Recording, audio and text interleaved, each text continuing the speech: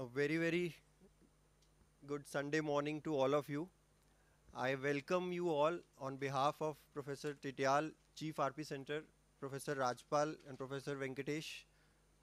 Professor Rajpal, Head of Retina Unit and Senior Professor of our Retina Unit, Professor Pradeep Venkatesh, to this CME on anti-VEGFs. Now, as all of you know, anti-VEGFs have been a very big scientific breakthrough and a big boon for the retina surgeons and especially our patients who have definitely benefited from this. It has revolutionized retina therapy. But with all scientific breakthroughs, there are some concerns and some areas where we sh where should they should be used and where they should not be used. Some areas of caution, and I think today we'll discuss all of these, and so that all of us can use them in a better way to help all our patients.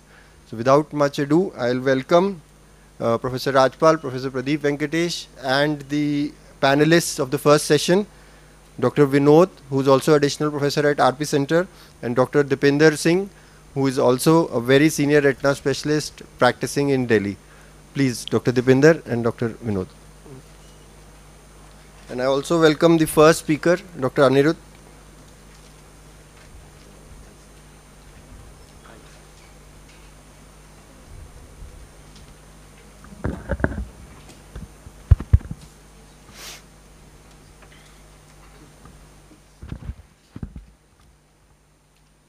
Good morning, everyone. The topic of the first session for this workshop is Introduction to Anti-VEGF Drugs. Formation of new vessels can be divided into vasculogenesis and angiogenesis. So vasculogenesis is formation of new vessels de novo from the primitive mesodermal cells, whereas angiogenesis is sprouting of new vessels from pre-existing capillaries.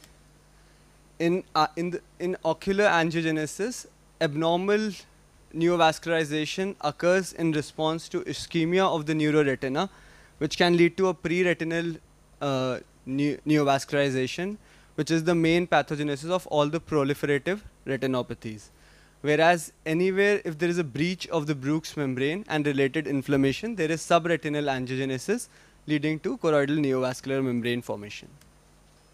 Briefly discussing the discovery of the VEGF molecule, so it was in 1948 when Michaelson, followed by Ashton, proposed an hypothetical metabolic factor named as factor X, which induces new vessel formation in response to ischemia. And further, different research group labeled it as vascular permeability factor and vascular endothelial growth factor. And subsequently on genomic studies, it was found that these molecules were identical and had all the properties of the originally hypothesized factor X. It was then in 1997 that the first anti-VEGF molecule was discovered and was FDA approved in 2004 primarily for the treatment of colorectal cancers.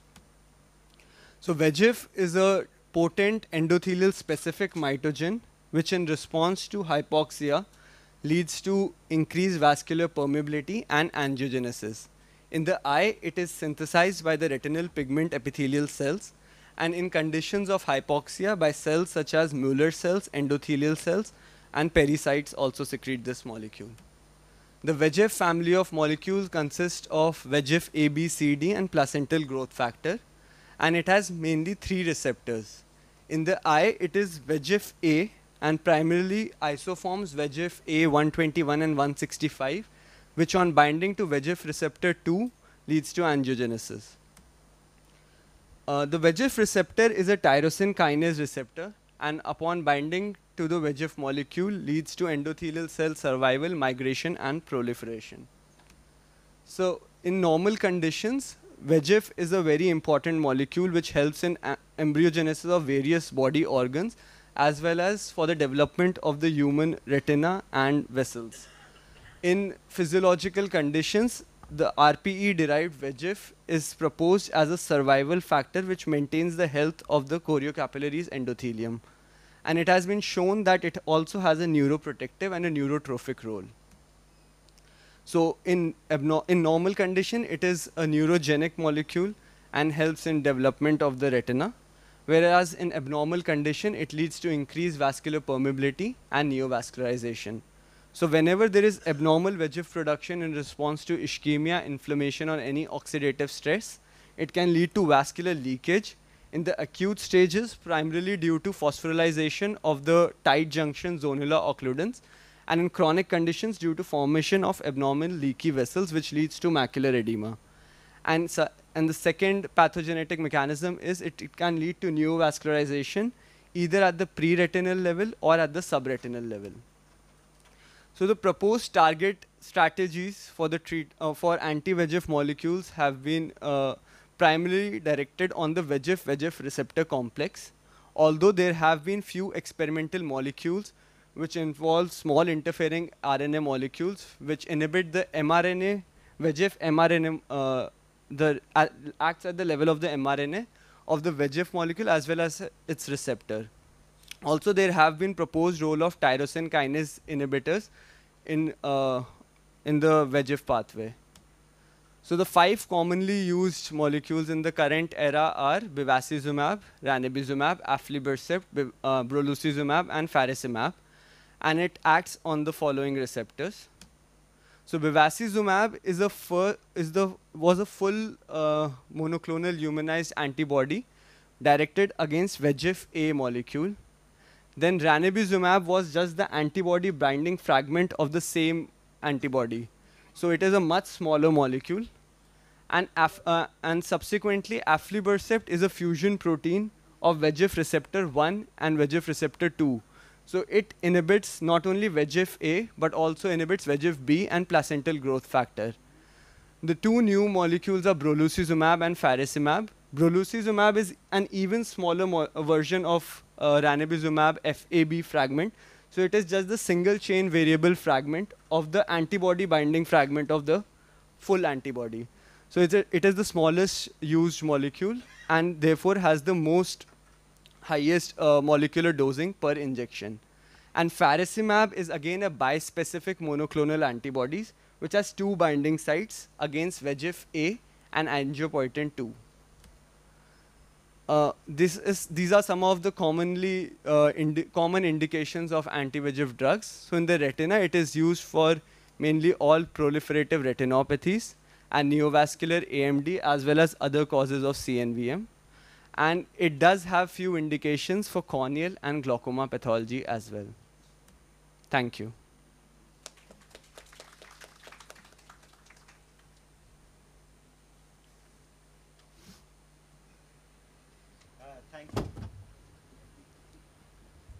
Thank you, Anirudh, for that wonderful introduction to the anti-VEGF drugs. As Dr. Rohan mentioned, it is something which, without which we cannot survive uh, nowadays, in, uh, because almost all retinal disorders have one part or the other which is treated by anti-VEGF drugs.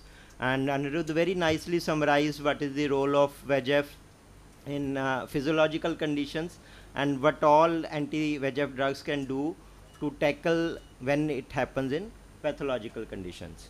So any comments from the house?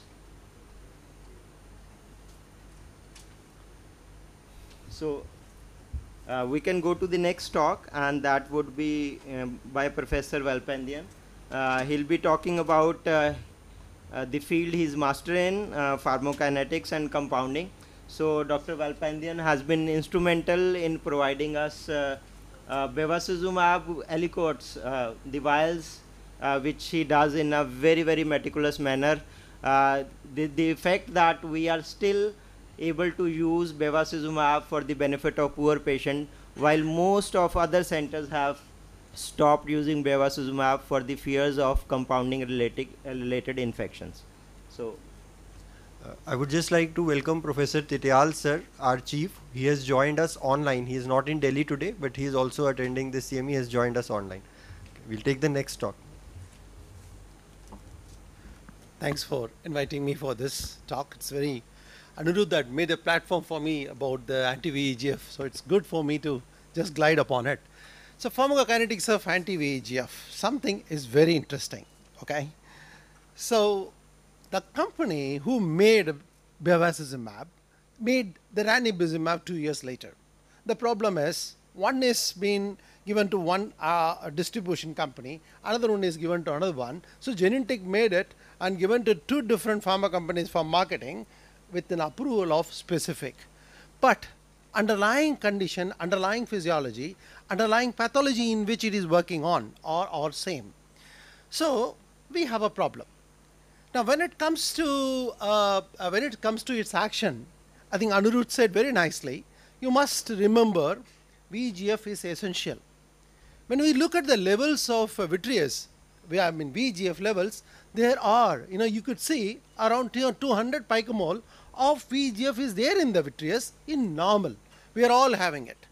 Now, at some times of diabetic retinopathy or AMD, the level goes up now you have to look into the plasma also. Is it only for eye or is going pan? The diabetic retinopathy, all we understand, there is an offshoot of a systemic problem where we have diabetes and it is getting into it. Now come back again. Ischemia and VEGF. So the ischemia which is produced in the eye, is it very specific for the eye, for the retina, or it is a pan problem? So when I just look into it, see this beautiful uh, paper which came from, uh, uh, I think KGMC, which shows nicely control level. From there, you know, when you just go node uh, diabetic retinopathy and PDR and PDR, the level is constantly rising. But at the same time, the question which is not answered is that a person is well controlled diabetes, still he is getting into uh, uh, PDR. The person who is already having a very, I mean, uncontrolled diabetes, not having uh, diabetic. So these questions making us to think beyond what we know as a treatment using anti-VEGF. Okay, let me ask, just uh, put you. When I try to explain the mechanism, see when you just look into the uh, pharmacokinetics that each molecule of this anti-VEGF is capable of neutralizing some amount of VEGF whether 1 is to 1 or 1 is to 10 or 1 is to see this is something that it may not be having great relevance but it's just like, you know, I'm just trying to increase the binding affinity or I trying to make the more specificity. But by and large, when you just look into it, so when you just see, when the, this experiment is a beautiful experiment, what they have done is they have taken a VGF and anti-VEGF together. They put into a well, what you see here, and they assessed the release of VEGF along with time from the bound form. Once if we complex both of them, they are in bound form. Now, now they start understanding that how much is left, how much is coming up. So the ratio they were trying to calculate. So this study, when you just look into this graph, see at lower concentration you see that 100% VGF is coming up. So when you are keep on increasing anti-VGF agents, now slowly, slowly, slowly that, that is going low. The migration is going low.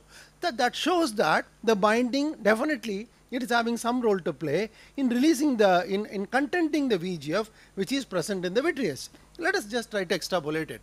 But when it comes to, uh, when it comes to the dosing, there are different different dosing levels. One is 0.3 milligram, one is 1 point, uh, 0.16 to 1.25. So the differing the concentration what you are injecting, it is having something to do how much it is going to act on the amount of VEGF which is present in the vitreous cavity. But I must tell you, when I just try to look into the pharmacokinetics of it, I can only compare this with an antacid. The drugs can have multiple types of action. It can act through the typical types of pharmaco pharmacology. It can stimulate, it can inhibit, it can go for complexing, or it can uh, it can go for you know cytotoxic actions. So among all of them, there is something called neutralization. You, if somebody is suffering from peptic ulcer, you give antacid. So what is the role of antacid? It directly goes and neutralizes the acid which is in the stomach. But, but that is not the underlying problem. This is an exhibit of a problem. You are trying to deal it superficially. You are trying to suppress the hydrochloric acid.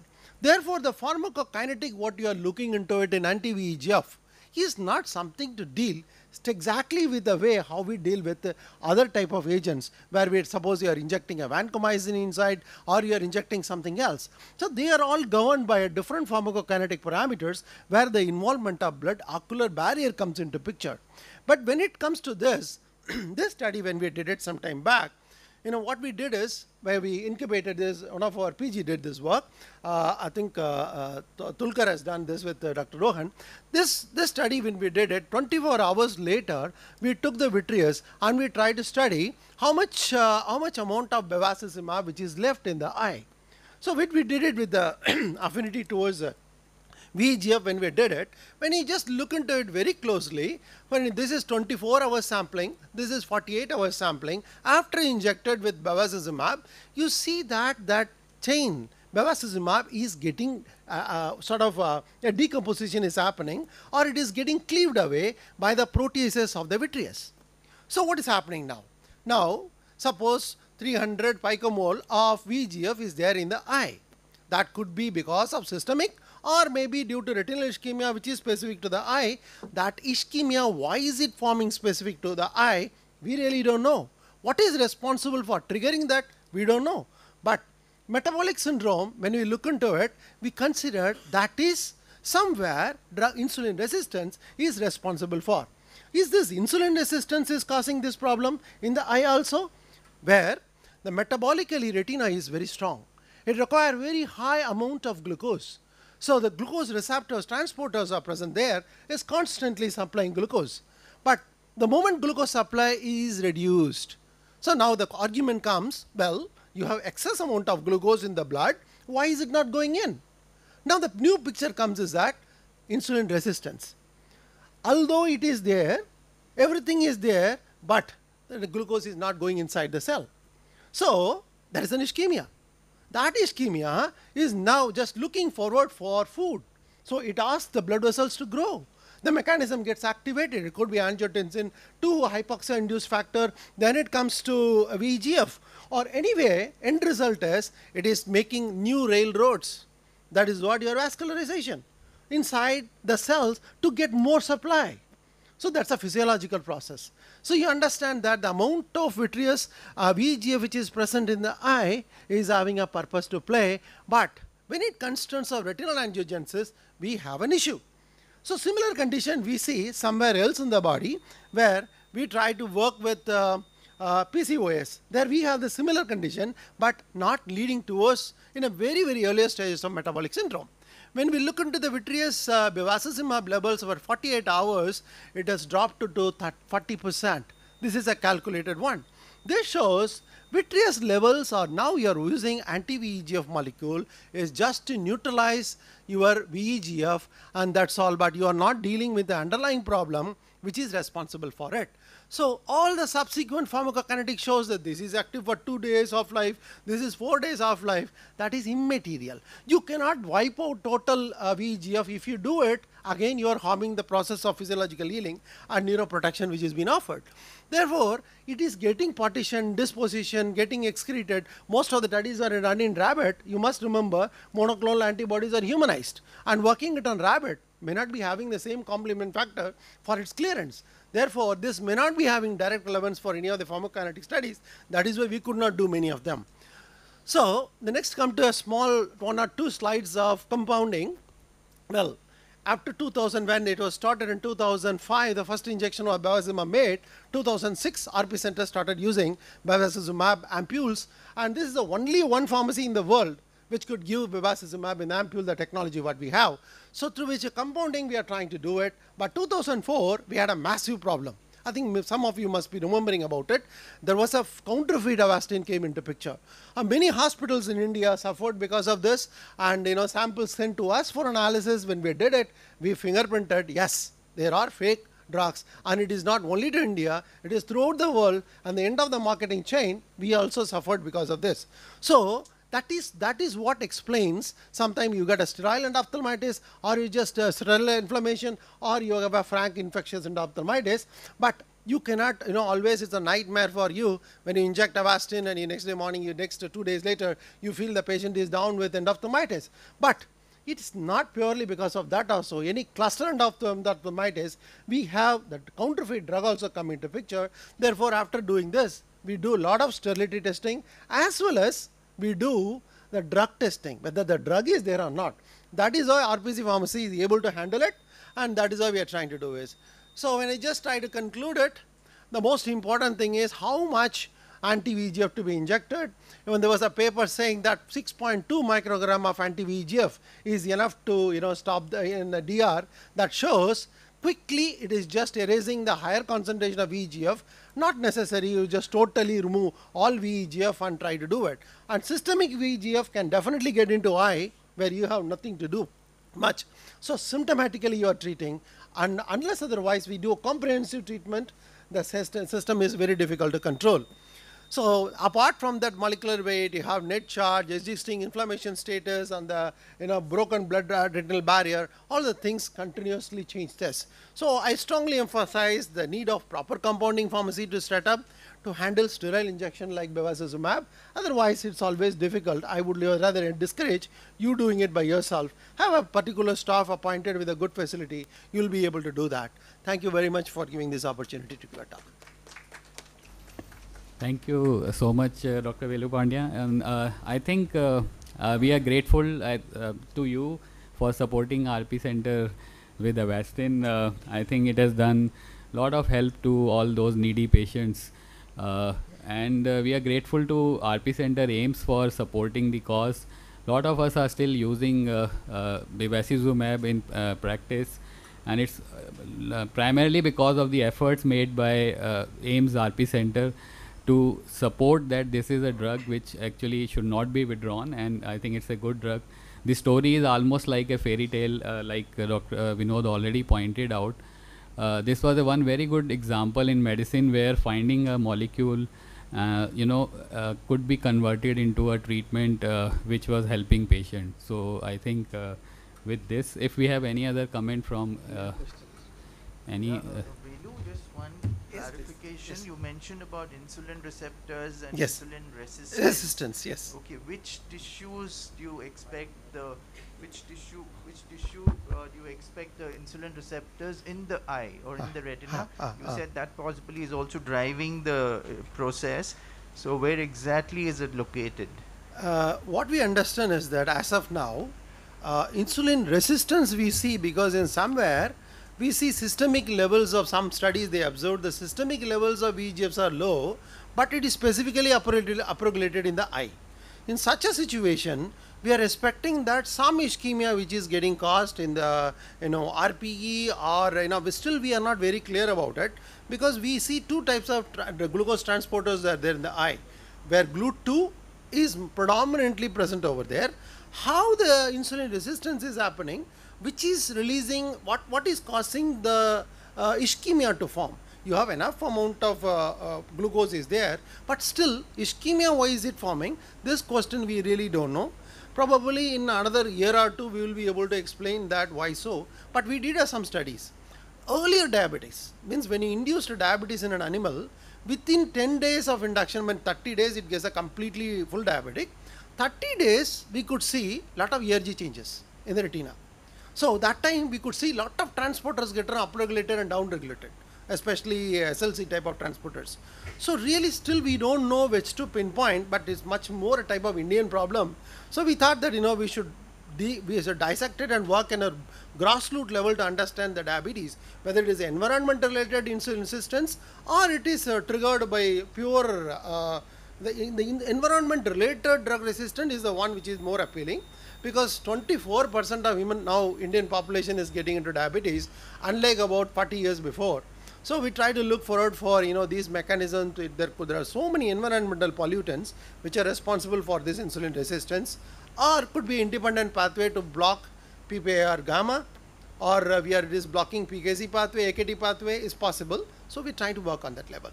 No, I'm sorry, sorry, I'm repeating again, but I still get didn't get the question about whether you were actually able to identify insulin receptors yes, yes, yes. in which part of the retinal layers? We yet to know about it because we know very well that it's happening, but pinpointing that is becoming a more troublesome.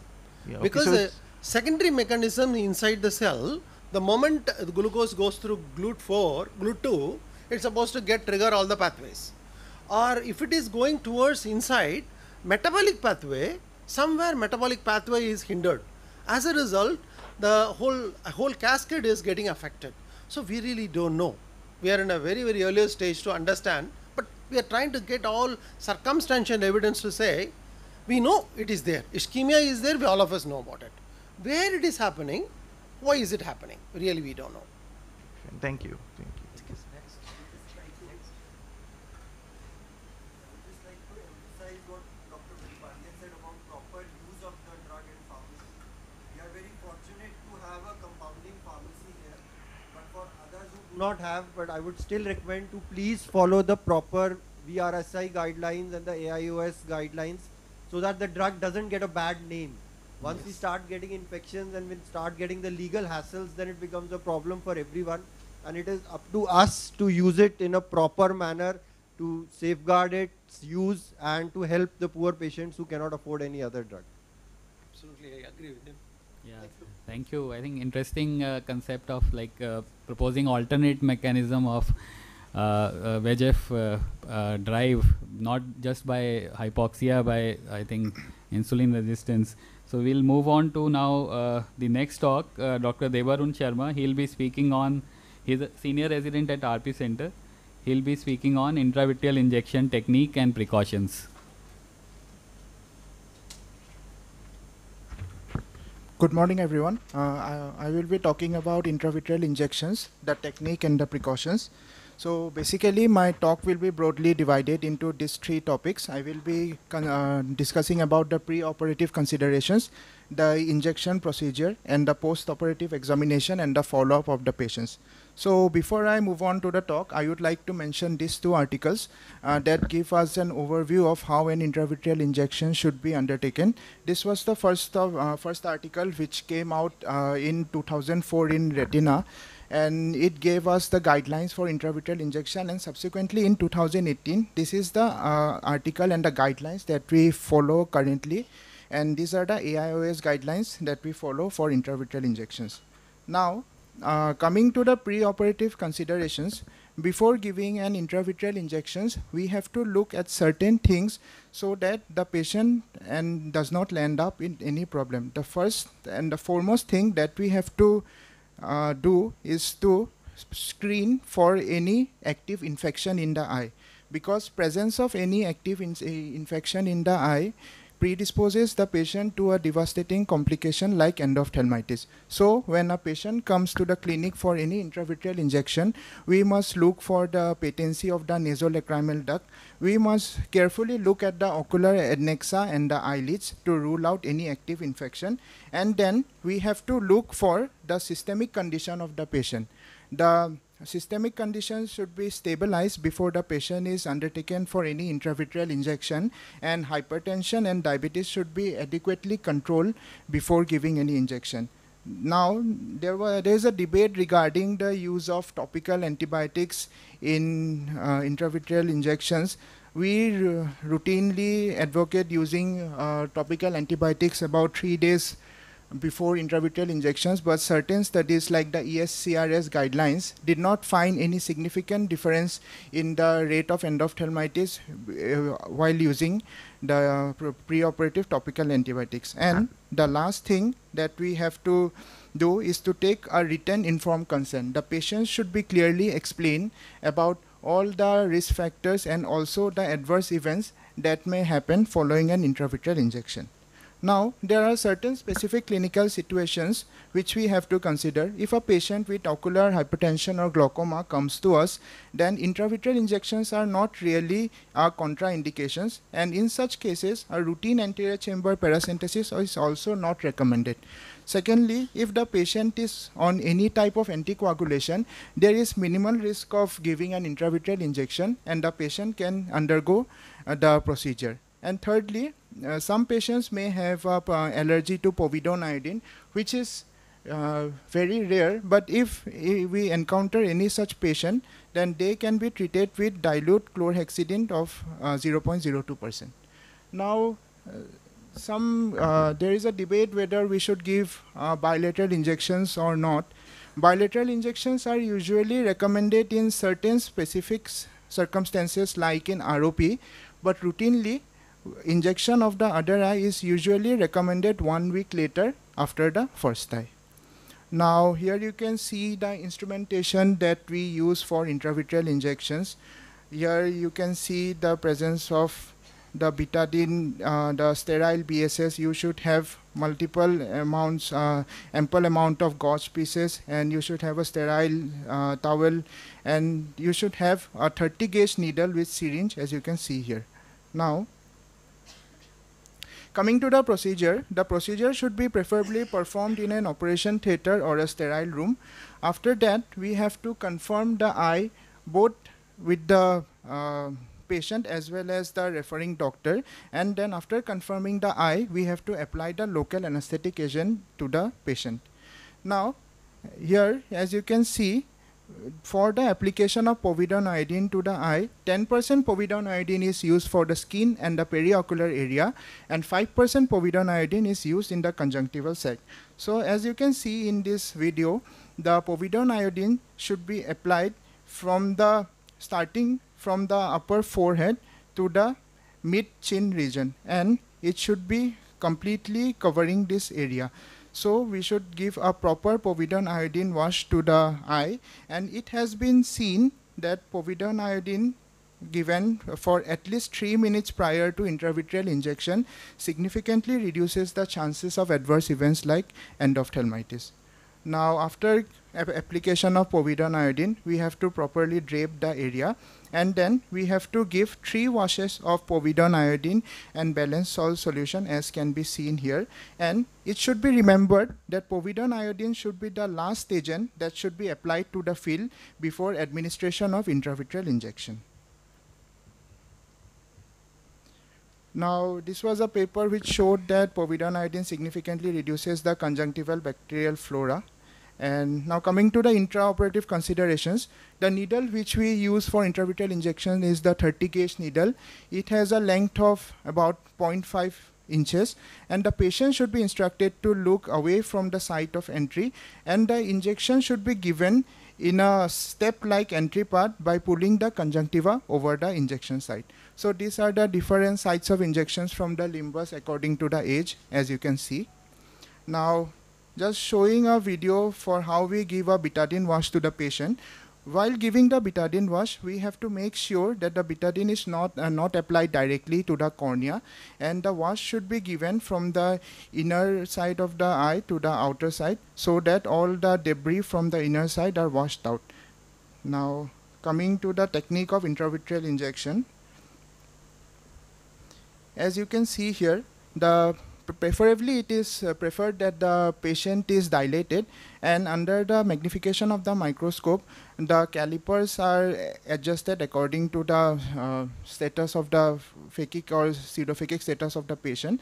After that it is, the injections are usually given in the inferotemporal quadrant as it is the most accessible and the most uh, exposed part.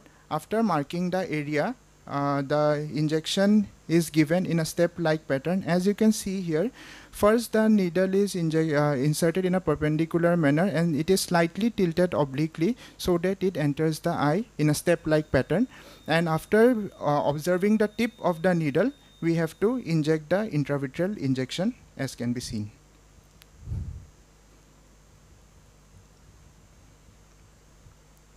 So now finally coming to the post-operative care, uh, the bandage after intravitreal injection is usually removed after 4 hours and topical antibiotics are usually given for about 5 days. And post-op IOP monitoring is very important for to rule out any uh, significant spike of IOP and the patient should be advised to avoid eye washing for about 24 hours.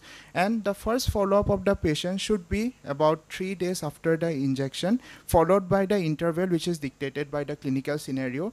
And the most important thing that should be emphasized to the patient is that they should immediately rep uh, report to the casualty or the clinic in case of any pain, photophobia or redness or decrease in vision.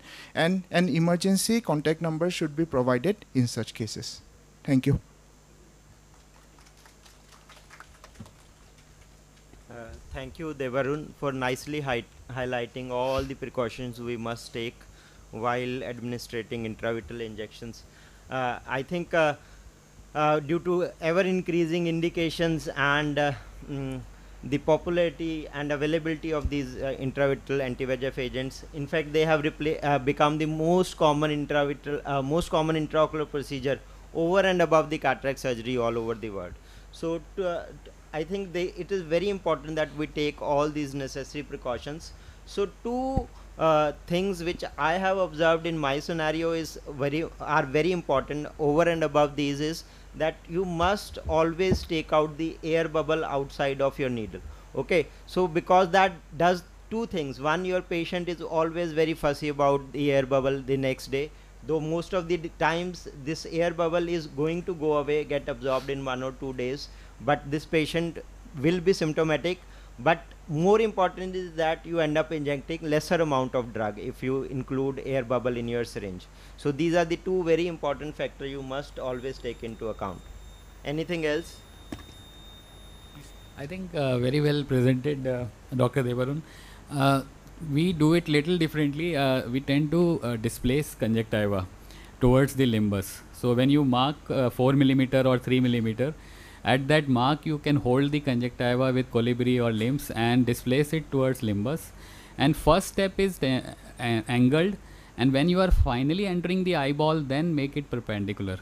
And of course, clear lens size, you have to be careful that you don't push uh, hit the lens. Second thing is uh, we don't uh, give pre-operative antibiotics for uh, any of our injections for last uh, ever since uh, last 15 years. And Post-operatively, we avoid quinolones because we don't want resistance to quinolones. So we just give a broad spectrum chloramphenicol as a protocol because it's a prophylaxis. It is post-exposure prophylaxis we are giving. It's not we are not treating any infection, and it's very cornea-friendly antibiotic. And third thing I can uh, share with fellows and SRs is it's always good, especially in a patients with having borderline IOP or glaucoma and wherever you are injecting sometimes you inject double dose of Avastin in some certain cases. Good to check the light perception with the microscope light then and there only. And if some patient is suddenly saying i am not able to see light then you immediately do the paracentesis so don't ask for indirect or any torch. Your microscope light is very good i think in checking the light perception. Yeah, yeah. Just, just one more small point. You said rop you inject one the second injection after one week Sir, no, sir. In ROP, simultaneous bilateral can be given, yeah. sir. So sir. It has to be given simultaneously. it's not like an option, no? I mean.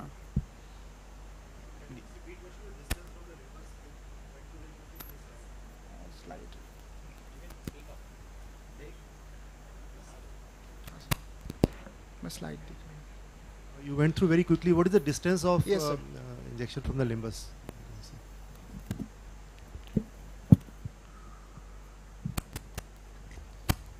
As you can, can. we put the slides again please? Just for a second. You can speak yes sir. Uh, sir for 1 to 6 months of age the distance from the limbus is about 1.5 mm. From 6 months to 1 year it is about 2 mm. From 1 to 2 years of age it is about 2.5 mm. And from 7 years onwards uh, it is like an adult patient. And so the for phakic we give it for 3 mm for pseudophakic it is 3.5 mm and for phakic it is 4 mm from the limbus. Yeah uh, one, one other recommendation is that the patient should be there for around uh, for half an hour or so and you're expected to measure the intraocular pressure. If you have access to NCT or your digital uh, pressure itself and like uh, Dipinder was saying look for light perception on the microscope but better than that would be to at least look for finger counting vision before you send your patient away. Okay one of the thing that happens is that we're giving so many injections like uh, Dr. Pandian was saying it's a cluster injections that we're giving so we're not actually sticking to protocol in each of our patients. But in practice you're going to have enough time. So these are recommendations that need to be actually documented that finger counting vision basic vision was there and you may have pressures going up beyond 30 in a few of your cases. Okay so you have to be cautious there. And that's the reason that if you go back they would uh, they, these are the other points that would be there in your international guidelines. Okay and the other point that I'd like to uh, emphasize is on the dilatation. There is always uh, a, a, debate about whether you should dilate or not dilate. The uh, Lucentis guidelines very clearly say when they introduce the drug that the pupil should be dilated it improves the safety of your procedure, particularly for phakic patients. So I think when you're beginning your injections, try and do not uh, ignore that uh, ignore the pupillary dilation component. We have seen lens drops happening at the best of situations, so it's rare these complications. But if you want to, I mean, go to zero complications, you must follow all the guidelines. Dr. Parijat, what is your opinion? Should you dilate? Should you not dilate? Mike, the Professor Parijat. Yeah, so in, in, in ROP we don't want to dilate because uh, if you start try to start seeing the needle tip, then there's a higher chance you'll end up hitting the lens. So you want to stick to the direction because the lens is a little large in preterm baby, so you do not want to dilate and better stick to the direction and the procedure which you want to concentrate on. If it's gone in, obviously it's gone inside the eye. So that is a little different in. No, it is not recommended, It or is it not- is So we don't want to dilate in the uh, in the ROP eyes because if you try to start because the needle is al- already inserting a very small part of inside. We're not going the full needle in. And if you start, you know, pushing it too much to one side and and you actually start seeing the needle, there's a high chance you might end up hitting. Then the the needle. question is whether you should see the needle or not. No, we don't want to see the needle. I think In e- even the guidelines are not to dilate. even in adults we don't don't are we are not dilating just to see the needle especially in phakic eyes sometimes you see only drug main reason is if you have, have to examine optic nerve head uh, that Nerve was head. the that was the teaching that if you like patient is still not uh, perceiving light and you have to examine the optic nerve head. And second thing is sometimes this happens uh, you know by error in our system patient comes to you undilated. It's highly uncomfortable for any patient adult patient at least to lie under microscope light without dilatation. Comfort level increases uh, tremendously once they are dilated. It So- is better uh, to dilate because we have seen uh, it is not rare to have a high BP and having a serious complication. If they do occur every after six months, they are coming from private or the from air. So that is important to see. At least if you can see the fundus after one hour, that you make sure that everything is fine because eye is so complex, it's very difficult. Thank you. Excuse me, uh, I want to ask one question. Any role of steroids or NSAIDs post-operatively or only antibiotic we prefer? Uh, there has not been much studies regarding the role of any steroids or NSAIDs post surgery, so we routinely do not recommend such conditions. Okay, next. Okay, thank you, Devarun. Uh, I think being, being the practical part of it, uh, this uh, your topic draw the most uh, discussion. Anyway, so we'll move to the next topic, and Dr. Nishat Hussain, who is additional professor here at RP Center in Ocular Microbiology, she'll be speaking on microbiological perspective and infection control in such eyes. Dr. Nishat. Thank you very much. A very good morning to one and all present here. So, in microbiology perspective and infection control, I'll be speaking about the various sources of infection during the procedure, how we can prevent the occurrence of infection from those sources, and in case an infection occurs, what all we have to do. So, uh, during the procedure, infection can get transmitted from environment, instruments, medicines or washes, disinfectants, patient, as well as from healthcare worker. When we want to prevent the infection from the environment, there are three things which are very important. That the procedure should take place in a room which is having a supply of HEPA filtered air. The optimum temperature and humidity of the room should be maintained and all the surfaces of the room should be properly disinfected and if these three things are taken care of on a routine basis fogging of the rooms is not required but it may be required in some special circumstances like in case of an outbreak or if some renovation work has taken place etc quality control of these procedures is done by uh, frequent maintenance of the filters and maintaining a log of surface disinfection. The procedure as well as the frequency of disinfection should be proper. And microbiologically, we can check these things by using the settle plates for the quality of air and we can take the culture of surface swabs to see whether the disinfection is proper or not.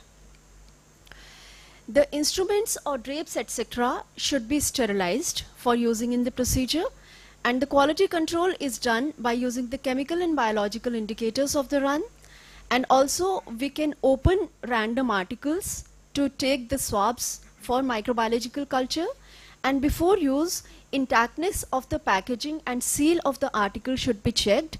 And in some uh, sterilization procedures, for example, uh, in autoclave, we should check the date of sterilization also. For example, an autoclave article, if it is not used also, if it is packaged also, after 72 hours, it should be re-autoclaved before using it for patient care. This is an example of a chemical indicator. We are able to see before uh, the run of the autoclave, the lines are white. So if they turn black after the procedure, this means the run has been successful. This tape is stuck on the top of the article which needs to be autoclaved and uh, this is a modification of the chemical indicator. This is a Bowie-Dick card which is inserted in the depths of the article. So if there is a uniform change in color, then we understand that inside the depths of the article, the steam has penetrated uniformly and the run is successful.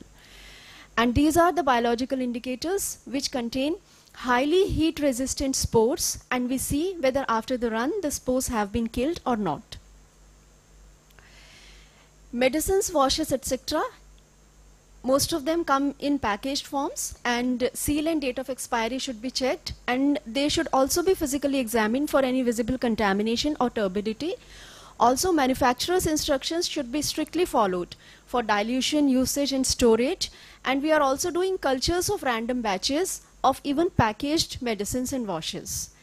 All the in-house preparations we are releasing for patient care only after ensuring that they are sterile. We are doing cultures of each batch before releasing them for patient care. Scrubs and disinfectants, they also come in packaged form. So all these things, checking seal, physical examination, following manufacturer's instructions should be done for them. As well as whenever a new disinfectant is introduced for patient care, the components as well as the percentages of the components should be checked before we actually use them for our patients. Patient factors have been uh, discussed already by Devarun. So comorbid conditions as well as any medications should be properly looked for and adequate, adequate control of the comorbid conditions as well as stoppage of the indicated drugs should be done infection in the vicinity or in continuation of the eye has to be treated and part preparation has to be adequate. For healthcare care workers, it is important that we maintain a proper procedure room etiquette. Hand hygiene should be proper and a proper discipline of hand hygiene should be maintained. I will just give an example that hands prepared for a particular procedure should be used for that procedure only and in case of any urgency, if we are doing something else with our prepared hands, we should re-prepare our hands for the procedure. Also, as again uh, very clearly stated by the Barun, all SOPs have to be followed strictly. Now, in case with all the precautions also, if an infection occurs, then what we have to do? We have to properly investigate the infection so as to find out the possible source of infection in order to stop the occurrence of further cases from the source and also whatever errors have been identified they should be rectified so that such occurrences do not occur in future. So the first and most important thing which we do in such investigations are that we review all the reports of infection prevention and control in the concerned period of the environment.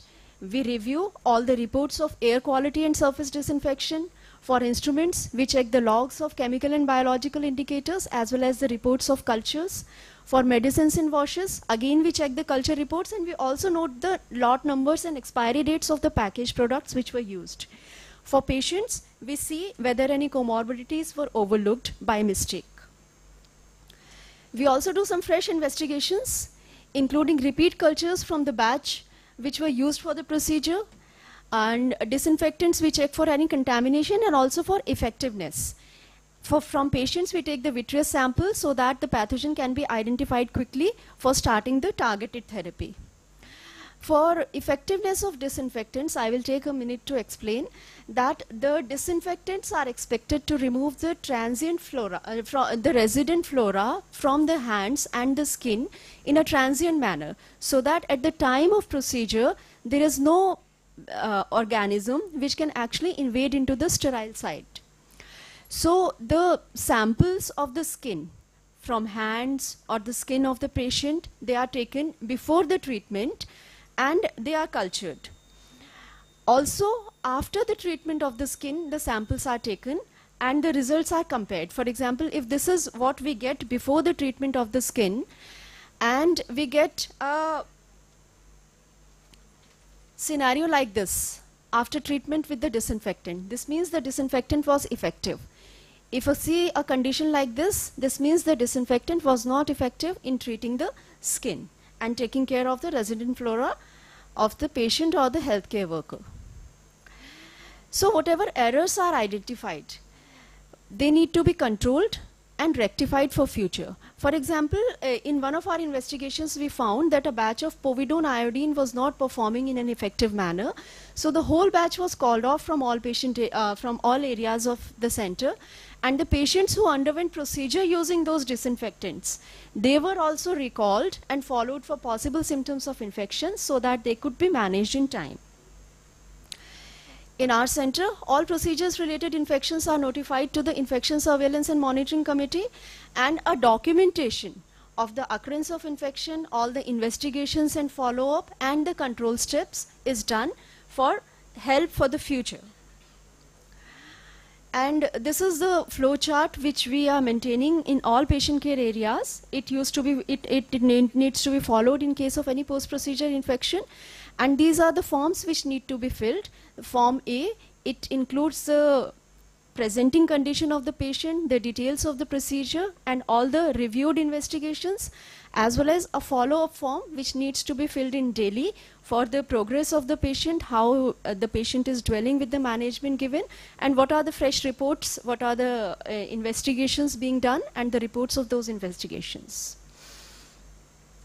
At our center, the rate of post-procedure infections is very, very less, and it is also coming down with the interventions we are doing. So we very uh, optimistically state that active surveillance, prompt reporting and follow-up, and adherence to infection control measures is helpful in bringing down the numbers of post-procedure infections. I thank you all for your patient hearing, and I also thank the members of microbiology team and Infection Surveillance and Monitoring Committee for their good work. I'll be happy to answer any questions. Now in a hospital setting, all the samples should be tested. Here, here, like uh, iodine and all these, this should be. Uh, no, sir. Mm. Only if uh, something new is coming no. No, no. Whenever in a hospital setting, should we test all the things? Not BSS, required, sir. iodine? Not required. We only need to so see. So that we should be able to detect like iodine, which we were. Sir, it happened. We uh, tested it after the procedure occurred. Uh, no, yes. should we test before? No, not required, sir. Another question: conjunctivitis mm. these days. Hanji, sir. Uh, so, should you inject? Should you not inject? So, conjunctivitis cases we should not inject because should although the inject. outbreak is viral one, but when in any inflamed. How any long you should wait? Sir, uh, till the resolution of the symptoms. Dr. Parijat, if there is a APROP, Dr. Talwar. Doctor Talwar हाँ doctor तलवार doctor Talwar हाँ बोलो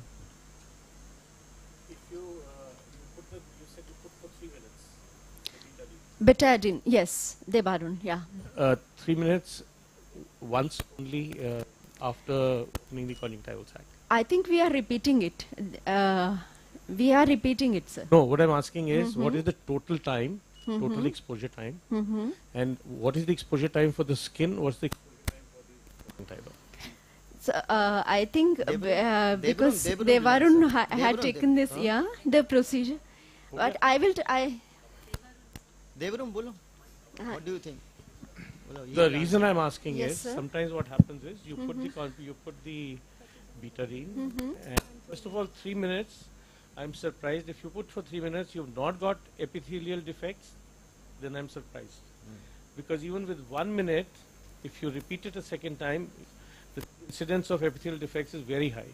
Okay. So this is one issue. Right. The second thing is that if you put betadine mm -hmm. and now you're washing it and you find that there is some discharge over there. Now will you, would you abandon the procedure or will you put the betadine again? And how do you decide whether to do the procedure or abandon the procedure? So, in my opinion, if there is any discharge, I'm yeah. Dr. Rohan? Yeah, uh, yes, sir. So Devarun had already explained the procedure. So what we are doing is we try to avoid putting it directly on the cornea. You can put it once on the cornea, but like you said, don't put it repeatedly. And even if you put it on the cornea, just wash it with the saline, just a two drops on the cornea, not the rest of the conjunctiva. So at least the betadine stays in the conjunctival sac. Yes, we definitely need to avoid an epithelial defect because next day that is a very painful thing and the patients complain a lot and then you always think is it an infection or something has happened and you need to call the patient back. So if you be careful, don't put too much betadine on the cornea, you can avoid it. Three minutes we do it. Yes, yes. Yeah, we put it on the sac. One or two drops will definitely go on the cornea, but just wash it off quickly with saline. That exposure is there for three minutes. It's too much. Nee, So we are not putting it directly alright. on the top of Why the I'm cornea. asking you this because so I modified the procedure. I put the first Mike. put the first drop when the patient enters the OT. Before he enters the before he lies down on the bed, you put the first drop. So now the eye is closed one drop. And one minute later, you put the second drop just before you start the scrub. You start the cleaning of the, the lid. So that ensures that you get another minute. So the second drop comes again one drop, which goes into the conjunctival sac. But after that, the cleaning is done. Now you put the speculum, you leave for another one minute. That's for the third one. Why? Because with the open speculum, the cornea is drying also. So it's more liable to get into this uh, problem. And obviously, as you said, you put enough to just fill the conjunctival sac. You're not putting directly onto the cornea, uh, though you may put a one drop on that. Now, this is one aspect. Still with this, there is a risk that you may get, but this is the minimum, I think, that you need to do. But the problem comes when you wash and you find that there's a mucoid discharge, which is now staining with the betadine. So you can see it's actually staining with the betadine. Now, this comes in two forms. One is there's a little bit of collection at the medial canthus, right? This is probably not such a big issue. But sometimes when you're removing it, you find that there's a whole layer, layering the entire inferior fornix. Now what you do?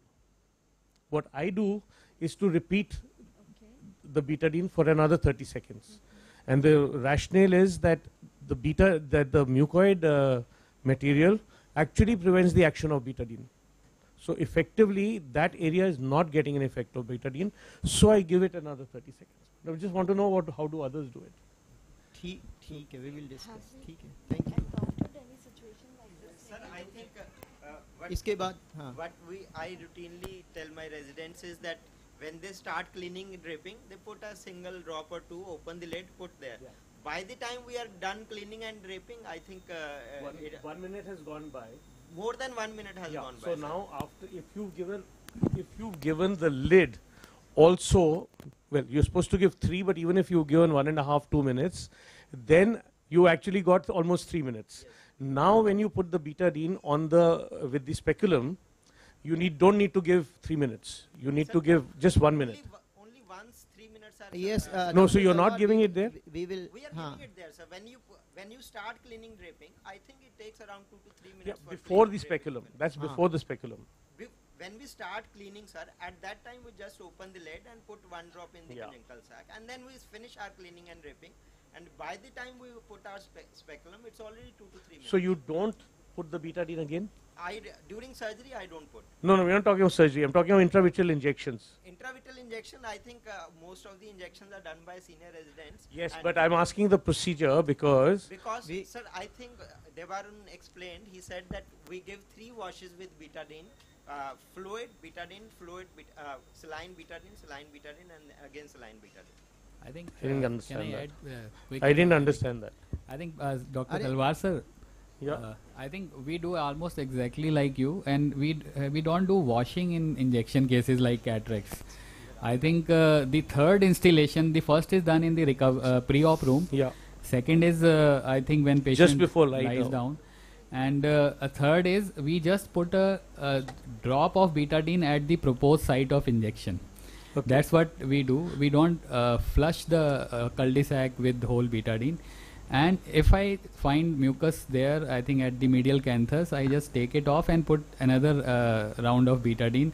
Then we do full installation in the cul-de-sac. Otherwise, we just touch the proposed site of injection with you know uh, bud soaked in betadine. Yeah. So this is what I was trying to point out. That if you see this mucus, you need to repeat the betadine. Yeah. It's not enough to just say ki maine wo nikal diya. The second thing you will notice now, you're an academic institution, you'll mm. find this more easily. In in the rainy season, this increases. Increases. The yes. Incidence yes. of this mucus secretion increases. Increases. And it's minimum in the winter season. So it, so that's why it's it's important to keep this in mind that there is a relationship with the seasons also. So according to that, you have to. Thank you. You're right, sir. Seasonal variation is very common. And That is, that is why Dr. Talwar, I instruct them when to not to give. Suddenly they will get take it today. Like I had a mind, okay, these days we will decrease the uh, intravitreal because of the these reasons. Yeah. So I used to do that with Ozurdex. Uh, But uh, there was a period when I would not give it in the rainy season because it's a more bigger, um, uh, bigger incision. It's not going to close within the next 24 hours. So I would be a little more careful about using Ozurdex in the rainy season. So let us uh, welcome formally Dr. Talwar. He has left us 20 years back and he has come back. He would have been at my position at present. Talia? Nee, he, he is a very, uh, you know, you can listen, he is the, one of the, you know, intelligent person who has taught us, me and Pradeep he is our guru. So we are happy to be here with Dr. Talwar. He is coming after 20 years. Thank you. Sir, we would also welcome Professor Titiyal, sir. yes. Over to you, sir. Over to you. Yeah. Good morning to all of you. Uh, uh, I'm audible there? Yeah, yes, Yes, sir. sir. Yes. Yeah, good morning. Uh, indeed, uh, it's, uh, uh, I could listen to all the discussions. Uh, that is what uh, we wanted from uh, this type of workshop. I think uh, on behalf of uh, myself and the entire RPC family, I'd like to welcome all of you for this uh, uh, very interactive workshop on uh, anti-VEGF, which is, I think, the in thing for our medical practice, especially in uh, ophthalmology, where I think everybody should know the basic aspects of anti-VEGF. And people who have come today physically and people who have joined us today online, they are all most welcome to put their questions, queries, so that there can be more discussions. I'm more than happy to see that so many people have joined, especially with the new approach of uh, RP Center workshops. This year onwards, we are invited all RPC alumni uh, faculty who have done so well uh, across the country, across the world also, and they're a pioneer in their field and uh, very happy to have them here today with us, especially Dr. Dinesh Talwar, Dr. Sarita Beri, Dr. Dipender, Dr. Ruchir, Dr. Sumit, Dr. Amber, Dr. Uh, Nawajis. They have all come uh, for today's workshop. I'm uh, from my heart. I'd like to thank them for accepting our invitation, as well as the faculty uh, of RP Center Retina Group, headed by Dr. Rajpal, Dr. Pradeep Venkatesh, Dr. Parijat Chandra, Dr. Binod, Dr. Rohan, Dr. Soria, and the new people like uh, uh, Dr. Saurabh and Dr. Deves. They've done wonderful work to organize this workshop. And we're happy to see that our uh, ocular pharmacology, Dr. Velpandian and Dr. Uh, uh, from microbiology, we have Dr. Nishat. They have been a part of this workshop. So this makes a very comprehensive uh, approach to a, a looks like a very simple way to discuss anti-VEGF, which has so many other gamuts to look into, indication, contraindication, how to do it, when not to do it, and uh, case discussion. And happy to see Dr. Dinesh there, will definitely make uh, this is very, very interactive and people will enjoy the discussions. Again, uh, I hope that uh, people who are joined gain a lot of things from this workshop. And I'm pretty sure we are going to change the entire concepts of future workshops also to make them a particular specific uh, content to be discussed rather than an entire gamut of uh, one particular area. Thank you again. Uh, uh, sorry I could not be there physically because of some commitment there. And hope that I'll see you very soon physically and interact with, with you all. Wish you all the best and have very nice discussion. Thank you again uh, for organizing this work, the Retina team, and all the all, all SRs and JRs being there. Thank you and welcome all of you. Thank you. Thank, Thank you, sir. sir. Thank you. So just to conclude Dr. Nisha's thank, uh, talk, Dr. Nisha, thank you very much for your insights into microbiological aspects of it. So I've been given task of uh, talking about biosimilar drugs and uh, you know that biosimilars are the ones uh, which are the talk of the town nowadays we've been using for quite some time now and uh, I'll be throwing some light on the subject so uh, biologicals as we say them or biologics like uh, ranibizumab and bevacizumab biologicals basically are any medical medicinal product which contain biotechnology driven proteins as active substances. Now, uh, you will realize that if you see through the whole of the world's prescriptions, biologicals contain only 2% of the total prescriptions, but 37% of the total drug spending all over the world is contributed by the biologicals. So they're very, very expensive drugs though their development may not differ much from the small molecules which we commonly use in our day-to-day -day practice. Now biotechnological products which are comparable to the reference product, reference product is the one which is the original molecule, for example ranibizumab by uh, the original company is the, termed as reference product or the uh, parent molecule uh, biological uh, similars are basically products which are non-inferior to the reference product in quality, non-clinical and clinical evaluation. They demonstrate similar pharmacokinetics, pharmacodynamics, safety and also the efficacy is very very similar to the innovator biological and there is no clinically meaningful difference in terms of safety and efficacy. So what they actually are, they are not the same molecule but only a minor alteration in the structure whereby a amino acid or two are changed and they work very similar to the innovator molecule. Typically biosimilars require less time and less resources than biologicals to develop. Uh, if you see in terms of timeline, it takes roughly two-thirds the time of that innovator molecules while the cost is further reduced. Why this cost is reduced in the development biosimilar is because all biosimilar companies need to do is that they need to conduct preclinical studies where sh they show that they are very very similar to the innovator molecule. But when it comes to clinical trials most of the uh, most of the uh, authorities all over the world allow smaller studies with fewer participants and shorter follow-up where all the companies have to show is that their molecule is non-inferior to the innovator biological. So that way huge investment is not needed in the clinical trials and that is the reason why biosimilars are cheaper. Another important aspect of biosimilar is that once they show that they are non-inferior to the innovator in one particular uh, uh, uh, condition, then it automatically, automatically they are granted permissions to be used in other indications. For example, if you have seen most of the biosimilars, they have conducted trials in AMD. And once they have shown their similarity to the innovator molecule, they are approved automatically in other indications as well. So just to give you a, a rough uh, uh, scenario how a biosimilar is developed, initially ident we identify the structure, physiochemical properties, biological and functional properties. Then analytical similarity is done First, it is, it is confirmed in non-clinical scenarios and subsequently it is done in clinical scenarios. Now, how come bio, uh, biosimilars came into picture? Now, most of the is biologicals which we have, several of them, their patents expired in 2015. So the first biosimilars which were approved uh, in US were in 2015. Now, interestingly, the same uh, kind of molecules, that is biosimilars, were approved in, by European Union way back in 2016 and that is when the European Medical Agency first laid down the guidelines for the development of biosimilars and their approval.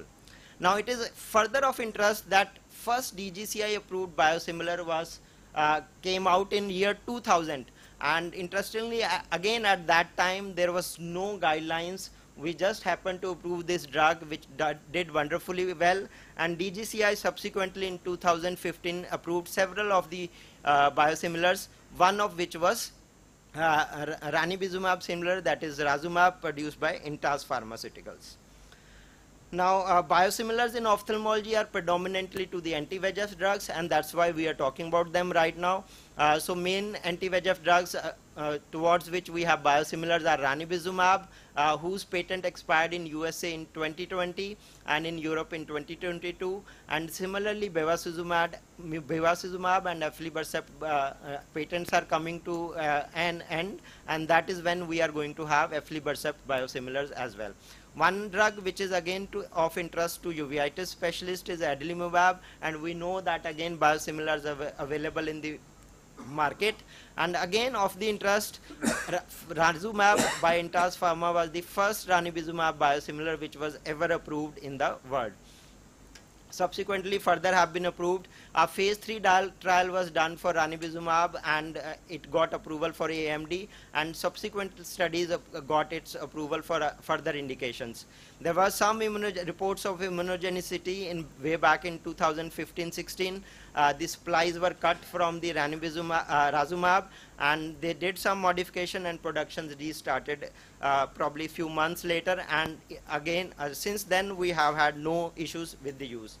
Currently there are several uh, ranibizumab biosimilars they have been approved in various parts of the world including Europe and USA and there are several others which are in the trials and will be likely approved uh, very soon. Aflibercept biosimilar again most of these trials are in phase 3 stage uh, some of them have completed, but as of now, uh, none of them have got approval, but very soon I think they will be coming to market and then we'll have cheaper alternative to aflibercept as well. Biosimilar to bevacizumab again are already available in Indian market and abroad and I think several of us are, are already using that. So similar is the condition with Humira. Now coming to our experience, uh, we have experience with Intas ranibizumab and uh, we have had around 1500 injections over last 18 months. And in our experience it works, works almost same as uh, the innovator molecule. And in our scenario the cost is roughly around two-thirds of that, that of innovator molecule. In fact, we uh, are currently conducting one phase 3 trial on the same drug for its approval in European market and again uh, the results have been very very similar to ranibizumab. Unfortunately, we haven't had experience with other biologic uh, similar biosimilars of ranibizumab. Uh, so to conclude, biosimilars are a significant change in the existing landscape of uh, uh anti-VEGF drugs. And what I think they offer the most is that they reduce the cost of the anti-VEGF therapy and make affordable, make it affordable for the masses. But the problem is that anti-VEGF market is fast becoming crowded and it is very very difficult to choose which one to take and which one to drop. But overall it is likely to benefit beneficial for both industry as well as patient and biggest uh, beneficiary being patient because the cost of the drug and the treatment comes down and all the people who are not uh, able to afford innovator molecules are able to afford the therapy as well.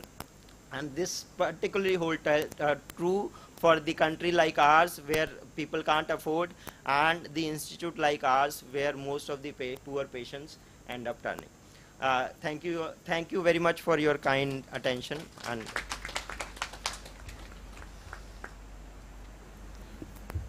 Yeah, uh, Dr. Pandian, there's a question for you. Is, is it possible for us to evolve a molecule now that's out of patent? Can you work on something? I think it'd be nice if you could.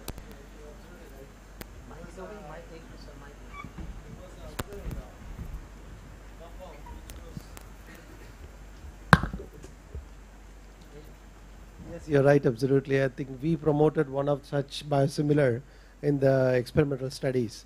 Now this guy is doing that uh, the st clinical studies in Korea because he was unable to do it in India sometime. So he took the molecule to Korea. Even he approached us also for phase one. Since uh, you know we don't have uh, such a type of infrastructure to phase one is a little bit troublesome in India. So he took it to Korea to do that. I think uh, we should now start giving such a type of interface also to give phase one uh, compliance. So that would help us you know, to develop these kind of molecule homegrown ones Yeah, into into clinic. aflibercept. I think aflibercept next year. I think he just said that it's going out of patent. I think it's a good yes yes yes that you can take yes now, yes yes yeah. and the most important one is that um, the formulation factors you know somebody makes it uh, which is suitable for I, there comes a little bit of trouble. So that is where uh, even the indian uh, biosimilar of ranibizumab had a problem which caused inflammation and things like that. So that is something that that technique may not be prevalent with all others. So a word of caution is always important you know when you just try to make such a type of thing to clinicals. What is the problem that uh, occurs, uh, which you're talking about in biosimilars in the preparation, that makes it that makes it not so straightforward like a chemical preparation? Sir, uh, can I answer this question? Yes.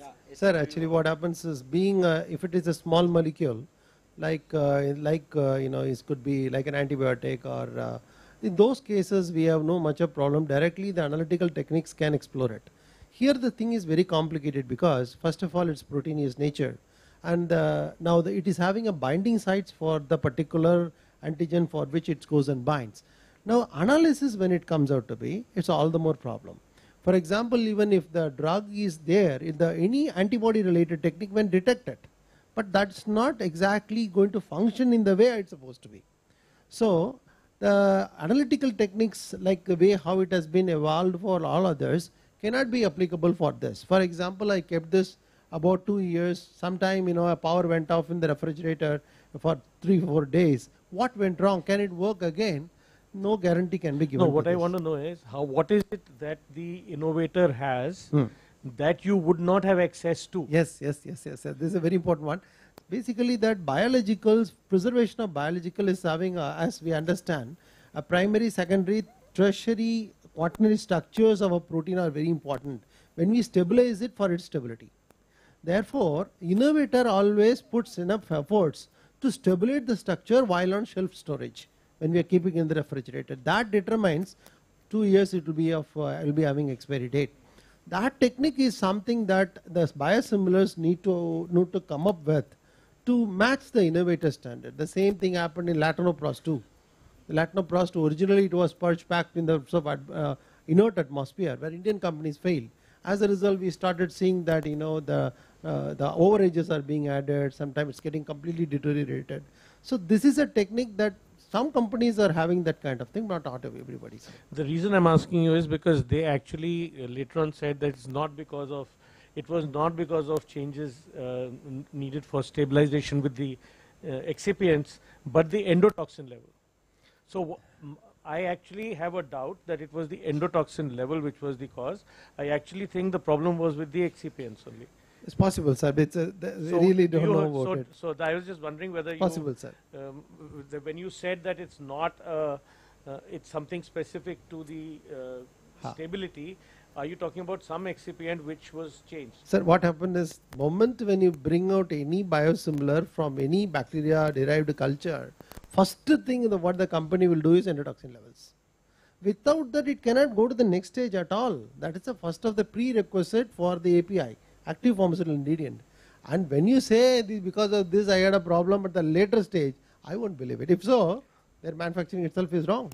Yeah, so that's what uh, Exactly, I- I, I, I think they've been trying to sell it, Thank you. saying We that will discuss Ah, with Dr. exactly, Exactly, what are the difficulty you are facing, and we will. Thank Sir, you, Dr. I'll just Vinod. make Haan. one point I forgot to include in my presentation. Uh, that uh, if you see innovator uh, bevacizumab, it comes with inlet that uh, it is not recommended for ophthalmic use. So it is always a challenge to use uh, bevacizumab clinically. But uh, I think several of the biosimilars, what they are trying to do is they are trying to make uh, bevacizumab for ophthalmic use and I think there are already studies underway in US market at least phase 2 phase 3 trials are on for ophthalmic bevacizumab and I think few companies in India have also applied for phase 1 studies where we- they'll be uh, testing the safety of uh, the ophthalmic bevacizumab in uh, clinical eyes and subsequently if those studies do well we there might be a time i think another 2 3 years where we might have uh, biosimilar of bevacizumab available for ophthalmic use? Actually, uh, it's only in the Indian version of bevacizumab that this is written. That is not for eye use. It's not written in the European and the American version. So for them, that's why compounding pharmacies work. For us, they can't work like that. But if the innovators, uh, I mean, if the biosimilar bios, um, bevacizumab does not write this particular line, we can use it for off-label use. So this is all that needs to be removed. Thank you, Dr. Vinod. Now I invite next panel, Professor Sarita Be- Beri. Thank you doctor Dipendra and professor Parijat Chandra to be hundred dash again professor Sarita Berry is from RP centre and we we welcome her तालियाँ तो होनी चाहिए भाई। इतने सुस्त आदमी हो हमारे। हाँ। Aarya uh, she is the head of department Lady Hardinge Medical College and she is the examiner and will be examiner in future.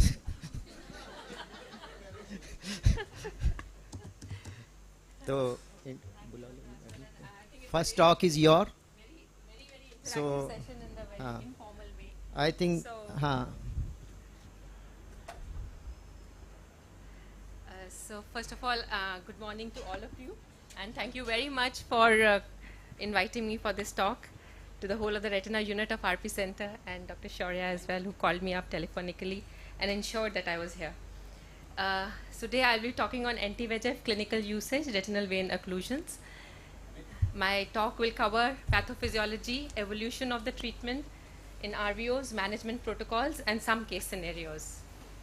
Uh, this is a small animation saying about the pathophysiology of RVOs, the, where the vein gets occluded, the proximal vein gets dilated and tortuous, the capillaries get engorged,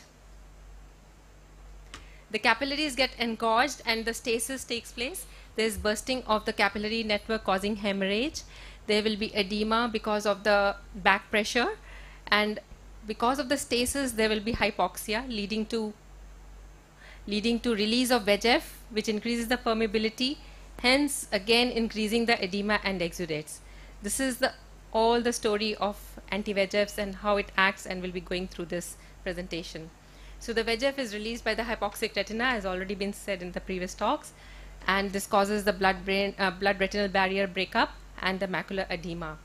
So in the beginning, I would like to say that because of this macular edema, there is cystic spaces in the intraretinal fluid, which is disruptive to the retinal architecture and gives uh, the anatomy as well as the physiology of the vision is disturbed.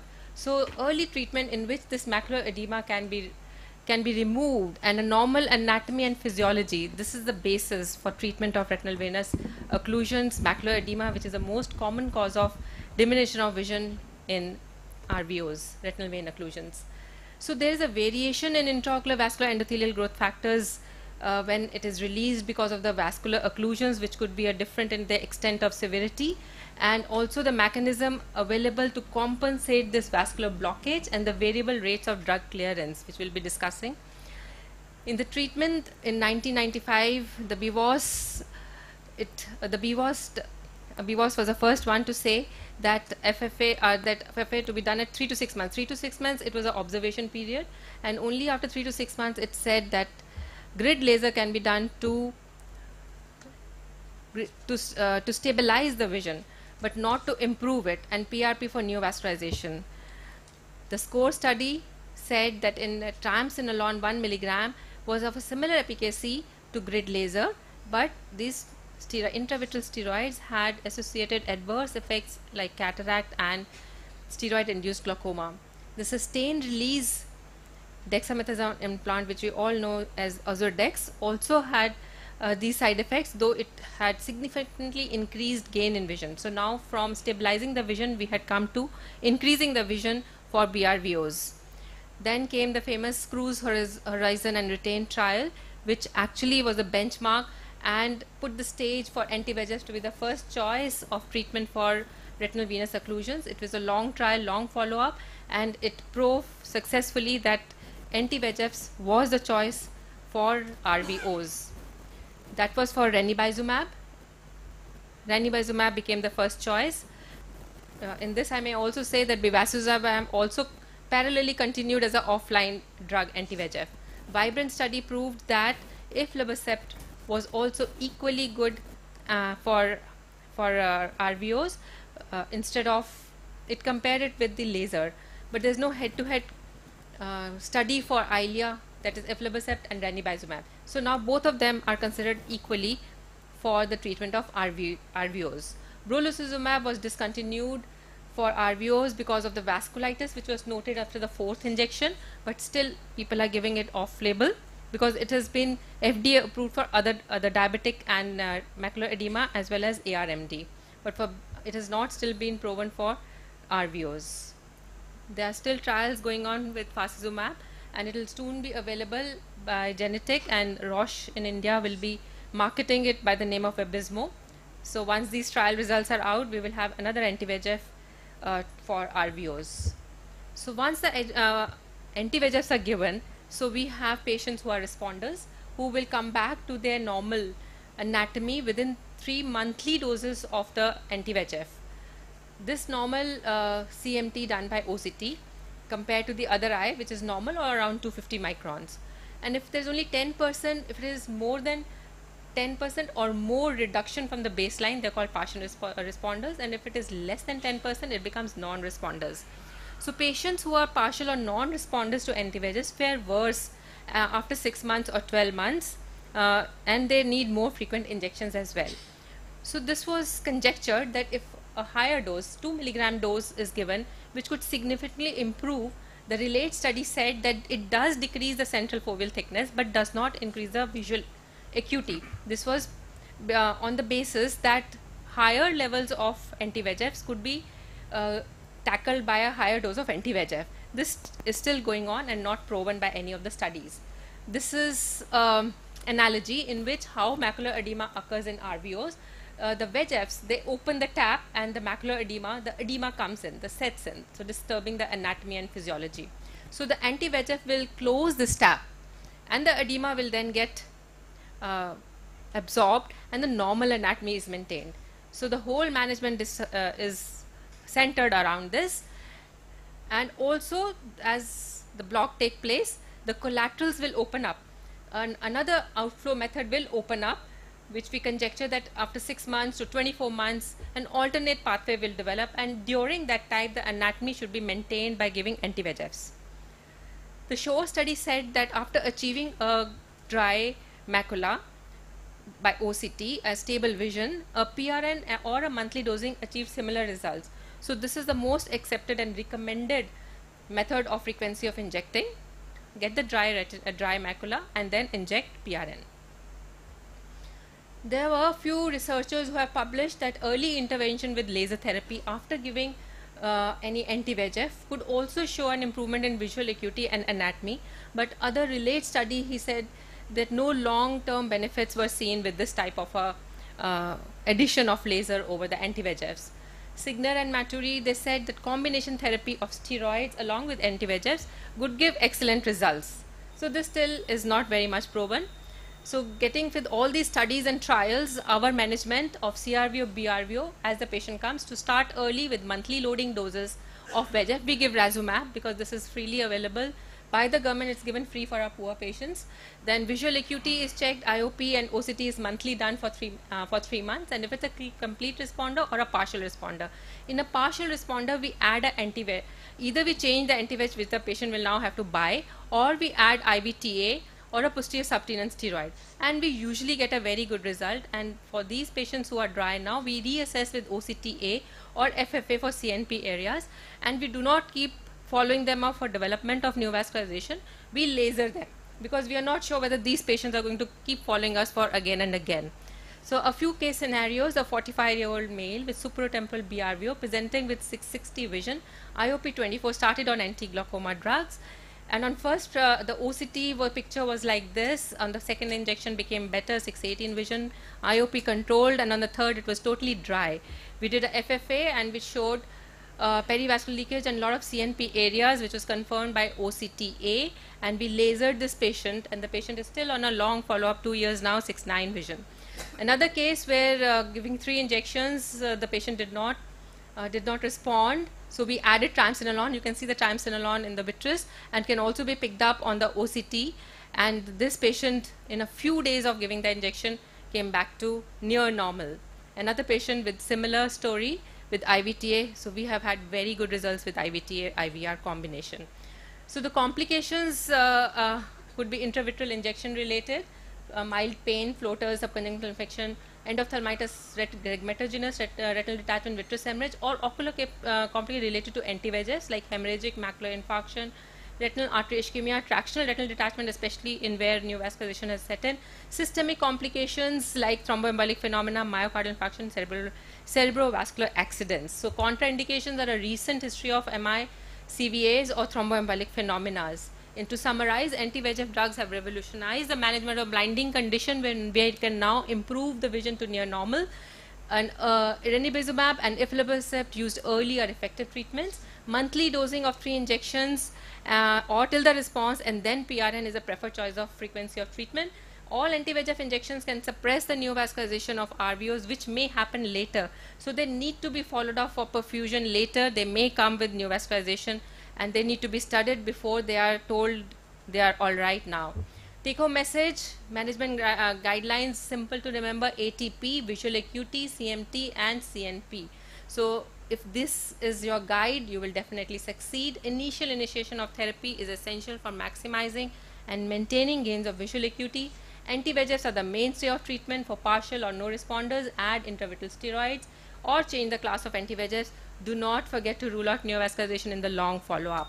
More RCTs are required for early switching of agents to non-responders rather than waiting for three monthly doses. Combination therapy of anti-VEGFs with steroids, combination therapy of anti-VEGFs plus sectoral laser, or, or scatter laser, perfusion status after response to anti-VEGF status. Thank you so much for your patient listening. And I acknowledge Dr. Rahul, who's my senior resident, who has helped me in these slides, and Dr. Nitika, who helped me in making the last minute changes. Thank you all. Thank you, Dr. Beri, for this excellent presentation and uh, presenting different scenarios how anti-VEGFs in combo with uh, laser and with the uh, steroids work very well. Uh, Dr. Pradeep, any uh, comments you would like to make on uh, this? Yeah, thanks, ma'am, for sharing all these longitudinal follow-up with your uh, cases. A few things I'd like to highlight when we talk about branch retinal vein occlusion. Some things of concern is their inclusion criteria starts off with saying that the age at inclusion is more than 18 years while most of us know that most BRVOs or uh, vein occlusions occur much later. That's one thing that I really fail to understand. And unlike the uh, study that we had with laser, what this study did was they treated almost 65%, I, will probably talk about it during my presentation, to 65% of the patients they included were within the first three months, while the B study had patients included after the first three months. So there's no head-to-head -head comparison there and in their own write-up they say that while they were waiting from day zero to the time of injection there was a percentage of cases that in improved spontaneously by more than 10 letters. They don't give you what percentage. So for me the worry is when you give a conclusion that you treat early definition of early is not clear. Now the present situation is the moment you see BRVO everybody and particularly it goes down to the young youngsters. That's what worries me the most. Nobody wants to wait and they go ahead with the injection. And many of them they don't give you a sub classification of what types of BRVO we, they had in their study. And very clearly you know that there is a component of tributary vein occlusion. And if you see the natural history of tributary vein occlusion almost 90% resolved spontaneously with 6-9 visual recovery. So that's not mentioned at all so that's why I don't think we should blindly implement these uh, studies. And less than 6 by 60 vision, they had less than 10 patients in each of the groups that they had. So whether you can use those less than 10 patients and then say that patients are coming to you with less than 6 by 60, can you transpose these results to those? It's again questionable. So I do not want to push for overuse of anti-VEGFs. I think there needs to be a time given to see what is happening during the natural process of resolution and typically I do not give injections immediately. I give them a period of four week follow ups. If it is going down in the natural process, I s- defer the injection again. Only if it goes up during my wait period, only then I would consider an injection. So for me, it's no injection at the first presentation. Thank you, doctor. thank you. That is our opinion. Dr. Talwar will also would like to agree I- with I, us. I'll also like to just Ah, put in a point ah. here, Dr. Uh, Venkatesh. It's a very well said that um, maybe we like to wait, but here, in case the vision is less than six, six is six less than six twelve, and the CMT is showing a large edema more than 350, we like to inject early. Like usually our patients do not come immediately as the BRV or CRV has occurred. They have already a history of two weeks, three weeks of diminution of vision. So that is the time we should not we should not delay after checking the blood pressure, KFT, and a few CBC and uh, sugars. That will take another three four days. We'll like to inject. Otherwise, the patient will just go away, follow up late. So that is why the little uh, urgency of treating early. Okay. Dr. Talwar. Thank you. Thank you. Mike, though. why is it that the BRVO study waited three months? Because in the natural course of events, and there's a natural history study uh, in the BRVO study, you will see that more than 30 40% of patients will actually become okay in three months. I think the figure was closer to 50%, but anyway, there's a large number of patients who will resolve on their own. So, therefore, it doesn't make sense to treat right when they come. The second thing, are you curing the disease? No. You are not curing the disease. The disease is getting cured by recanalization of the vein, which happens on its own. What you are doing is causing a temporary improvement in the macular edema. And when do you need to give injections all the time? When it doesn't recanalize. So it's only those patients who don't recanalize where chronic treatment is needed. So in fact, when you say, uh, you know, most of my patients go away with one injection, what you're really saying is it wasn't needed effectively. So I agree with yes, you. Yes, I agree. When we were not having any anti-VEGF Right. previously, So- so our so patient first- used to be. imp- Yeah. So the first thing is, uh, I agree with Pradeep um, completely. If a patient comes to me within the first month, and if the vision is better than 612, I don't treat. I will follow up on a weekly basis and tell him if you deteriorate, I will treat you. But these days, patients So- are worried. eh, they will not go to you. They will go to next. That is I why they are ready. that happen. No, no, I am telling you that is the situation now these days Yes. because so many people are there, Yes. and we have seen. If I have said no, somebody else will see yes, Which it's is a- fine. Fine. But 40 to 45 percent. Dr. Talwar is right. We have seen practically all these things. What is the uh, uh, laser ka? jab In fact, the study from uh, there's a study from uh, Maulana Azad, which actually showed, and is by Daraius Shroff, Ah. which showed 80% resolved on their own Ah, without treatment. right. But I'm saying maybe okay, let's say that's a little on the higher side, but I'd still say 50% of the patients would resolve. But the second aspect, which Sarita said, if the patient's vision is less than 612 and the edema is significant, then I say, okay, let's go ahead because that's the time when the patient gets really worried. So, and there you are bringing down the uh, the chance of this. Yes, uh, that is the time. So Treat that's early. the Treat early. the second thing. They don't need a loading dose. Most of the patients you will find will go away with one injection. A few will be there which will have partial response. You have to give a second injection. If they resolve, I will not normally uh, give a loading dose. I will not give a second injection. That's true. We've I also will- seen that patients will- resolve quite early. Okay, o- only if, but if I see the recurrence coming again and again, like first month they didn't need, second month again they needed. If that's happening two, three times, that's the time to do a fluorescein angiography to see whether the capillary non-perfusion is very severe. And if that is so, that's the that's the that's the time I would consider doing the laser. So, So, angiography at Honey, three uh, months. Good. Uh, the topic is last today anti-VEGF. So we Yeah, we, we that is why DC has talked about anti-VEGF. See, you, comparison in many of these studies is sham, not laser, because the laser also works, and that laser is not quadrantic laser. That laser is a modified grid laser. Unfortunately, no studies are being done to ensure to check what is the relationship between the two. So the last treatment, if you've got a very chronic edema, you could consider doing a, ma- a modified grid too. That that helps in many of the patients. Thank you. Thanks, ma'am. Thank you, ma'am. So now I'd like to invite uh, Professor Rajpal to talk about diabetic retinopathy. Sir, please. Sir has extensive experience treating diabetic retinopathy. and he's head of vitrectomy services at RP Center.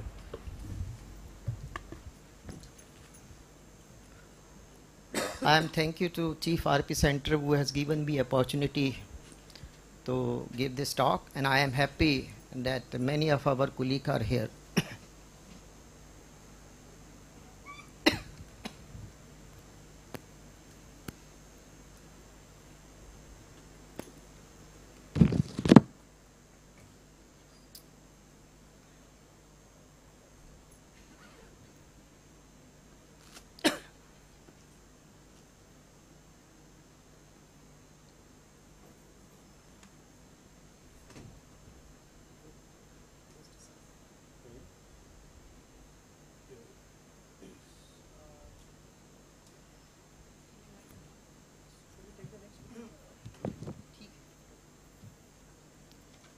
So I will be talking about the clinical use of anti-VEGF in diabetic retinopathy.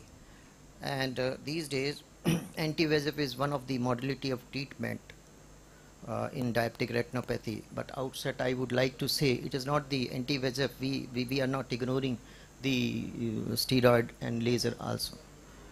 So this has already been talked about the mechanism of uh, upregulation of VEGF and major objective aims is to reduce macular edema like one of the cause of decreased vision is diabetic macular edema. And it reduces neovascularization. And this is the uh, uh, modality which improves the vision. And also reduces the diabetic severity score.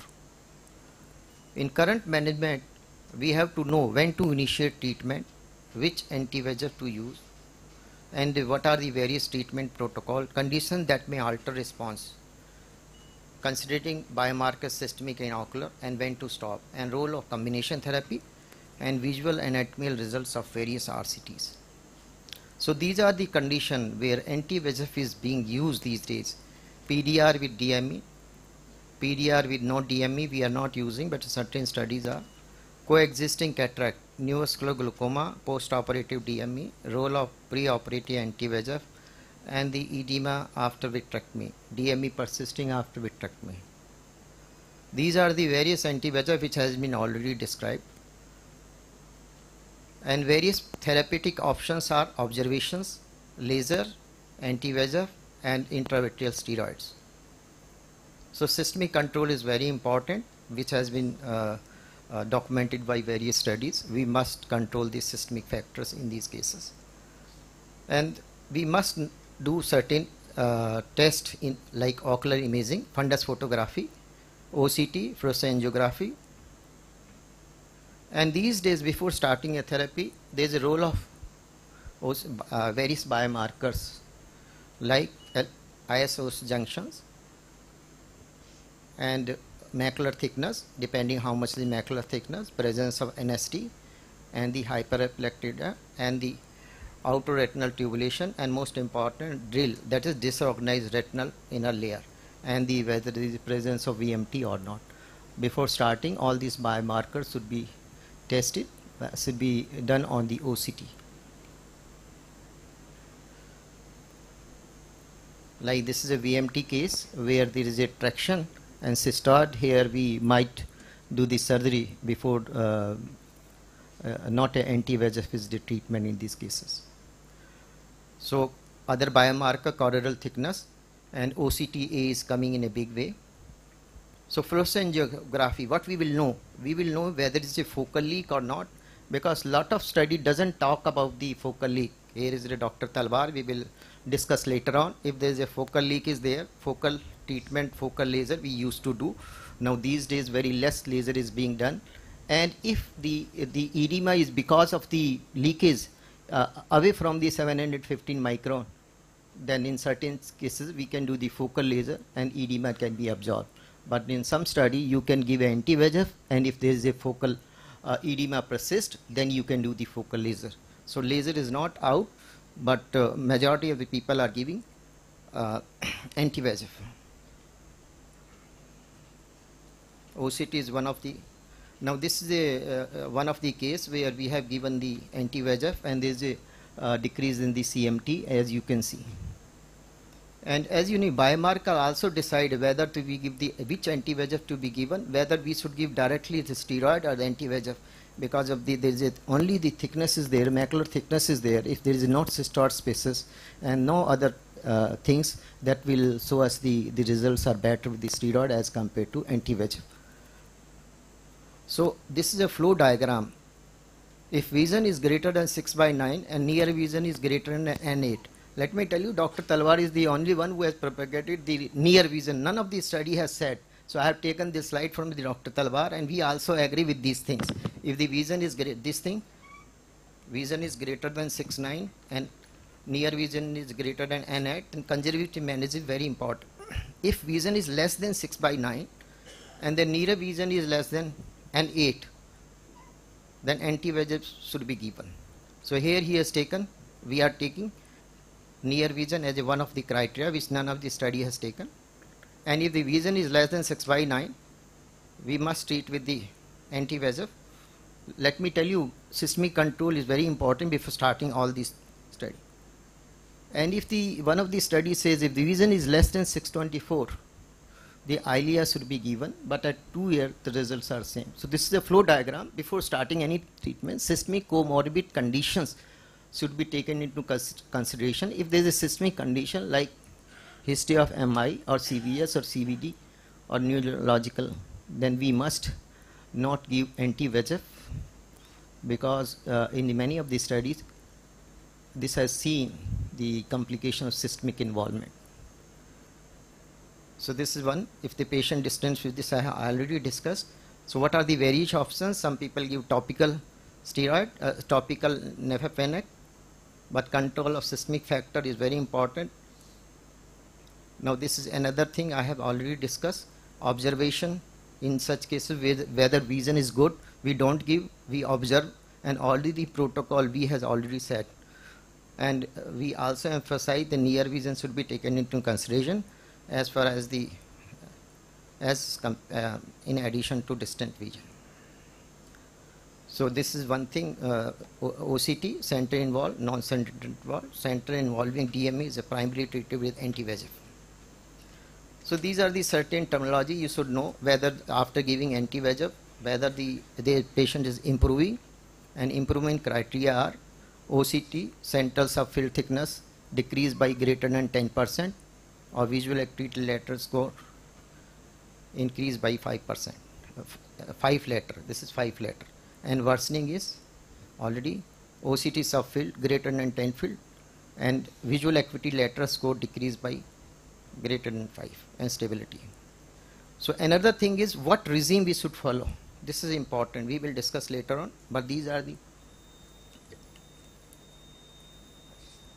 in fixed dose regime there is a simple minimum monitoring, but disadvantage is risk of over treatment, inconvenient Pronata, advanced individualized treatment, lesser intervention, under treatment, variable outcome. And treat and extent, advantage is individualized treatment, disadvantage risk of over treatment, and limited long-term evidence from large trial. So we are using Pronata. Let me tell you, our of patients are not having good visual acuity, but if patient comes with less than 612, then we give monthly injection. That's the various studies said we should give three month three uh, injection every month and then do the depending on the thickness and visual acuity we should treat the patient so give monthly injection till normalization of the foveal contour that's the thickness greater than 300 micron and the visual acuity greater than 612 fixed regime is better than the treat and extent but seismic side effects found to be more. Therefore majority of people we also do pronata monotherapy versus combination certain situations where do uh, the laser is required. What do we expect?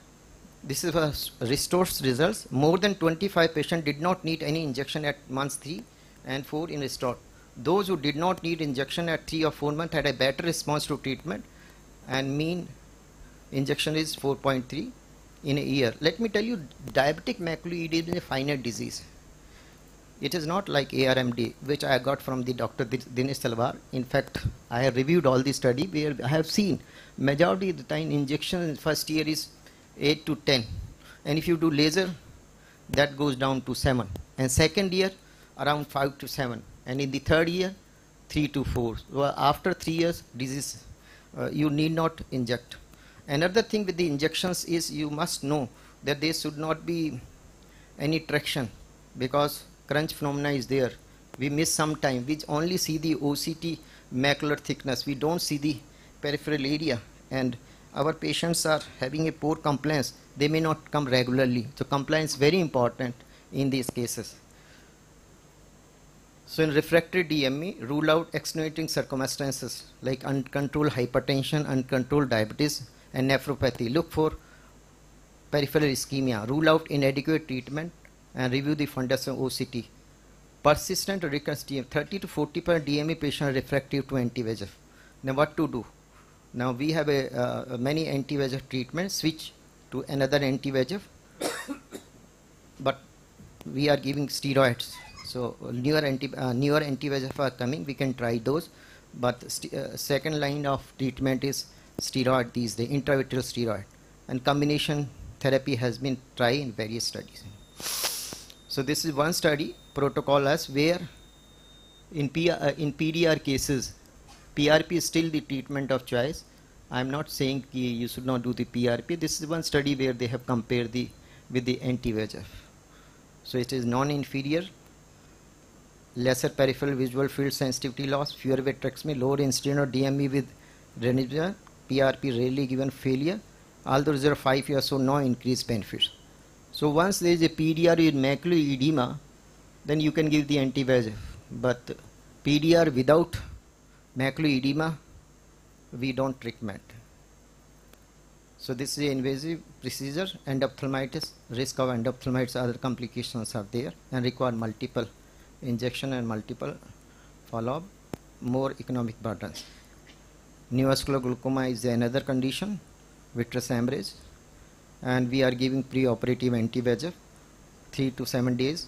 Some people use 6 to 14 days. Improve post-operative best corrective visual acuity, decrease the incidence of recurrent vitreous hemorrhage, and significantly reduce duration of surgery and reduce intraoperative bleeding. This is the one thing, uh, one of the important things which has uh, anti-VEGF has given. And lately, the various study panorama or protocol we are using in severe NPDR, and we don't recommend these things. One of the things they say is the decrease in the diabetic severity score. You know, the, the reversal of the diabetic retinopathy, which has to be mm, discussed, which has to be documented with various further cl- clinical trial. So in real world scenario, DRCR.net has revolutionized diabetic management. We take a look at the lesson learned from the DistinNet, but uh, we have to manage our own logarithm. Patients are from a different socioeconomic status, and our patients are come late, so we have to plan according to them. The compliance is not good, so in case of PDR or the vitreous hemorrhage, some people give, but we must be uh, careful before giving anti-VEGF so that they should be able to come. One condition which is left is cataract with macular. So everybody know you should treat the macular first, uh, or you can give at the table or post-operative. But most important is some people give pre-operative, or if the media is clear, you treat the macular DME first and then do the phaco, or if the media is not clear, at the same time you can give anti-VEGF or OJ drugs. I have not discussed the various study because of the shortage of time. Thank you so much. Thank you, Dr. Rajpal, for uh, bringing together all the various uh, things which we have in diabetic retinopathy. It's a huge topic and you've covered in 10 minutes. Thank you so much. Uh, any questions for Dr. Rajpal? Now, Dr. Talwar, focal laser. Focal laser, you are, ma- malab, you must Hello. emphasize. We, many study doesn't. You said in restore, in the way. There's one uh, question. Uh, excuse me, sir. Uh, so lots of cataract surgeons and general ophthalmologists are giving are also giving anti-VEGF injections. My question is, if someone doesn't have an OCT, can we start anti-VEGF injections just on the basis of clinical fundus examination and visual acuity checkup? Dr. Talwar. Mike, the way. Dr. Pradeep, batao. So, uh, I would advise against doing that but I think you need to liaison with others and at least have a baseline OCT scan Okay, because there are other aspects to care now, and I think I would not advise an injection without. You need some quantitative measure, and ultimately, visual acuity may not be the only measure. So you'll have to see what the initial response to your injections is, and I think OCT is probably the most sensitive method. So you can't rely on your fundus biomicroscopy. Uh, your visual acuity is an indirect indicator, yes, but I don't know if legally it would be considered all right presently to inject without having a baseline OCT. I'll give you an anecdote for the person who asked this question. My bhabi received an anti-VEGF Avastin with cataract surgery without any macular edema. She died of an MI the next day. I'm just telling you that you never know when what you're doing unnecessarily can cause a problem. And that's something that's going to be on your head all the time. So, if you know there is macular edema, yes. You can say man clinically, I'm not saying you have to diagnose the macular edema only on OCT. Okay, you do a slit lamp biomicroscopy, and if you can see significant macular edema and the vision is is down and that vision loss is disproportionate to the amount of cataract, then you have an indication. But if that is so, I would say first give anti-VEGFs to decrease the macular edema, and then go ahead and do your cataract surgery. No, no. Without without doing. Uh, I'm saying I'm, no. I'm saying you've not done an OCT, but you're seeing significant macular edema. Then you treat the macular edema. I can tell you the another anecdote where I had patients who had a cataract and who had macular edema. I said, "We'll give you an injection and then take you up for cataract cataract surgery." And the I'm asking cataract surgeon, uh, I mean, without any cataract surgery, he doesn't have an OCT with him, but he sees. no, uh, there's no indication for that. I think that is very Yeah. clear. No, no indication. If you cannot document the macular edema, you Documentation should is very not be important. Now, Dr. Talwar has uh, raised a very important question. Be careful in when, when, whenever you are treating a diabetic, whether cataract or injection or even a PRP. So, with our clinical experience the, uh, after PRP, also patient can get post-vocal attack, and we have seen the serious consequences. These patients who come to us for injections, they are systematically unstable. So control for two to three months is very important. Directly inject. You must investigate systemic also, cardiovascular system also. So we have seen all these things after PRP, MI, after injection MI. And uh, in fixed dose regime, the, if you compare, there the systemic complication were more as, uh, um, uh, uh, as compared to where we have uh, people have done pronata. And Dr. Talwar. Incidentally, in diabetics, the problem is uh, MI could be a, a, a previous history of MI could be important. We do know that if you've had an MI within the last uh, three months, the incidence of a repeat MI with an anti-VEGF is much more. That's what the Sailor study showed. But it also showed that you can decrease that incidence by bringing the dose down to 0.3 milligrams. So, first step in a, in a person who's had a recent MI, I would avoid anything. Diabetes is not, uh, diabetic macular edema is not such a devastating disease that you can't wait three months for treatment. So, first step is wait.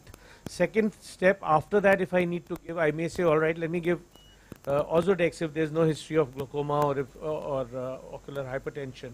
And the third thing, if I still need to give, I would start off with 0.3 milligrams of ranibizumab. Avastin, I would not give in this situation. This is one of the situations where I would not use Avastin. So the early detection of diabetes is very important. These are 10% of diabetic, 10 to 20% are not knowing on the, when we do various studies, this has seen that undetected diabetes are more and the sequences are more. So that, those are the Right. Thank you. Thank you, sir. हाँ बोलो अच्छा Yeah, thank you. So now I'd like to invite uh, uh, Dr. Dinesh Talwar to uh, talk on choroidal neovascularization. He's a very senior vitreoretinal surgeon in Delhi at uh, Center for Sight Apollo Hospitals and uh, a teacher to many of us. And he has extensive experience in talking about CNV. Welcome, sir. Please.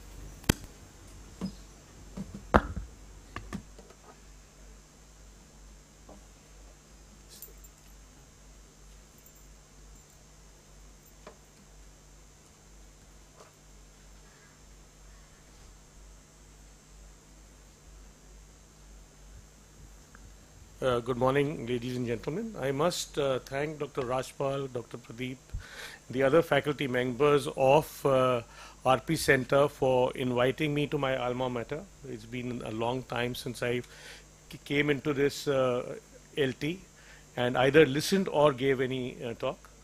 And um, I appreciate the opportunity to do so. Um, happy that you are here. Thank you. Taliyan bhai ek baar. 20 साल बाद वापसी हुई है चलो he should continue to come and thank you uh, now let's come to anti-VEGFs in choroidal neovascularization. How would I use? This is a disclaimer. It becomes important in today's uh, world where you're connected. Um, uh, it's important that what I'm saying, and I've said this from the time when I was a consultant over here, everything that any consultant says or anybody says is subject to verification.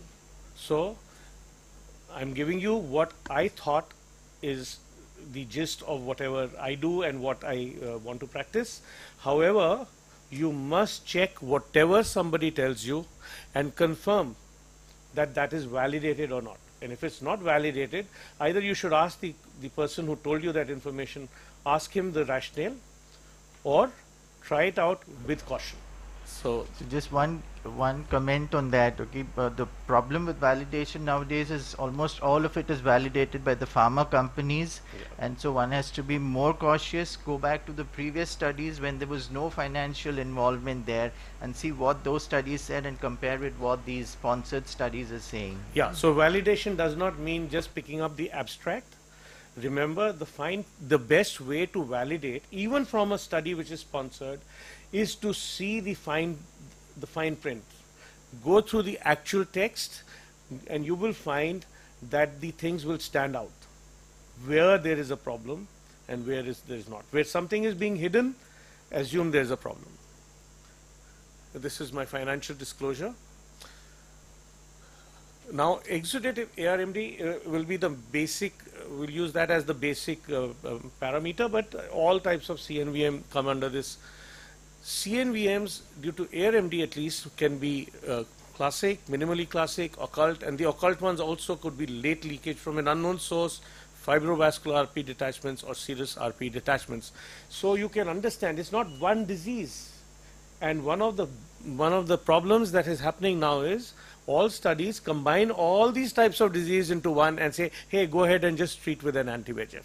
So please be careful. They different patients behave differently now, the good thing was that the Marina and Anchor showed us that sustained treatment with monthly treatment, um, uh, ranibizumab can help to bring a change in the visual acuity for the better. So you have better visual outcomes. In fact, that was the first time in, in our literature that we found that we are not talking, you know, we used to tell patients, oh, we can't help you, but you will deteriorate more slowly. This was with Visudyne. And this, for the first time, brought us to a situation they say, hey, wait, we can improve you. Now, that's a huge change in a mindset, and it completely changed the way we treat our patients. The problem is this monthly treatment can be extremely extent, uh, in, intensive and exhausting for the patient. But it's not that everyone needs monthly treatment. The sustained study showed us that various patients need different amounts of injections. So there are patients who just need three injections in a year, and there are others who may need monthly injections. So you can't treat everyone in one particular style. Luckily for us, now we have lots of drugs available. We have ranibizumab both as the uh, innovator drug and its uh, biosimilars. We have bevacizumab, we have aflibercept, we have brolucizumab, and I forgot to write about faricizumab. The optimal treatment for a patient depends on the efficacy, safety, ease of use for patient and doctor, and the intervals between treatments. So, what is the importance of efficacy and safety? Would you say safety is more important or efficacy? Just to answer this myself, the most efficacious treatment for AMD, exudative AMD, ever devised was macular laser destroy the lesion completely using subfoveal, even if it's subfoveal. The end result, six line loss of vision immediately, but the lesion goes away. So safety, zero. Efficacy, perfect. Would you do that? No. That's why we have the alternatives. First principle, safety. And long back, somebody said, physician, do no harm. So whatever treatment you do, if it's if the risk is high, you're not to do it. Now, what are the factors that influence visual outcomes in these in this disease? And we have to manage those intraretinal fluid, subretinal fluid, and sub-RPE fluid. Studies have shown, and this is a post hoc analysis of the view, that intraretinal cysts, if they are present, those patients have a poorer visual return as compared to visual, visual outcome compared to those who do not have intraretinal cysts. So obviously this is if you if you have a patient who didn't have intraretinal cysts or very few, you know this patient has a better prognosis. The second important thing, when you're treating your patient, if the patient does not develop once you've treated the patient, if the recurrence of the intraretinal cyst occurs late, the visual prognosis is better. So what do we want? We want that the delay should occur in the recurrence of these cysts because the longer they take to come back, the better the patient will do. So what are we trying to do? The longer we can keep this lesion dry, the better the visual outcome. So our, our, our techniques for management must be designed to keep the lesion dry for as long as possible. The third thing that came out from the Harrier study, the Hawk and Harrier study did a analysis of patients who had greater central subfield thickness variability, the what we call fluctuation, and saw that those who had maximum fluctuation, which is this third group over here, they had the least visual outcome. So if you if you allow too much visual uh, too much fluctuation in the fluid, the, the visual results will drop. And those patients who had minimal fluctuation had the maximum visual outcome. So what do we want? Minimum fluctuation in the in the fluid that the patient gets. So this is the other important thing. The third thing is that if you talk about fluid, then there's another study which did which was done which compared those who had high amounts of fluid with low amounts of fluid and they said that in virtually every group whether it's intraretinal fluid subretinal fluid uh, pigment epithelial detachment wherever the fluid is more the visual outcomes are not so good compared to those who have less fluid. So this you know when you see the patient, are you going to get good fluid, good response or not? The basically treatment protocols include many, but the most important ones are PRN and treat and extend. The important lesson we got from the various uh, studies on uh, PRN was that monthly follow-ups are better if you're going to do PRN and there are very stringent guidelines for retreatment including very small decrease in vision, any fluid, any increase in fluid, any macular hemorrhage. So a fundus checkup is also important at each visit and if you see a new macular hemorrhage, the patient needs treatment. In terms of treat, treat and extend the important techniques, the, the, the difference is that you treat when it dries, then you keep on extending the follow-up uh, the uh, interval between the treatments so that you can finally take the patient to maybe 12 weeks or 16 weeks interval between treatments. The Altair study was more uh, uh used more aggressive uh, criteria for extension. They would shorten the interval if there was even persistent fluid. They would maintain the fluid interval if the fluid was decreasing and extend the treatment only when there was a dry lesion. To my mind, a treat and extend is means is more proactive, more injections, possibly a good option for patients who are either one-eyed, where you don't want to take chances, or who are stable but not dry, unlike the conventional treat and extend which is done when the patient becomes dry. Wait and extend or monitor and extend is probably the best option for two-eyed patients in whom the lesion becomes dry, especially in our setup where we can't afford to have uh, a, a waste of money uh, when the patient doesn't need the injection. Which drug is optimal? Now, nobody keeps this in mind, but if you if you if you see the response, type 2 CNVMs, even ranibizumab is extremely effective. For type 1 CNVMs, aflibercept is better than ranibizumab any day. But if you overall see the treatments, overall monthly bevacizumab is almost as good as monthly ranibizumab from the CATT trial this information comes, but the macula dries less quickly and less often. Brolucizumab is more effective for drying fluid uh, as compared to the other drugs. What about safety? We were talking about safety. Ranibizumab and aflibercept are equally safe. Bevacizumab, our problems have been of cluster endophthalmitis, not related per se to the drug, but due to other logistic uh, issues. Brolucizumab carries a 1 in 200 risk of intraocular inflammation and a 1 in 400 risk of inflammatory vascular disorders, which is in addition to the general risk of an intravitreal injection. That's the additional risk. But if you've got a systemic problem, I already mentioned that ranibizumab 0.35, uh, 0.3 milligrams uh, is the safest in a recent stroke or a recent MI. Now, how do I actually manage my patients? If I, you give the, here AMD, you give, or in any choroidal neovascularization, you generally do give uh, a loading dose, except in myopes. And once the lesion becomes dry, you have a choice of either treat and extend, where you increase the intervals between the uh, treatment and increase up to 12 weeks with ranibizumab or 16 weeks with aflibercept, or you do monthly follow-ups and if recurrence occurs, you do a PRN treatment. And this, over time, you can gauge the intervals and decide to give injections just before the time of recurrence. In patients who are requiring PRN treatment with ranibizumab on a less than 8 weekly basis, consider PRN aflibercept. If on the other hand, at 3 months the lesion is not dry, you continue and for another 3 months, if it dries, go back to the first Um, uh, algorithm.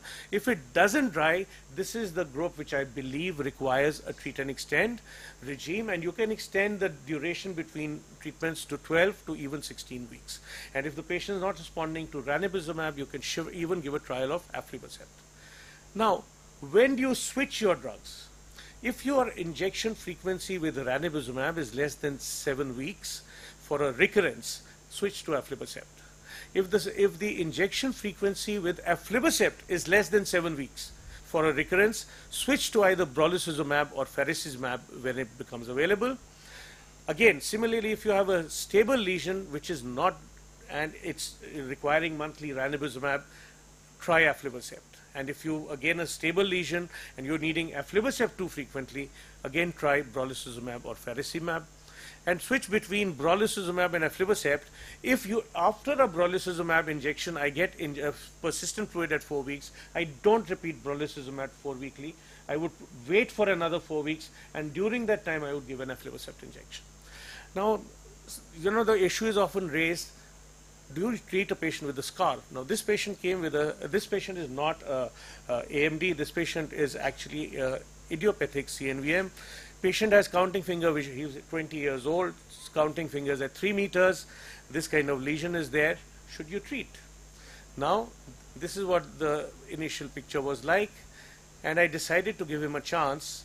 The patient, over time, came to finally, this was 615 at that time, and he finally came to 612.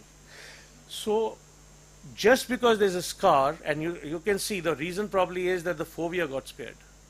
Uh, in the central area. So even if, this, if, if the patient has a scar, I would give a chance to this patient, see the response. If I'm getting an improvement, I would continue. If I don't get an improvement, I will stop the treatment. The other group, both these patients have a scar, but they have 624 vision. And if you don't treat them, it comes like this, and the vision will start deteriorating. Patient says, when I get the injection, vision improves. The, probably the scotoma becomes smaller, and more well defined, he's, the patient is able to see better. The, this patient was one-eyed. Both the eyes have a similar picture. So the 624 vision, 636 vision is exceedingly important in this patient. So the patient was maintained with injections despite having obvious scars. But because all our uh, prescriptions, you know, they're CGHS patients, they go to Safdarjung or to you people. So I had to write down each time, this is patient has useful vision, has this cyst, improves, and maintains vision with this. That is why I am prescribing. Otherwise, they'll say this is all for commercial gain. Now, the good thing, this is the last set of slides. The, there are studies which have done a long-term analysis of aflibercept, ranibizumab, and bevacizumab over a long period. And imagine what you found. No difference in visual acuity outcomes or number of injections between the agents used. So ultimately, and in if you look at the OCT analysis, decreased fluid both ways, no difference between the agents used. Number of injections, not too much of a difference. What was different? The difference was that the eyes that gained more than two lines had more injections. So the ultimate thing is the more the number of injections, the more the time the injections were continued, the better the visual outcome. And this is another study showed that just with ranibizumab, the they got more than 40% of patients over seven years maintaining better than 612 vision and more than 64%, two-thirds of patients maintaining more than 618 vision. So the important thing is giving the injection on time, no tolerance for fluid, specifically not for intraretinal fluid and subretinal fluid only if it is not going away, not that I'm deliberately going to leave it. And sub-RP fluid does not respond to ranibizumab or uh, aflibercept, so don't run after it. When you're giving PRN treatment, aggressive treatment is the key. Monthly follow-up is essential till the lesion heals, and then three monthly long, uh, lifelong. Greater the number of injections, more intensive and longer the follow-up, better the visual outcome. Most patients who lose vision lose it when they don't come for an extended follow-up. High index of treatment for, suspicion for retreatment will help you to treat your patients better. Ladies and gentlemen, I conclude by saying eternal vigil is the price you have for maintaining vision in patients with CNVM. And if you take if you take that care of your patients, believe me, I have patients who are surviving 10 years, 8 years, 12 years with their vision maintained most of the times. Only because I don't let them go away. I keep stressing the need for regular follow-ups. Thank you very much, ladies and gentlemen. I want to also dedicate this uh, lecture, Yes. since I've come over here to RP Center. My uh, uh, guru was Professor Tiwari. Many of you may not have seen him, but uh, he, he was probably the finest teachers to make you grow. You know, it is the Hmm. role of the teacher is not to teach factual information. It is to give you an opportunity to grow. And the opportunities that he gave us, and that includes me and many of the people Yes, who worked yes, with me, yes. including Pradeep, I don't think we could have got them otherwise. Mm. And I think that played a big role in ensuring, where we are today. So I want to thank him today for all that he did for me. And my, um, um, I, um, uh, it is from RP Center and from him that I got whatever I've got. Thank you very much. Thank you. Thank you, Dr. Talwar, for an excellent presentation. And uh, I think many things are quite clear now. Any questions? Doctor Talwar एक doctor Talwar एक question है जैसे कि एक बार O C T once you have done the O C T and you have C N V M diagnose कर लिया ठीक है ना और उसके बाद every monthly you give injections ठीक है? तो how long you should continue to give that I you have already set I tell you what I tell my patients when the patient comes for the first time and he asks this question कब तक injection लगेंगे? I said I will tell them say जब तक मैं ज़िंदा हूँ ज़िंदा ले लेना। और जब मैं मर जाऊँगा तो किसी और से लगवा किसी और से लगवा okay see you don't want to tell him जब तक तू मर जाएगा। So it's better to say jab right? Thank Chalo, you, thank you, thank you. So you can discuss later on with Dr. Talwar. We have got the opportunity. He has got very wide experience in vitreoretina. Chalo, next. Now I invite Dr. Parijat Chandra for anti-VEGFs in ROP. Dr. Parijat Chandra is, is the master in ROP and we all know that we refer all our difficult cases and we discuss all our difficult cases and he, he is the pinnacle where we rely upon. So today he's going to give us more knowledge on anti-VEGFs in ROP. Thank you, ma'am, for the kind words. Um, yeah. So I'll be talking about anti-VEGF drugs in ROP. Uh, so we used to do a laser like this in aggressive ROP in zone 1 and we used to feel very happy about it. And so five years back, if you'd have shown this photograph, I'd been very happy that, you know, someone did a very nice laser and uh, the disease regressed. So you understand there's only like 10-20% of retina left here and there are a lot of problems here right now. He's got a limited visual field with tubular vision. There's poor macular perfusion. There's a risk of high myopia. So we can no longer feel happy about it when we do a laser like this. And when I see a laser like this happening, I feel very disappointed now when I see such a case who's been managed by by primary laser. So anti-VEGF no doubt has emerged as the first line of treatment in zone 1 ROP over the years. One, because it leads to rapid ROP regression. It leads to retinal revascularization, which is one of the major points which allows for better visual growth, a better foveal structure, and has lesser refractive changes than if you do a, a zone 1 laser. And obviously, if you compare it with laser, it's a much faster procedure, much easier procedure to do. It causes much less pain and a more stable baby. So right now, having a stable baby is a much more bigger problem because it's a very painful kind of procedure. So the rainbow trial definitely showed uh, a significant benefit of uh, ranibizumab compared to laser in different groups, which led to its approval in the European Union um, as the first and only licensed pharmacological treatment uh, for ROP. So this was first instance where regulatory approval happened uh, for the use of ranibizumab. Subsequently, just recently, FDA has given approval to Eylea as the first pharmacological treatment in preterm babies from their side. So that was from the European Union. This is from the US FDA. So this changes a lot of things now uh, because it gives uh, first time the approval from the US FDA for a treatment modality for ROP. And it was, you know, supported by the FIREFLEYE and the BUTTERFLEYE studies, uh, although non-inferiority of this could not be demonstrated in this trial. So let's look at some of the current usage scenarios where you would want to use anti-VEGF. So this is a case of uh, aggressive ROP. You see the extensive neovascularization happening at the pupillary margin. So you really can't do any other procedure behind this if you want to do laser or surgery or even examine the situation properly. It's difficult to do. So anti-VEGF works very nicely in this. So you give an injection and in three days this is what it looks like. All the neovascularization has disappeared. And now you can, you know, very clearly examine the fundus, do laser, do surgery or whatever you want to do. So this kind of thing was never possible without anti-VEGFs and now it's become possible because of this kind of usage. This is another very common scenario which you know used to trouble a lot of us, uh, a lot of newcomers used to come also for the treatment of ROP. You see this is a case of aggressive ROP and you see just, a bunch of loops there. You can see the macula also is not vascularized. So people who want to do primary laser, you know, where should you laser in this? Where is the junction? So everyone does not have a fluorescein angiography to, you know, uh, do this. So injection takes a lot of problem out of the situation. You just give it and forget about it because all this is going to grow and get revascularized. The macula is going to re revascularize. So it deals with a lot of problems which laser had. Where to laser, how much to laser, what to do with the macula, how much area to leave. All that problems are dealt with if you give a primary injection it continues to grow. This is another very common situation which happens is when a zone 1 posterior ROP where even the macula is not vascularized. So what you see here, I'm just trying to outline this, that is all the retina that is there. So now if that is the retina which is there, if you uh, go for a primary laser approach, how much will you laser, where will you laser? Right, it's very difficult to deal with cases like this. So what has really happened if you give an injection in this eye, so this is what happens in next four weeks.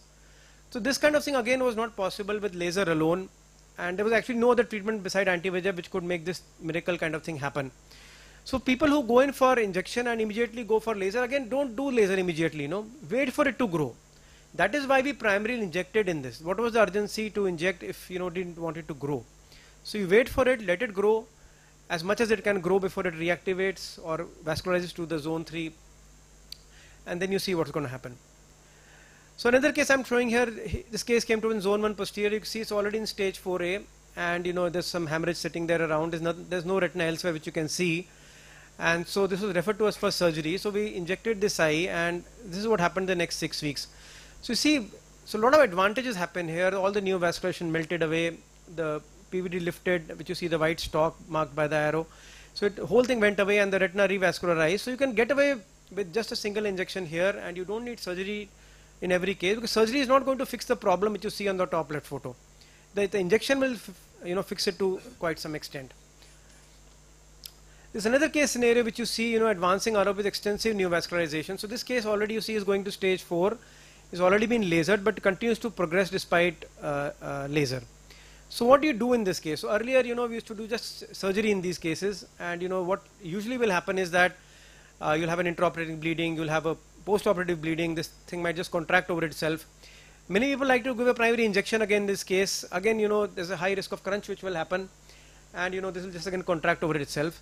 So what really works is if you combine an surgery with an injection and this kind of clean outcome will happen which you know we could never get with surgery alone. So this kind of clean out, although it can bleed and all those things can happen, but eventually you'll it'll clear and you can have this kind of clean outcome because it combines both the effects of surgery which helps to relieve traction, take off the uh, uh, load in the vitreous, and the neovascularization is taken care of by the anti-VEGF and it works very fast in these case scenarios.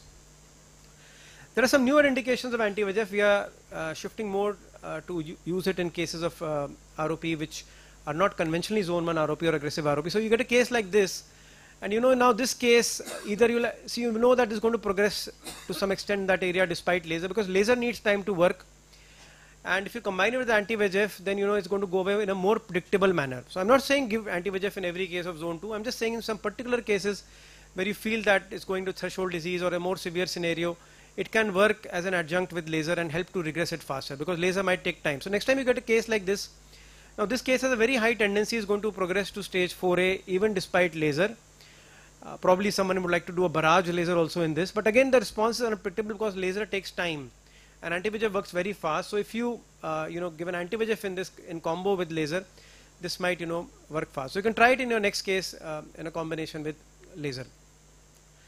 So there's some scenarios where not to inject. So this case came to us. He was already lasered. He already was going to stage 4 uh, ROP, and he was advised for you know surgical uh, intervention in this case because that will work best in this case. But the referring surgeon decided to go in for an injection and you know it continued to go into crunch and you know it went to stage 4B in the next two weeks. So what I'm just trying to say is a case which is meant for laser should be lasered for injection is injection. But don't lose the early surgical advantage just because uh, you want to inject because it doesn't work in every case. There are very selected case scenarios where injections will work well and the cases which are meant for surgery have to be done surgery first. So which drug to use? A lot of drugs are available in the market. So right now we are using uh, ranibizumab because it has regulatory approval and many people like to use uh, uh, as well. Uh, we are using Razumab right now which is a biosimilar which is available in hospital supply. So we've been using it for a long time now. Mostly half dose is being used. People have used uh, one four dose, one ten dose. All of these doses work, but somehow the, the response might be a little lower or it might reactivate faster. That is what uh, the literature says. How many injections? One injection works very well. It continues to grow, and then you can go ahead and do laser if the peripheral vascular retina is left. So we like to inject in a sterile environment in the OT microscope magnification in a controlled uh, monitoring by the anesthetist or the pediatrician. That is how we like to do it. So the uh, it ensures sterility and shows the magnification we need. We would like to inject bilateral in the same sitting. Obviously, it's treated like two separate procedure. You have to, uh, you know, uh, use uh, separate gloves and clean drip again and betadine again and all that. So right now the problem, we get a lot of cases now coming like this with cataract, and endophthalmitis. A lot of these cases are happening because people are giving in the ICU uh, without proper uh, sterility, without proper magnification and, uh, you know, in a moving baby and all these problems can happen. So we need to look out for that. So peripheral avascular retina is something, it grows like this and a lot of areas left avascular. Now if you don't do something about it, then you know it's going to, you know, come back in a very uh, angry manner. So uh, the best method right now is to do laser once it's grown to a significant degree. Um, so but what is the the troubling problem right now is you can't just give inject and go away because the disease is going to come back in 4 to 8 weeks time and sometimes even at 10 weeks 12 weeks. So you have to maintain the follow up obviously aflibercept and bevacizumab have a longer duration so the reactivations do occur but they might occur at a later time. Ranibizumab the reactivations occur much faster so you have to maintain a high index of suspicion. Plus disease will come back neovascularization will come back the ridge will come back. So usually people deal with laser but I'll just show you some scenarios, just last one or two slides. Um, when do you want to give a repeat injection? So sometimes the reactivation occurs, you know, very strongly at four weeks or six weeks, or sometimes, you know, uh, the wow factor which happens with the injection does not happen. So you injected and nothing much happened. And now you're wondering, you know, the drug is not working. Maybe it's not the drug is not working, the injection didn't go inside, just two drops. So the technique is not correct, it's just you inject, you put in a swab stick, with a lot of pressure, the drug goes in, drug comes out into the swab stick you know, so uh, maybe the fellow is not loaded properly and some air is there, some, those kind of problems. So the wow factor has not happened. Mostly the drug has, you know, 90% chance not gone in properly.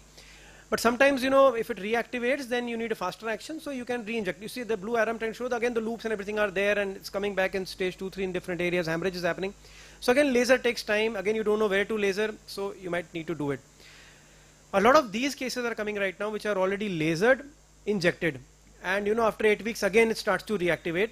So in these cases again we try to switch the drug and we if you have given uh, ranibizumab already person has given two times ranibizumab you know it's better to switch to Avastin and then Avastin works very well and then the disease will finally go away. Some person sent to us four injections of ranibizumab. It kept on happening every time like clockwork at six weeks. We switched to Avastin and it's not come back for like three months, four months as a follow. Up. So this is what works like that. And just the last two scenarios, if you have poor regrowth at uh, with large PAR at 12 weeks, maybe you know uh, you want to inject again at six to eight weeks and maybe it'll grow a little more if it's not growing. But again, if you want to laser, that's also good enough. And just the last situation, if you've got a poor regrowth and it reactivates again, maybe you want to, instead of doing laser, maybe you want to inject again, maybe you can see it. So a lot of literature is saying that you inject again, it might grow further a little. So you can give that chance, or if you can laser also, that's also fine enough if you want to do that. And just in the end, a huge shout out to the JSSK Government of India program, which allows us to provide this injection free of cost to these babies uh, less than one year of age, and because of which we have to support these injections in these babies. Thank you so much. Thank you, Dr. Parijat. Uh, Thank you. As Dr. Parijat remembers, uh, we must remember Professor R.V. Azad. He started this ROP and uh, Dr. Talwar, I see, he has worked hard and with me, we were there in the initially to start the thing. Another thing is when I taken over as a ROP, I introduced the anti-VEGF. It took me very difficult to convince people to give anti-VEGF. So another contribution of RP Center is Rainbow Trial, one of the international trial where I was the principal investigator, you know, to start anything. Otherwise, we used to send people outside for anti-VEGF. So you have to work hard to convince the people to do any new research, which Dr. Talwar is always there. So Dr. I have seen Dr. Talwar is still doing ROP. He's, I don't know how, uh, and it's very difficult because ROP patients are, you know, the, how they will behave.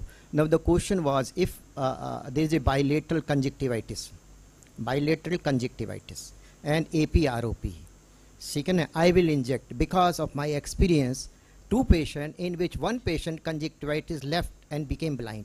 Another patient, I was there, I said no, inject in one eye at least to save, because Dr. Garg used to say viral conjunctivitis uh, never cause any uh, thing. We don't propagate, but the situation where three, four days, because I have seen when I took over as a second, uh, uh second time in ROP, I have seen lot of things, lot of clinical experience required. You have to have an expert opinion like Parijat Chandra. You have to learn for six to one year. So giving this talk doesn't mean you should start ROP practice. No, I am the now I have concluded.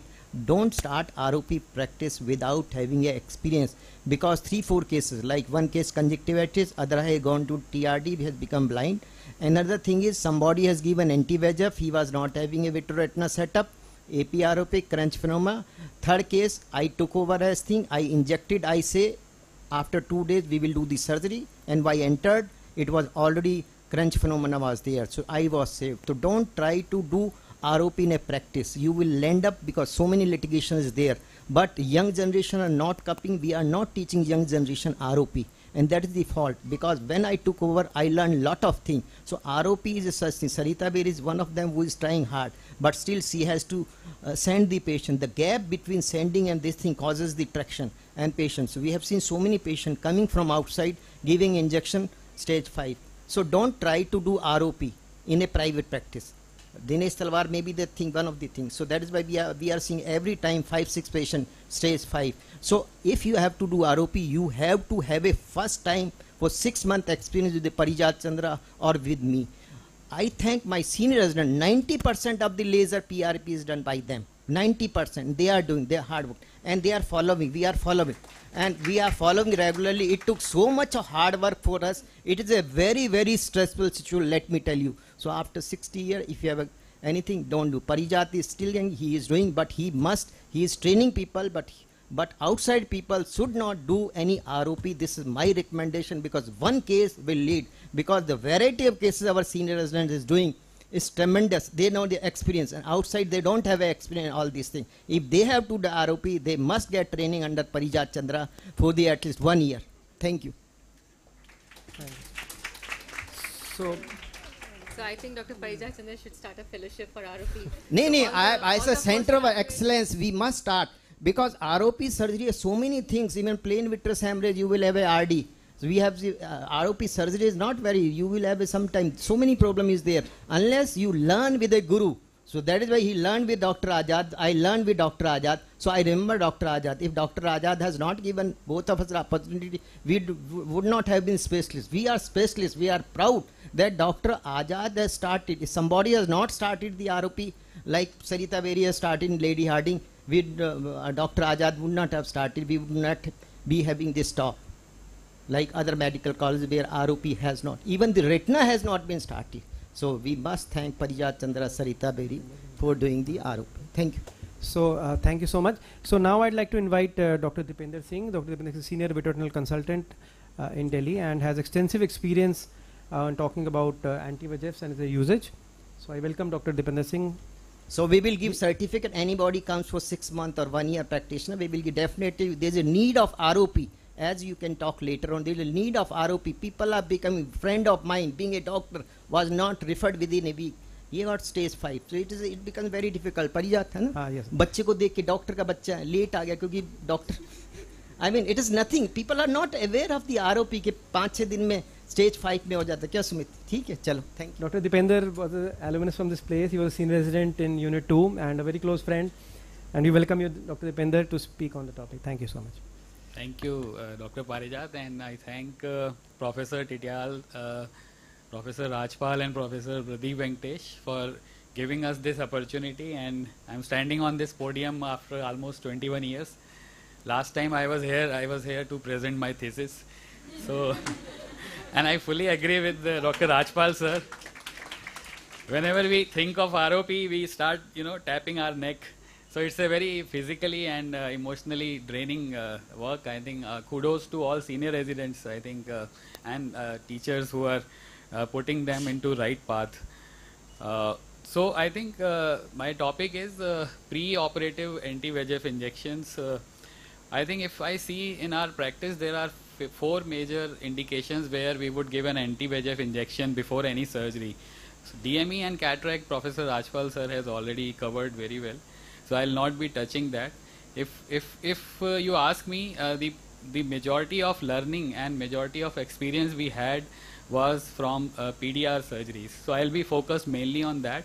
But there are other scenarios also where we can use anti-VEGF injections, like we, if we are operating a patient with neovascular glaucoma, or if you are planning to intervene in uh, cases like VHL angiomas or telangiectasias or uh, this vasoproliferative tumors, uh, which can be a late sequelae of ROP also, you can also use anti-VEGF in those cases. But I think like just like Dr. Parijat has shown magic of vanishing new neovascularization, I think this was the first case report which was actually a photo essay in archives and which has shown almost vanishing NVD within eight days of uh, anti-VEGF and all of us were really excited to see that. Uh, you know, uh, we have never seen that kind of dramatic response with lasers. And then in Academy 2006 meeting, this uh, these uh, guy Robert uh, Avery he presented this pre-operative Avastin before uh, PDR surgeries, and he said that it's a very good advantage. You know, it reduces the bleeding in surgery, and and we all uh, actually uh, grasped it. And meanwhile, we were busy managing PDR without injections, and this was a school teacher. I think I, he had good PRP at this stage, and then as usual, many of them will again come back with subhyaloid hemorrhage. Uh, and we operated with silicone oil. Result was not very good. Uh, there was some tearing which happened close to fovea, and he could regain only 6 by 60. And it was at that time when his other eye started deteriorating with neovascularization uh, worsening at posterior pole. Uh, so it was around in January 20, 2007 that this was the first case where I used uh, injection before surgery. And sur- surprisingly, the surgical uh, intervention was very easy and uh, there was very less intraoperative bleeding, and he actually got a very good surgical outcome. I'll not say it, I'll not attribute it completely to anti-VEGF because kind of proliferations in both eyes are not comparable. But I think he maintains 6-6 vision. He, he is coming even now, and you see uh, how well it regresses. But that uh, uh, new, uh, attack of that proliferative disease on posterior pole could have been tackled, could not have been tackled so well if we didn't have anti-VEGF. So now, why do we uh, want to use anti-VEGF before PDR surgery? As all of us started using it, we realized that it actually regresses the new vessels, it reduces the chances of bleeding during uh, surgery. It makes your dissections also easier by contracting all those membranes. And it also reduces your operating times, your chances of having iatrogenic breaks also go down. And if you have a coexisting DME also, it will take care of that also. Now, as you all, the literature was then flooded with lot of reports on using uh, anti-VEGF before PDR surgeries. Uh, after this first report came in Retina 2006.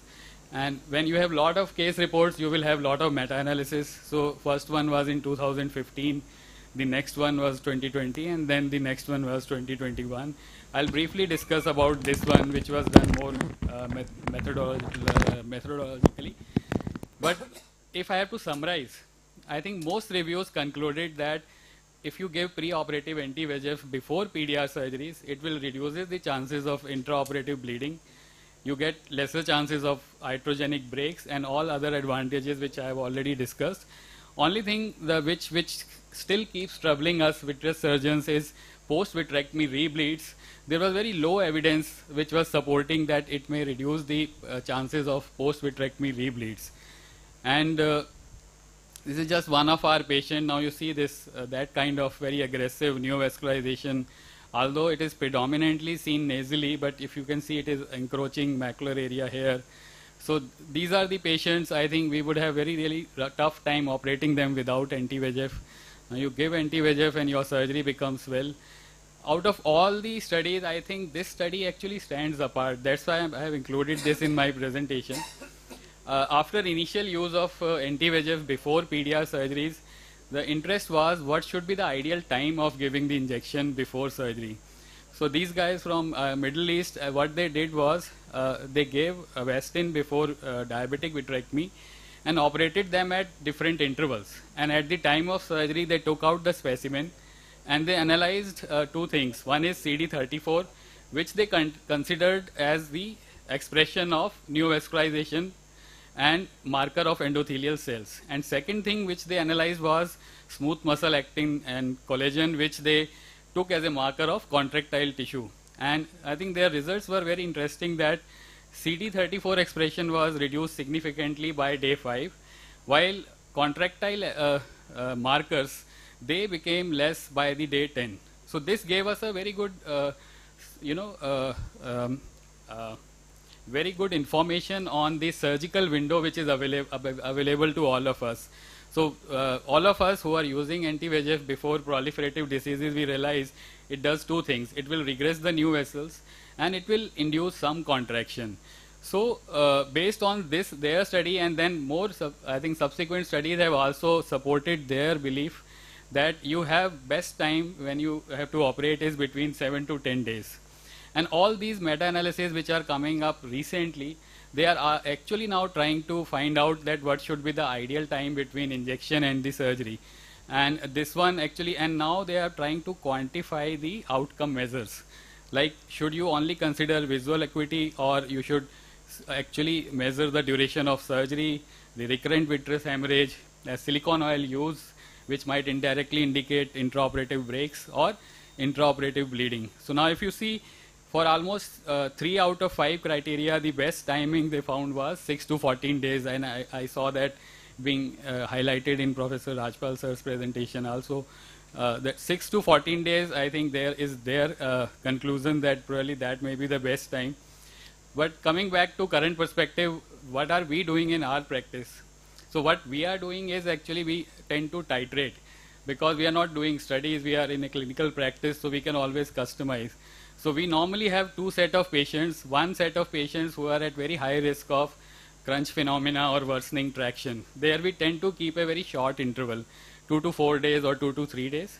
And then other subset of patients who are not at that high risk, there we keep it as a five to 10 days. But the important message I like to convey to all young surgeons is ensure that everything is being prepared right from uh, checkups and insurances and documentation before scheduling these kind of cases and fix both the dates, injection as well as surgery together.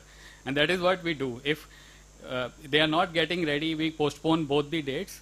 And the another important practical issue which we face is you give them injection and then call them on surgery, and on day of surgery their blood sugar shoots up. So we counsel them and tell them that don't panic. It's not important to have absolutely be best control on the day of surgery. It's the long-term control which matters. And we also have our team ready who can give them neutralizing dose of insulin to take care of their blood sugar so that surgery doesn't get cancelled uh, after giving the injection. So now if I show you two different type of patients, now here there is too much of neovascularization, but again, predominantly on the nasal side. And here we have macular neovascular complex and another one here. But if you do scan for the patient on the right side, you will see there is not much traction on macula. So both these cases, I think you can safely wait till seven days after giving the injection. Now you might ask me why not operate early? Because to reduce the risk of bleeding, I think the longer anti-VEGF stays before surgery, you know, better advantage you have. So that that is what I think most of these meta-analyses have found that if you want to maximize the benefit of anti-VEGF, wait for seven eight days. But on the other hand, a patient like this, which is already detaching, contracting retina, I may not like to wait for seven, eight days. And we actually operated him within 48 hours of injection. And I think post-op uh, patient doing quite well. Now, this is another category of patients which we are operating. They don't have uh, neovascularization all around in retina. It is only focused on disc and very close to fovea. now, again, good vision. And if you see the OCT, the foveal traction, dragging, these are the patients also, you know, which can have a localized crunch kind of thing. Their visual acuity and macula can detach fast. Again, we have to operate them early. Uh, the gap between injection and surgery has to be just two to three days. And uh, again, uh, patients like this, very aggressive neovascular front on right eye, and this again subhyaloid hemorrhage. Again, here also we can wait five six days operated. I'll just I think I'll not avoid showing the surgery, but this is the patient I think after uh, giving injection and uh, doing surgery. And this patient I just wanted to share that very aggressive neovascularization. This is how it changes.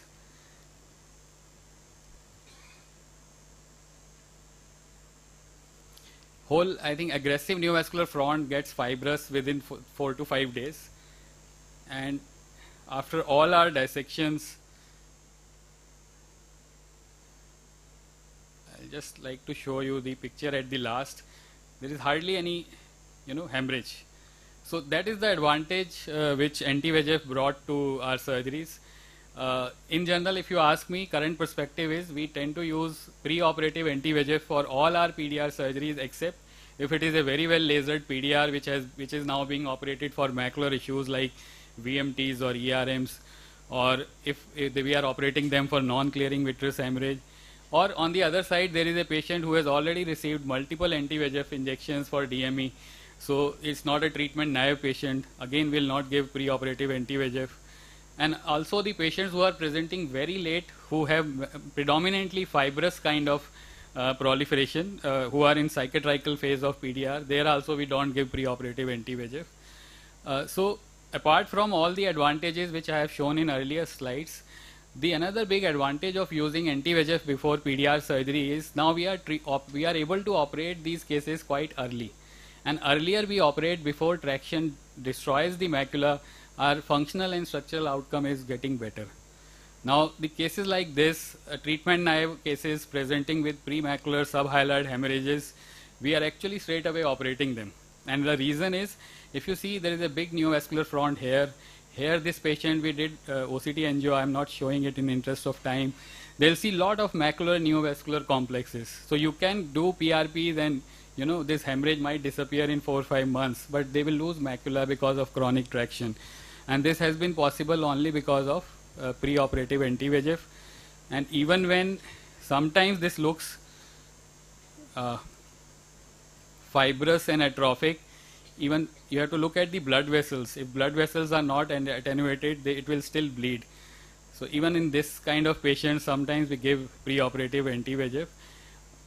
You have to look at the blood vessels and the vascularity of the fibrovascular sheet.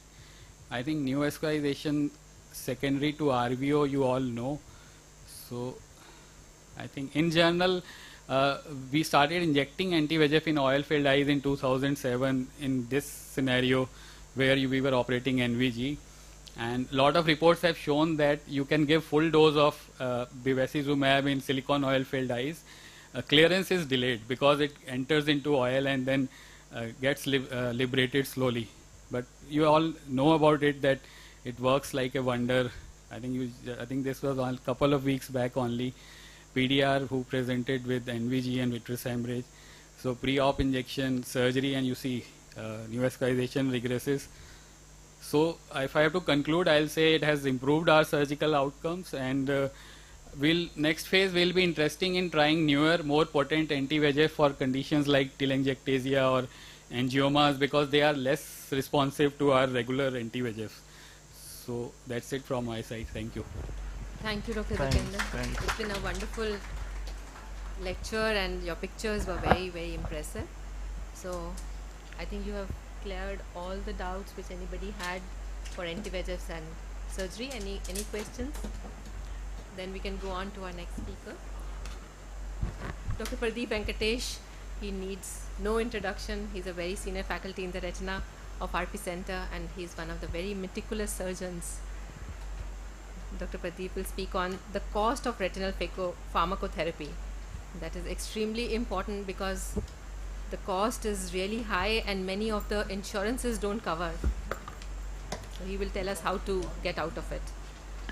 An introduction I'd like to add was ma'am was my senior resident and I still remember the rounds that we used to have uh, I think what 1B, 1A, I think. Yeah, so I've learned a lot from ma'am, and uh, so it's nice to have her here today. Thank you, Dr. Pradeep.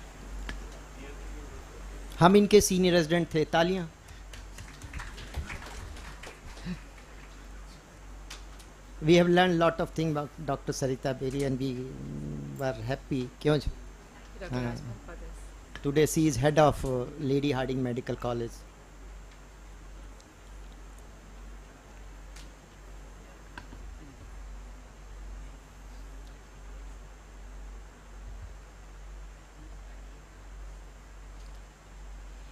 I, I really won't be talking about uh, the financial aspect. Uh, I won't be covering how much each drug costs uh, in this presentation.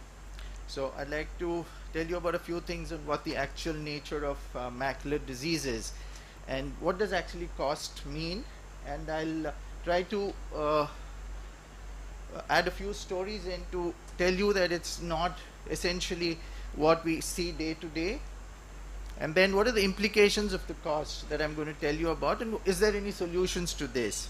So if you talk about macular disease, most of them should be or almost all of them should actually be treated as uh, akin to a chronic systemic disease, meaning that cure is impossible. And obviously there's going to be a cumulative financial burden. So most of the presentations, and I too uh, was a victim of that initial miracle that the anti-VEGF drugs were creating. But what actually matters is the long-term outcomes in all of these macular diseases. The rush essentially was because most of the reports said that within day seven you have a dramatic improvement, visual acuity and a dramatic anatomical change. And also they wishy-washily put some statements saying that intraretinal hemorrhages cause toxicity to neural cells, but absolutely no citation to support that. And going by the years of uh, retina that we have seen before anti-VEGF, I've seen uh, multiple cases where intraretinal hemorrhages have actually caused no toxicity. So the two-year results, I think we've already discussed this, said that there's not much of a change whatever regimen you use, and these are all prominent trials. And then they said the difference would just be 2.4 letters at two years, okay, with the simple bevacizumab versus the ranibizumab that was compared. The five-year results again said there's no obvious difference in the visual acuity, and one third of them, despite seven years of treatment, lost more than 15 letters. So it's important for us to identify these one third of patients, meaning you're treating them, you're wasting a lot of resources over here. So it's important to identify this one third.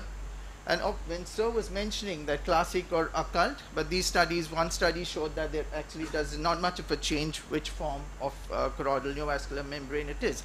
But lo- look at the eight-year results. Okay, they've given them 50 injections. You can look at the financial burden that's going in over there. Only 35% maintained 15-letter improvement. So again, we need to identify those two-thirds of patients who are not able to maintain good vision. Again, somewhere we are faltering. We need to identify those category of patients. This is a more recent meta-analysis very clearly says that only a small proportion of patients actually maintain or recover good vision in diabetic macular edema.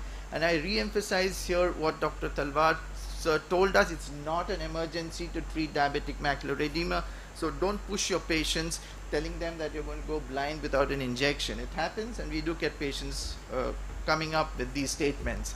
Now in the long term, what happens to uh, the anatomical outcomes. Okay, there is persisting DME in 40% of patients who are diabetic.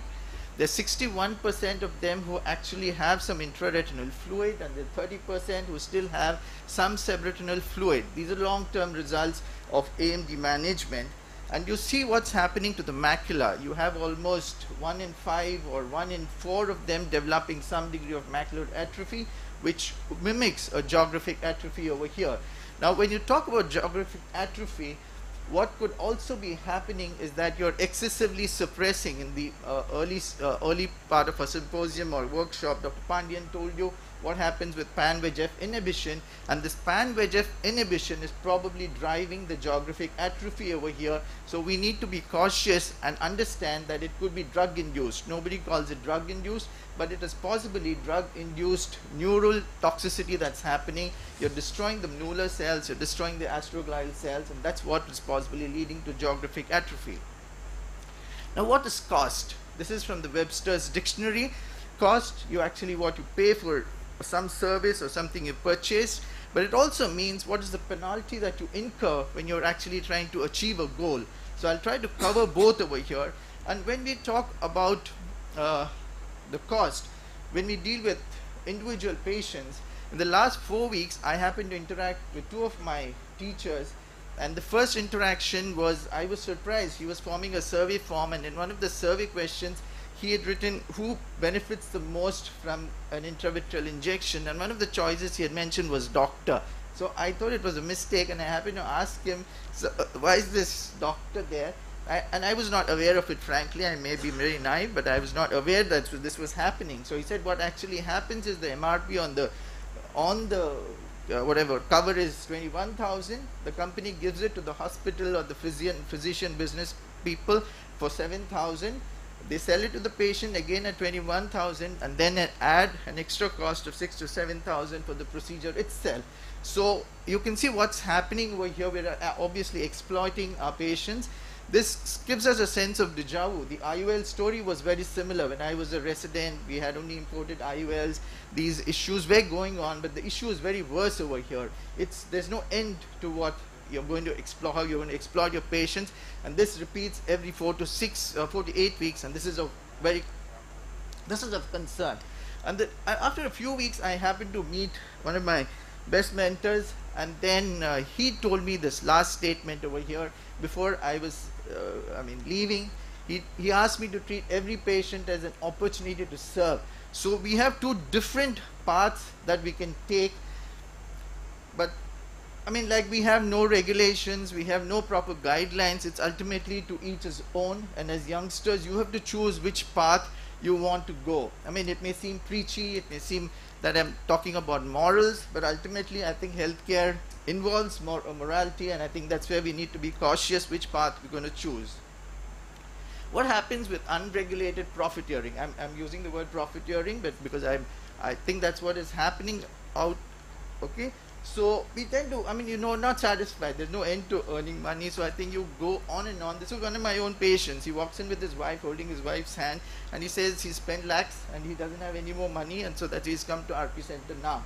Now, this is where I feel if the physician has already exploited this uh, elderly couple, he should probably be more considerate and carry on treatment with whatever. I mean, I'm sure he has the resources, but that never happens. They are at that point they let them go. Okay, so this is something that should not be happening.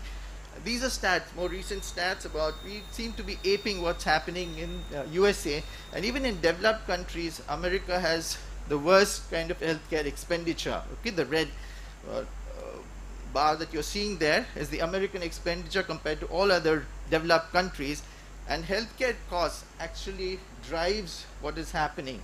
And if you the more recent statistics, they say 41% of the American public actually have healthcare related debt. Okay, and it, it varies, of, of course, but almost 41% of their population. It's not like there's a rich country and then uh, what we are doing over here is right, but I don't know how they manage their debt, but our patients are more uh, are different. Two other terms I'd like to introduce over here. This is introduced Lancet. It's frequently covered by the WHO called the catastrophic health expenditure and the impoverizing health expenditure that's happening. The first category is when patients spend more than 30% of their family earnings on getting themselves treated. And the second category is where they're already poor. And these poor people actually do they sell whatever they have to take health care. Okay, and if they push further, the dark uh, part of uh, the second circle that you're seeing, they will not come to you for follow-up. What Dr. Talwar was mentioning, you're going to lose them for follow-up. So there's a large category, they accept blindness because they no longer have money to take care of themselves. And this is a reality, and we must address this also. What about the penalty? Like I said, there's something that we're also incurring other than just the financial burden. So there are I mean, four categories that I'd like to categorize it. And skill, we're losing skill our thinking is not what it should have been. I mean, when that money factor is taken away, are we applying ourselves very well and is it actually inhibiting further progress? What's the effect on skill acquisition? Uh, I'm sure that any of the residents over here in training would not have much of an answer to what the questions that I put up over there. And essentially, I, I fear that laser would also reach an existential crisis like scleral buckling is essentially because the companies are pushing these medications uh, so strongly. And to just highlight what I'm saying, this was a review article published in IJO in 2016 and I was aghast to see this photograph or this picture was uh, picture given there as an example of focal laser and I'm sorry to tell you that this cannot be considered a good focal laser. See the amount of scarring that you're introduced into the macular area and this is definitely not a good laser. And if a review article can do this, I, I mean I only see what importance is being given to how to train the younger generation to do a good laser. Now these were images of 2003 when we did not have anti-VEGF. This was the father of one of our uh, colleagues, faculty in another department. This took us multiple sessions to treat. Now it's completely cleared. And you may just wonder if there are actually laser scars. Uh, uh, can I take a few more minutes? Ah, yes, yes. Yeah, so see these fine scars, you can not see it on the fundus image. Okay, and actually a good macular laser is one where the scars are not easily visible. Another patient over here now this patient, the usual tendency is you're seeing macular edema, you're seeing proliferation to go ahead and inject. But look at the location of the proliferation, so close to the arcade.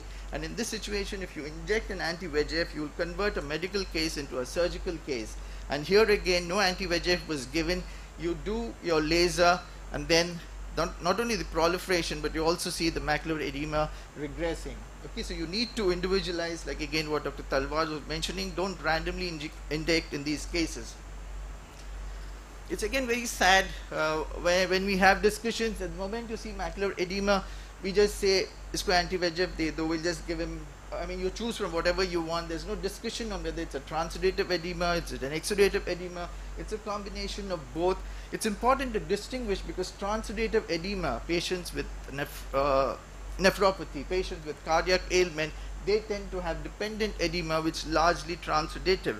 So in these situations, you get the systemic situation under control and it tends to resolve. So you should not randomly inject without actually analyzing what kind of an edema you're dealing with.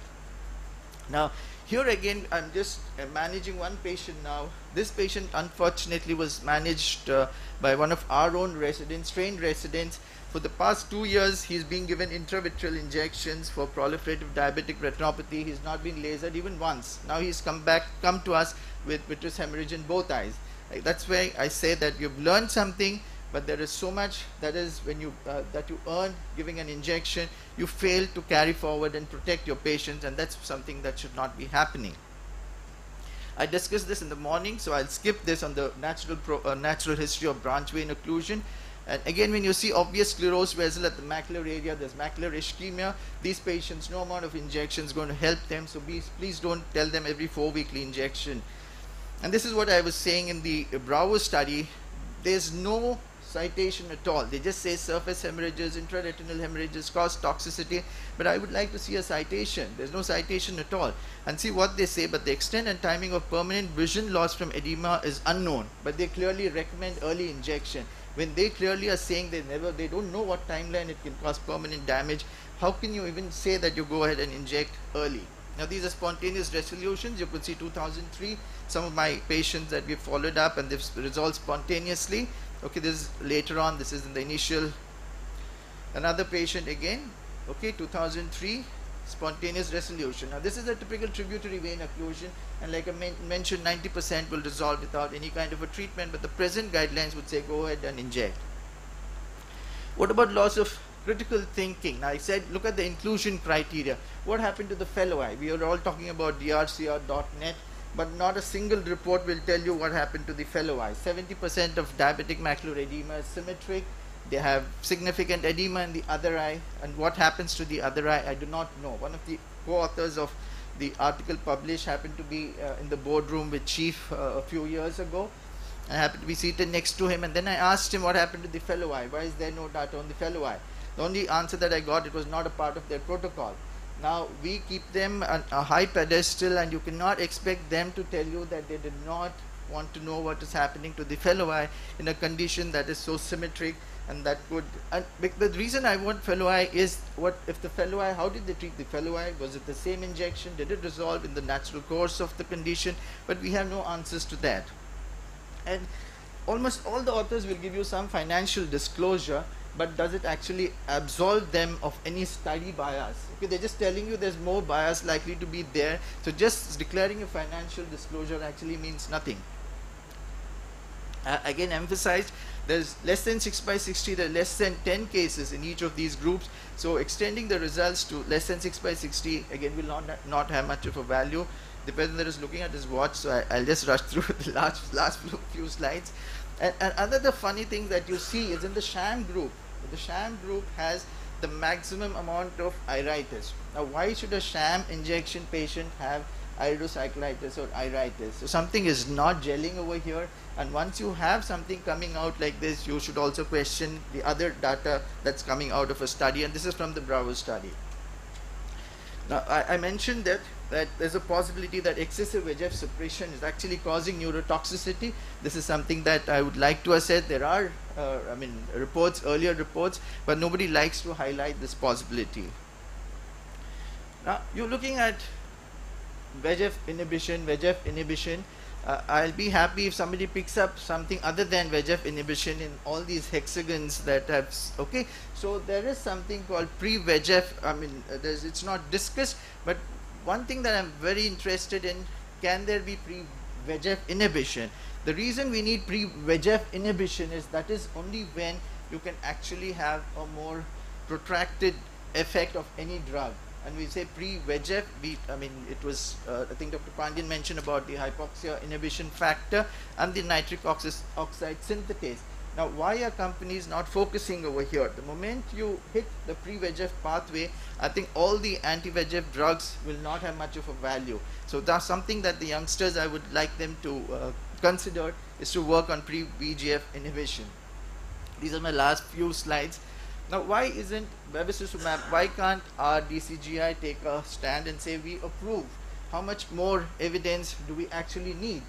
The only thing that's happening with Avastin is the fact that we're giving them as clusters. The injections are being given as clusters, so we are having cluster infections or cluster endophthalmitis. So you stop giving Avastin as uh, in clusters, so you're going to stop the cluster endophthalmitis. That's one of the biggest reasons I think there is so much of a problem with uh, with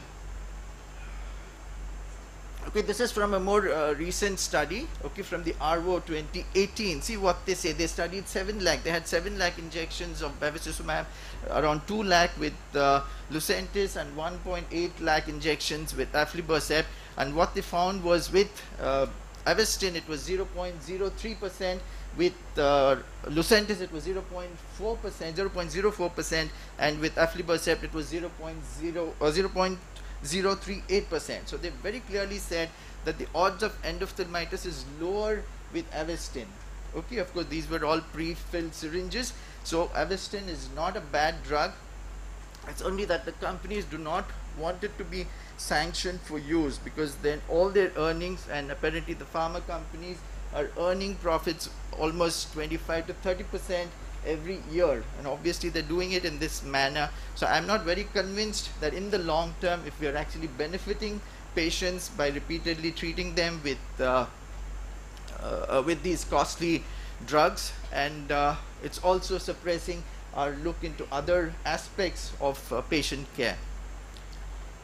Yeah thank you all so much and i think i took a lot of time Thank you, Dr. Thank you, thank you. This uh, type of lecture is required for the residents. So I here remind me of uh, Professor L.P. Agarwal, who took the first lecture. We, Dr. Talwar was there. We have into humanity and ethics. Dr. Talwar may not be remember. And our first lecture was on Gita. And we took a strike. We did 15 days strike. We will not study humanity. So that was the, so that was the Dr. L.P. Agarwal who thought of the future what will happen in the future generation. So now the MCI has introduced slowly the ethics, humanity, all these things. Unless you change, now director also using the word consciousness.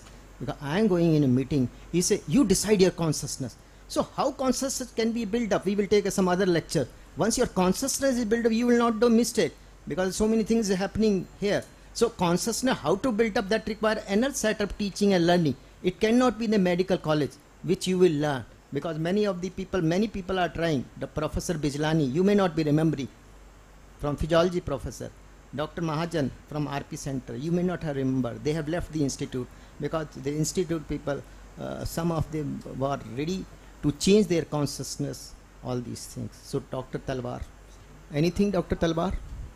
Because you have gone for my, well, I mean, some other reason, I'm saying. Right, Ah. so- so, how do you think a practitioner and uh, Yeah, staying so the see the thing is I showed you in the last slide all the three drugs work.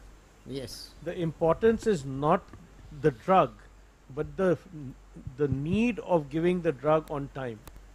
Now what happens if economics results in a patient not being able to take the drug, then it, whichever the drug it will fail. So in fact, one of I told you one of my uh, one of the things that I tell the patient is that you're going to need this treat for AMD is that you're going to need this on a regular basis. But I also tell them that the monthly, the yearly cost of the treatment, you have to calculate. Because if if if you are not to calcul calculate the cost of one injection, in fact, the first thing I tell them is that if if you can afford only one injection, then you can put that money into a waste paper basket. It's as good as that because it's not going to give you any sustained effect. So only if you can afford the treatment for an year, that means you know you you know whatever you are earning, you can afford the yearly cost of the treatment. Then only you should go for it. That's number one. The number two, then I say we check whether this cost, if it's not affordable for you, then you have to go wherever it's avail uh, uh, avail available at an affordable cost. So, for example, in AIIMS, you can get uh, Avastin for 1500. Now, I can't give it. First, I don't give Avastin because of the risk of cluster endophthalmitis. So, I will send that patient. Now, this is where uh, you need to have your conscience there. Not that you say, मैं एक injection दे देता हूँ बाद में देखते रहेंगे क्या if the patient cannot afford your treatment, send him somewhere where he can get affordable treatment. Similarly, talk of Ozurdex versus Triamcinolone. I think Sarita was talking about why more Triamcinolone. Triamcinolone works, Works, but higher works. risk. Now, you have to balance the risk with the benefit. A person who says I can't afford 40,000 rupees for an Ozurdex, let him go for Triamcinolone, but then the follow-up will need to be a little more intensive to make sure you don't lose the patient to glaucoma. So you, it is in today's world, what I say in all my lectures is, no patient should be deprived of the treatment, but the treatment has to be tailored to that patient. Patient. A patient who That says is why I I, want word use the tailor-made patient approach. who So many says- things has to be considered. Yeah, so now a like I patient- remember once upon a time uh, for IOL he has to sell his home. So resident से कहते हैं अरे भी कोई भी IOL लगा लो लेकिन we were at that time ने कि लेंस लेना है वो बेचारा गरीब आदमी अपनी झुग्गी बेच के लेके आया। So that is why you have to be very sympathetic that will come when you will interact with doctor Talwar और प्रदीप और परिजा मतलब sympathetic like minded people thinking people and so for example aflibercept may be the best drug for a particular kind of patient a patient with vision less than say 618 624 a, a thickness of a macular thickness of more than 400 micron. Yes. But there, if the patient cannot afford it, that's not the alternative. The alternative is adding either bevacizumab or ranibizumab to laser. You will get the same decrease in macular thickness. So the point is, you have lots of things available. You have to tailor your treatment to the patient and to the patient's pocket also. So both the things need to be taken care of. The second thing is we have got used to accepting studies without seeing uh, what do they really say. Yes, For that is why I have not mentioned of the many of these studies. was talking about BRVO study. Hmm. The BRVO study, the natural history showed if you take the patients after three months, not before three months, after three months, still one third of them will respond spontaneously without treatment. I agree. Now that means, what about the number of patients who would have responded within the first three months? Hmm. So that is why I said that 80% figure means at least 50% of your patients needed no treatment. Now, it would it be fair to say I gave a ranibizumab, spent the patient spent 25,000, 30,000 bucks, and say you became okay. Did he become okay, or did he only make you financially okay? And that's the whole issue. If the patient don't push a patient into doing something that is unnecessary. For, for the same thing for diabetic macular edema. Diabetic macular edema and ARMD are not the same condition. They are two different, Different conditions. completely different. Different but what is happening? The mindset is anti-VEGF, anti-VEGF, anti-VEGF. No, anti-VEGF for AMD is not anti-VEGF for DME, which is not anti-VEGF for BRVO. BRVO. Again, we combine BRVO and CRVO. I'm shocked to see all lectures given in most of these conferences are BRVO and CRVO is put as one RVO. One art. But RVO is completely different, Different. when you're talking of BRVO and when you're talking of CRVO. They have completely different approach to management. CRVO will make the guy blind. BRVO will virtually never make a patient blind. So why should you be aggressive in treating BRVO?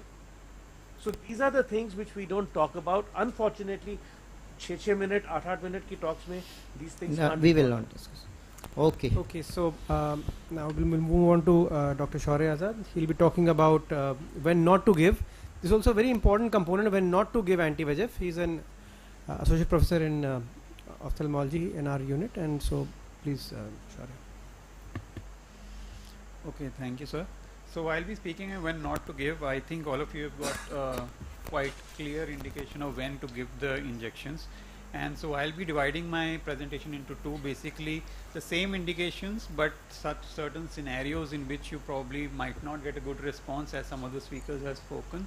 And the second one would be the indications which, um, uh, like patients who have been advised anti-VEGFs outside elsewhere either have taken anti-VEGFs but they are not exactly an indication and it is based on OCT findings that one might have seen at that point of time. So as we were discussing vein occlusions, we see a BRVO, we see macular edema, but what is important is to see what is the perfusion of the macula. If we are seeing that there is any distortion of the FAZ, any irregularity of the FAZ as well as increase in the size of the FAZ, then there is signs that there is macular, macular ischemia and then these will not be good responders to anti-VEGF, so probably anti-VEGF may not work.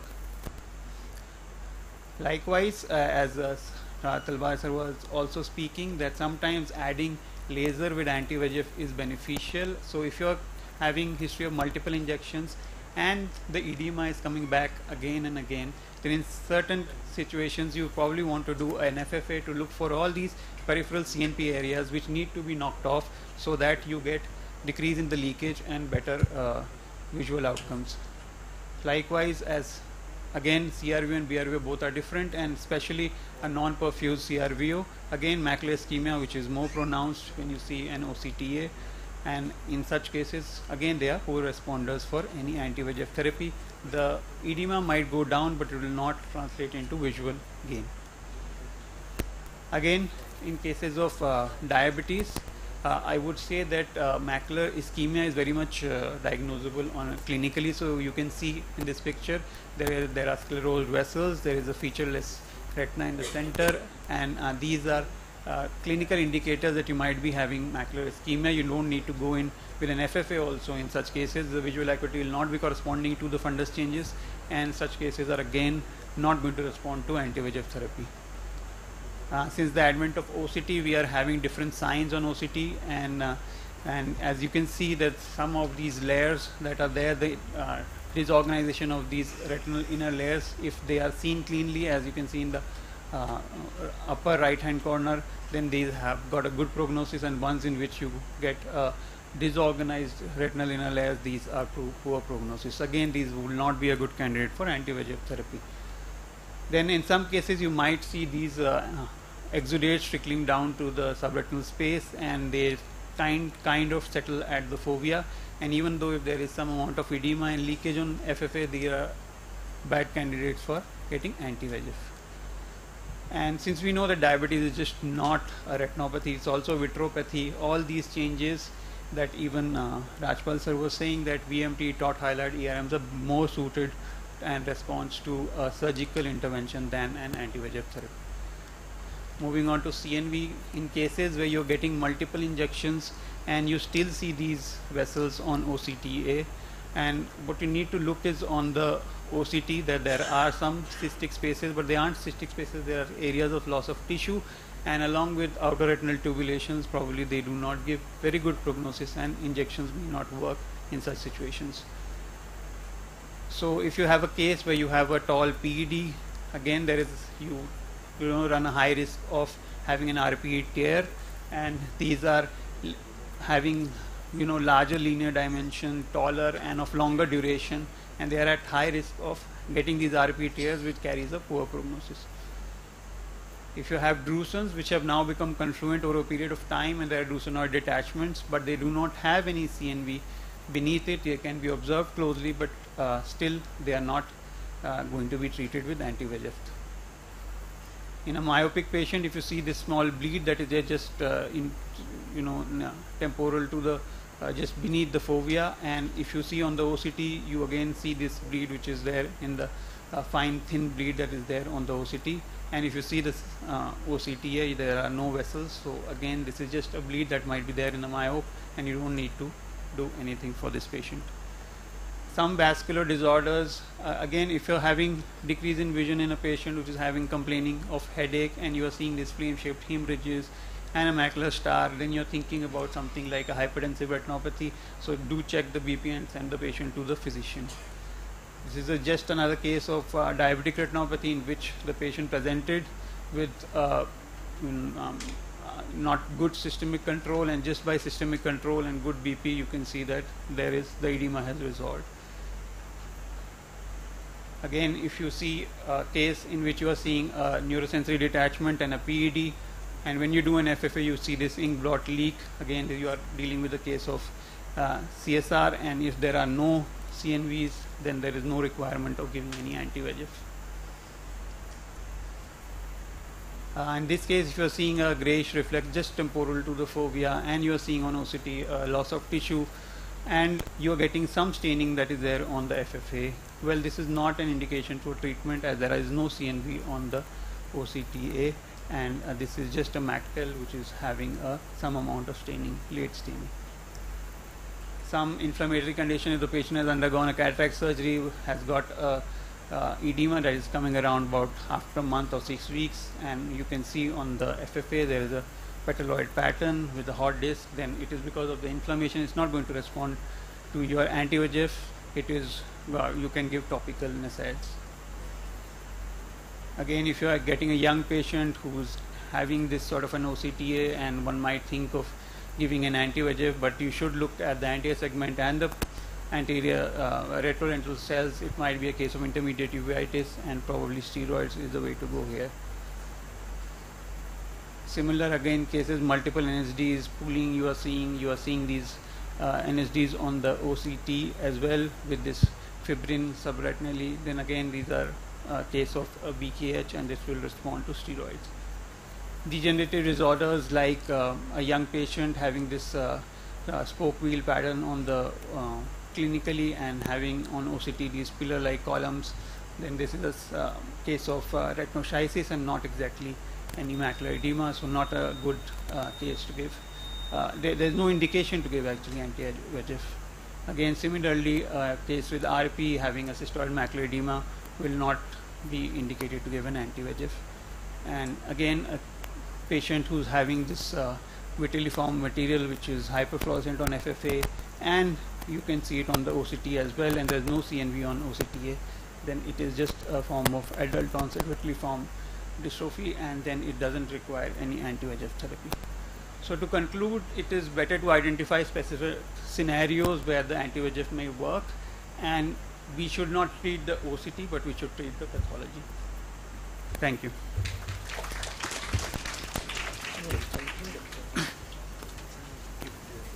Thank you. Okay, so we would like to thank our guest speakers and present them up with a plaque of our appreciation. I would request uh, Professor Pradeep to give a plaque to Professor Sarita Beri, please. Sir.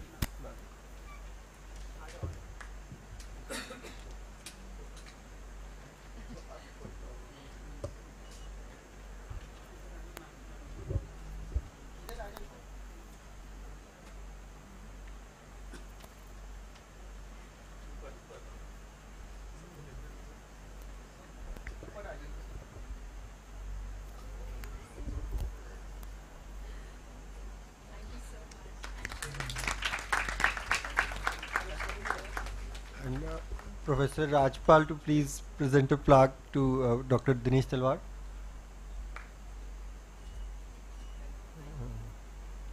Dr. Rajpal, uh, Dr. Talwar, please.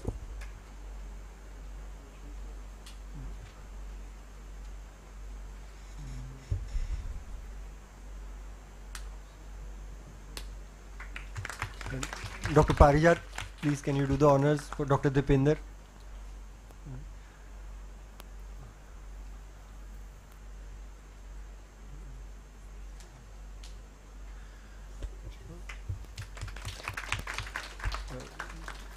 You very much, everyone. We'll not take a break because we have already exceeded too much time. The running tea is on on the seventh floor. In case anyone desires, you can go and have tea. But we'll go on and move with the next session. It's on challenging cases, and for which I invite Professor Talwar and myself for the. Uh, no, no, sir, please sit. And I invite the speakers. The first case. First case is by Dr. Sheikh.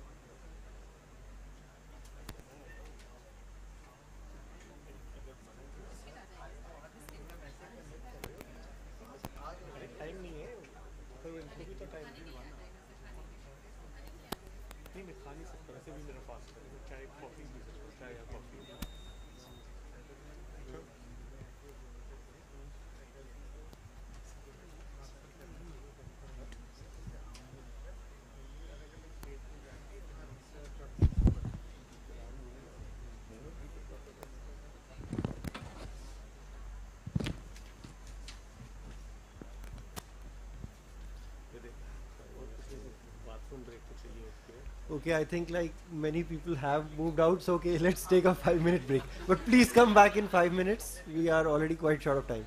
Yeah. Quickly have a cup of tea and maybe a washroom break.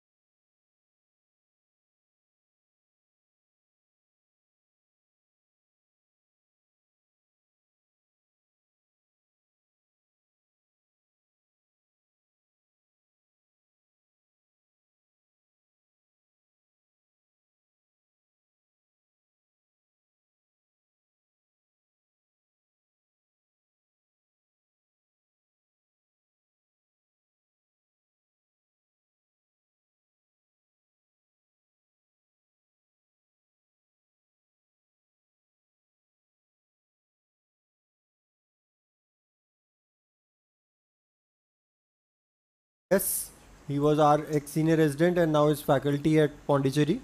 So we welcome you, Shreyas. Please go ahead.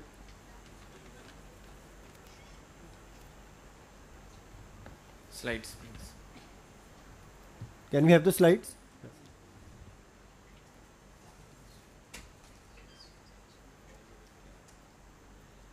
Okay. Uh, after uh, having very good uh, discussion since morning, we'll have uh, short case presentations.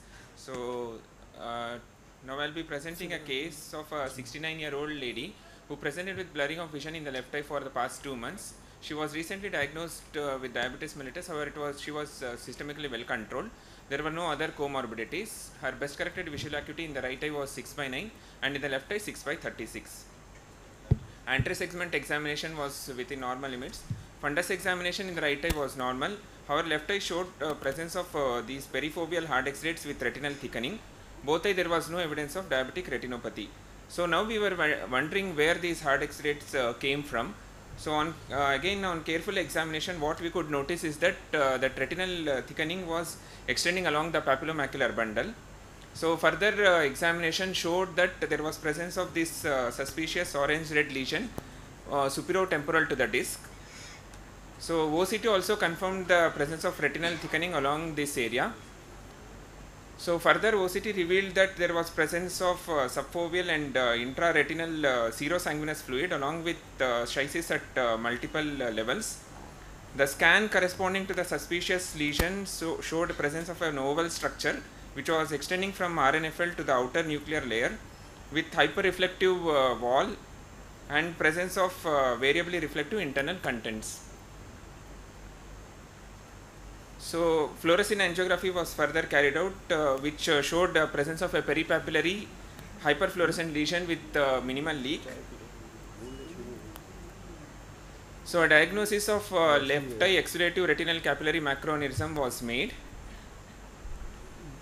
So this patient we uh, gave uh, intravitreal avastin injection. However, response was poor at three weeks. So we further counseled the patient to receive uh, further anti-VEGF injections for which the patient did not agree. So we decided to carry out uh, focal laser treatment of this aneurysmal lesion.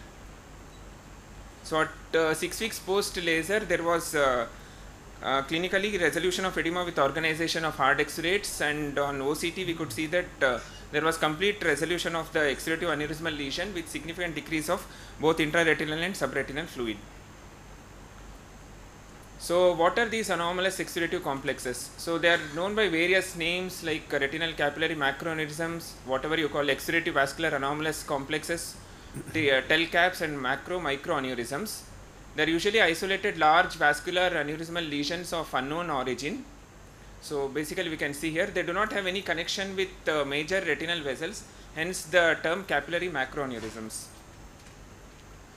So they are initially considered perifoveal and hence the term uh, PVAC was used and they were also considered idiopathic not associated with uh, any other systemic or ocular diseases.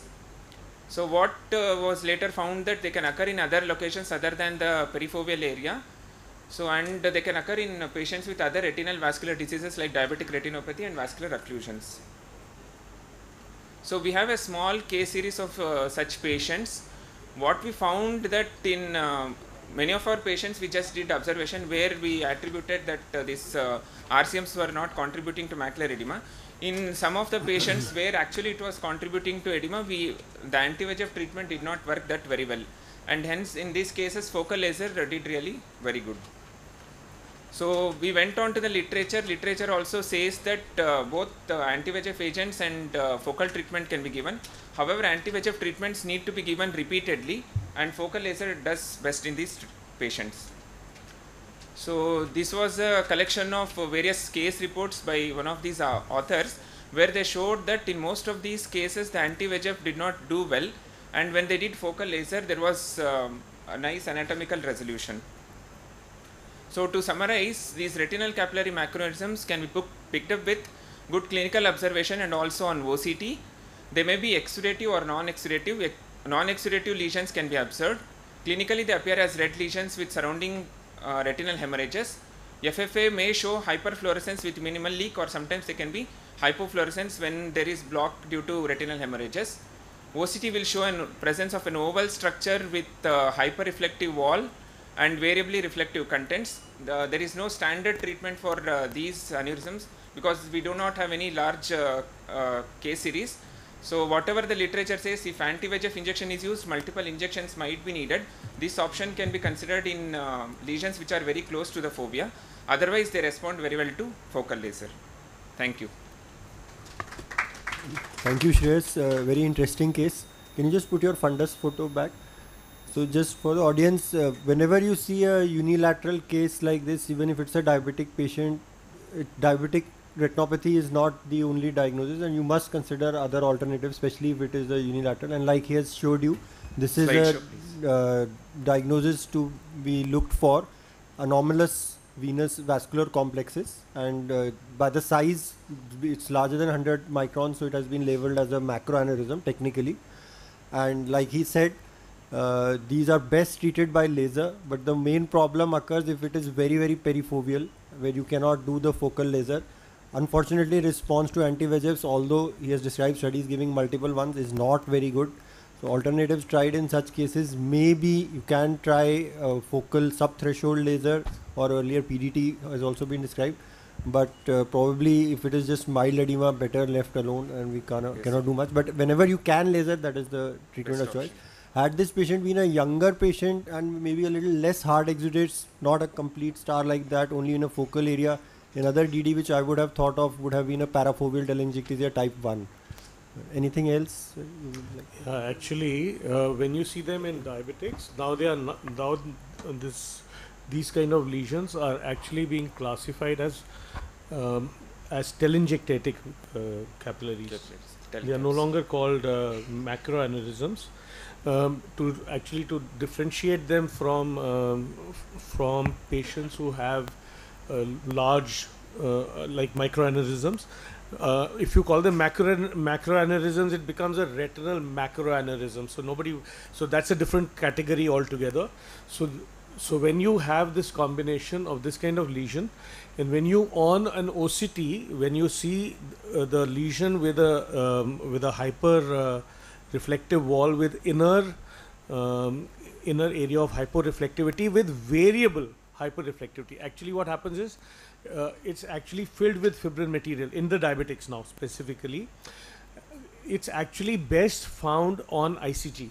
The best way to categorize it is on ICG. On on what happens is that on uh, fluorescein angiography, you they will all look like they will all look like uh, micro uh, like hyperfluorescent points. But when you do the ICG, this area will the microaneurysms will wash out in the late phase. These will stain in the late phase because of the fibrin material. So that is a classic way of diagnosing them. And an alternative method is uh, uh, you had one or two other uh, OCTs which had a Yes. no which had, there's one which had a very nice uh, wall and all. This Ye- one- yeah, this one is see now if you see inside, it's not just hypofluorescence. Hypofluorescent, now? this one also is very good. Huh. It's hypofluorescent uh, with some hyperfluorescent material. That hyperfluorescent material is usually fibrin material. And that is why on, on ICG it stains uh, in the late phase. And uh, this is one combination. You can do an ICG and you can do uh, OCT to confirm. The other thing which has been tried, people have tried infrared reflectance. Infrared reflectance also shows the lesion up. Uh, and if you there you will see the central area will be hyperfluorescent and the surrounding area will be hypofluorescent. So if you see that along with this OCT picture, you know you're dealing with a telangiectatic vessel. They are now called telangiectatic telangiectated ve- ve- vessels in uh, diabetic macular edema. And the treatment is of choice is uh, focal macular laser. When it's not in a diabetic macular edema, you actually call them PVAC. So basically that is what it happens. Sir. Uh, for the senior residents, uh, a 65 year old lady with such some hard exudates at the posterior pole, can you tell me any other differentials which would come to your mind? So PCV you have to think of, and then there is something called peripapillary pachychoroid. So that also you can have. It's like a pachychoroid with a CSC like a picture, but you start getting these hard exudates uh, in the peripapillary. Yeah, but when you see this, this is only as far as the photograph is concerned. But the moment you do the OCT, this is a retinal change. A PCV is a subretinal change. So you know that you're not dealing with the same condition. So you will differentiate it. So even on a color photograph, if you see if it's looking more red, then it's not likely. Then it's a retinal. If it's if it is a little deep kind of um, color, then you know it's coming from the choroid. So then you know you're dealing with PCV. So that's the other thing. And this can be uh, asymptomatic. Just uh, one week back, I picked up a patient who had on one eye um, an occult CNVM and the other eye had this. So uh, you can have that as an incidental finding. Patient is 6'6", no, no, uh, no changes, nothing uh, uh, available, no, no hard exudates, just the lesion. So that can happen also. Chalo. Thank you. Next. Uh, Thank you. Yeah, there is a question. Sir, we actually tried in, we don't have any much experience. We tried in one of our patients, even steroids didn't work that well. Yeah, I'll just add one uh, comment over here. These are all mature blood vessels. Okay, so anti-VEGFs will never act on mature where the pericyte cover is still intact. So there's no point trying repeated anti-VEGF. It's known that they're not going to act. Yeah? I welcome Kaushik. Kaushik, he uh, was also senior resident with us and now is working in Calcutta and again a prolific vitreoretinal surgeon now. Thank you, sir. Uh, thank you, sir. Uh, all our teachers and uh, junior resident and senior residents. This is a pleasure to uh, present here. Actually, it, it has been a long time since we presented here. I think it is uh, around eight years, eight years, eight nine years. Thank you for inviting me. So I will discuss a patient with intraocular inflammation. Uh, this was a 72 year old female who had controlled systemic hypertension and hypothyroidism. She had history of four intravitreal injections in the right eye. And uh, uh, she had dimness of vision in both eyes. Corrected visual acuity was 6 by 60 in the right eye and 612 in the left eye. Intraocular pressures were uh, normal and in, there was nuclear sclerosis. So she, when she visited, there was this, uh, this was uh, the findings. In the right eye, there was sclerosed vessel, which is not very prominent, and there was subretinal bleed here. Uh, these are fluorescein uh, FFF images, which show that there is, was a old uh, BRVO with capillary non-perfusion area. There was no new vascularization, and there was CNVM. So this patient uh, on OCT, there was chronic fluid in the right eye, and uh, there was uh, uh, subretinal fluid in the left eye. So this patient received multiple injections and uh, then she also developed full thickness macular hole for which she uh, had cataract surgery first and then PPV with ILM peeling and SF6 injection. Then again the CNVM recurred and we uh, she received multiple anti-VEGF injections. It was after the last Pagenax injection on 28th September 2022 she developed this kind of picture. This was the pre uh, pre-injection picture is on the left side and on the right side this was post injection picture. The central there are multiple uh, artifacts because of the uh, there was uh, in the fundus camera. So there was uh, the left eye had uh, worsened to 618 from uh, pre-injection 69 there was an severe AC cells rea- AC reaction but there was no hypopyon vitreous cells were seen and there was severe vitritis but we could not see any evident vasculitis or uh, hemorrhages. Patient denied uh, angiogram. So, a presumptive diagnosis of uh, related intraocular in, uh, inflammation was um, uh, diagnosed and we uh, treated her with uh, topical prednisolone frequently, topical uh, atropine and IVMP 3 doses 1 gram and then prednisolone 1, gra- 1 milligram per kg per day for 14 days. The response took time to uh, come, uh, but she eventually improved up to 612 after one week, and after three weeks she was 69, and we are avoiding Pagenax since then. My questions to the esteemed panelist will be how to avoid such kind of uh, reaction in patients, and how severe can it be, and what are the other management options other than topical steroid and IVMP or oral steroid, and how should we recommend, uh, how should we follow up a patient who are getting uh, uh, and are there any adjustments which are needed for intravitreal injection in vitrectomized eye? Okay, I'll answer your last question first. okay, uh, about anti-VEGFs in uh, uh, vitrectomized eyes because actually there are a lot of myths about this. If you go into the literature, you'll find that the uh, this uh, conclusion that uh, the effectiveness of anti-VEGFs in vitrectomized eyes is less came from studies on the uh, clearance of VEGF, not the clearance of anti-VEGF. And what they found was that VEGF cleared out faster, and they extrapolated that because VEGF cleared out faster and anti-VEGFs with the same size more or less, therefore anti-VEGF would also clear off faster. Unfortunately, it's not true, or fortunately, it's not true. So, so that subsequent studies showed actually this is not. It doesn't happen like that. Now, actually, you have a better chance then, because the VEGF is going to go off faster. The anti-VEGF does not go off faster. Somehow, the anti-VEGF clearance is not different in vitrectomized and non-vitrectomized eyes. And if I had not actually reviewed this entire literature, I would be roaming around with the same, um, you know, the same uh, myth in my mind. So, so this is number one. So it doesn't. And incidentally, practically speaking, I have not felt that I am needing to give the anti-VEGF at 15 days just because it's a vitrectomized eye. It doesn't happen. It lasts for this more or less the same uh, duration. If it's not acting, is because it's the disease is like that, not because that patient is vitrectomized. So this is one. So this is your last. Yes, and the, is there the second thing is about dose का कोई change करना no no change no change of dose is required in vitrectomized eyes. But if you have a patient who's aphakic eye, then Ozurdex is contraindicated. Or even if the patient has an iris fixated IOL, then also Ozurdex is contraindicated. वो आगे आने का डर बहुत ज़्यादा होता है. So this is the the in in uh, vitrectomized eyes with silicone oil okay ideally um, I would not give more than one third the dose. Now the reason I can tell now why am I saying this? We've actually done studies of the volume of the retro silicone oil space in eyes which have silicone oil in which are uh, uh, VR surgery eyes with silicone oil. We were actually it was not done for this purpose. It was done because we were uh, uh, evaluating the concentration of uh, ciprofloxacin in the retro silicone oil space, and we did it as part of that.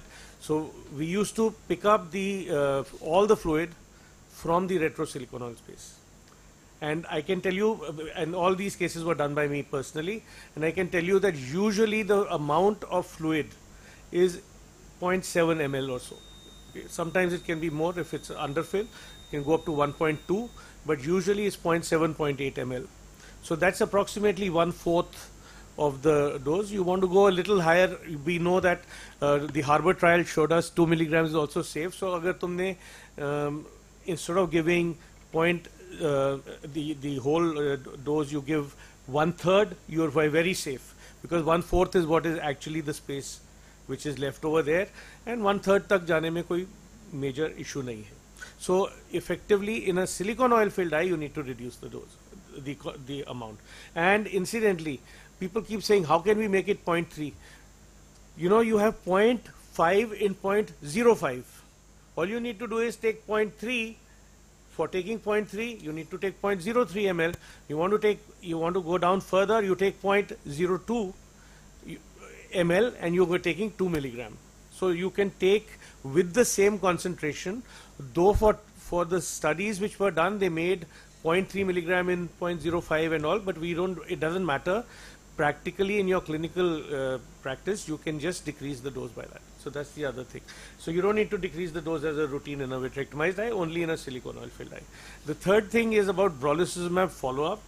I am scared of brolucizumab because you never know when it may come up as a, this thing, a reaction.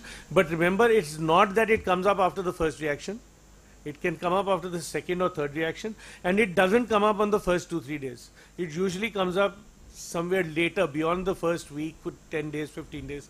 So you need to keep a watch on these patients. So, so anyway, for all my anti-VEGFs, I see them day one, day seven, and four weeks. In this case, I, I normally try to tell the patient come once at two weeks also.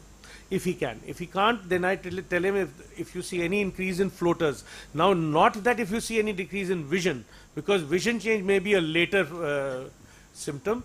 Even if you see any increase in floaters, please come and show.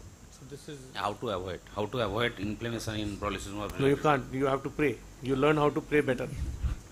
The better Chalo, you next, pray, the- next, I next. think a nice case because this is what we are worried about with this drug, and what he has shown us has raised it just raises more questions than answers because when it will happen, he has given so many injections, and suddenly it happened after the fifth or sixth I think Pagenax. I Pradeep think. can answer something on this. So because the- he's given a lot of injections. Yeah, I think Dr. Cortisone. Pradeep will sorry we'll give you time because you have a talk uh, on this Discussion this on this. topic itself. Ah, the only thing next. one I want to say is was it necessary to give a pulse steroid in such an elderly patient or maybe just an oral steroid could have managed otherwise this is the management systemic steroids as well as topical steroids. So we Chalo. go ahead with the next, Next. case Dr. Ayushi please. One I know. I think Good the patient was afternoon, uh, Otherwise, respected we are- faculty, esteemed panelists, and uh, delegates. So this is a case of a 70-year-old gentleman. He had presented with diminution of vision in both the eyes, which was progressive uh, reduction in vision for the past two years, and it was more in the left eye than the right eye, and it was associated with metamorphopsia. There was no history of pain or redness in the patient, and it was not associated with any similar complaints in the past. And there was history of anti-VEGF Eylea injection two weeks prior to the presentation uh, with us. So patient had best corrected visual acuity of 6 by 18 in the right eye and 1 by 16 in the left eye. Pupils were reactive, anterior segment was within- within normal limits. Uh, on fundus examination of the right eye, there was uh, media was clear with a cup-disc ratio of 0.4 is to 1. There was a hypopigmented raised lesion at the macula suggestive of a neurosensory detachment with pigmentary changes present nasal to it. In the left eye, the patient had a hyperpigmented lesion at the macula, so there is some shadow because of cataract, and but there was associated subretinal fibrosis in the patient, suggestive of old CNVM. We went ahead to do an OCT. OCT revealed subret uh, uh, fibrovascular uh, pigment epithelial detachment with subretinal fluid, with some drusen uh, deposits. The uh, choroidal thickness appeared to be normal. In the left eye, the patient had a scarred CNVM membrane.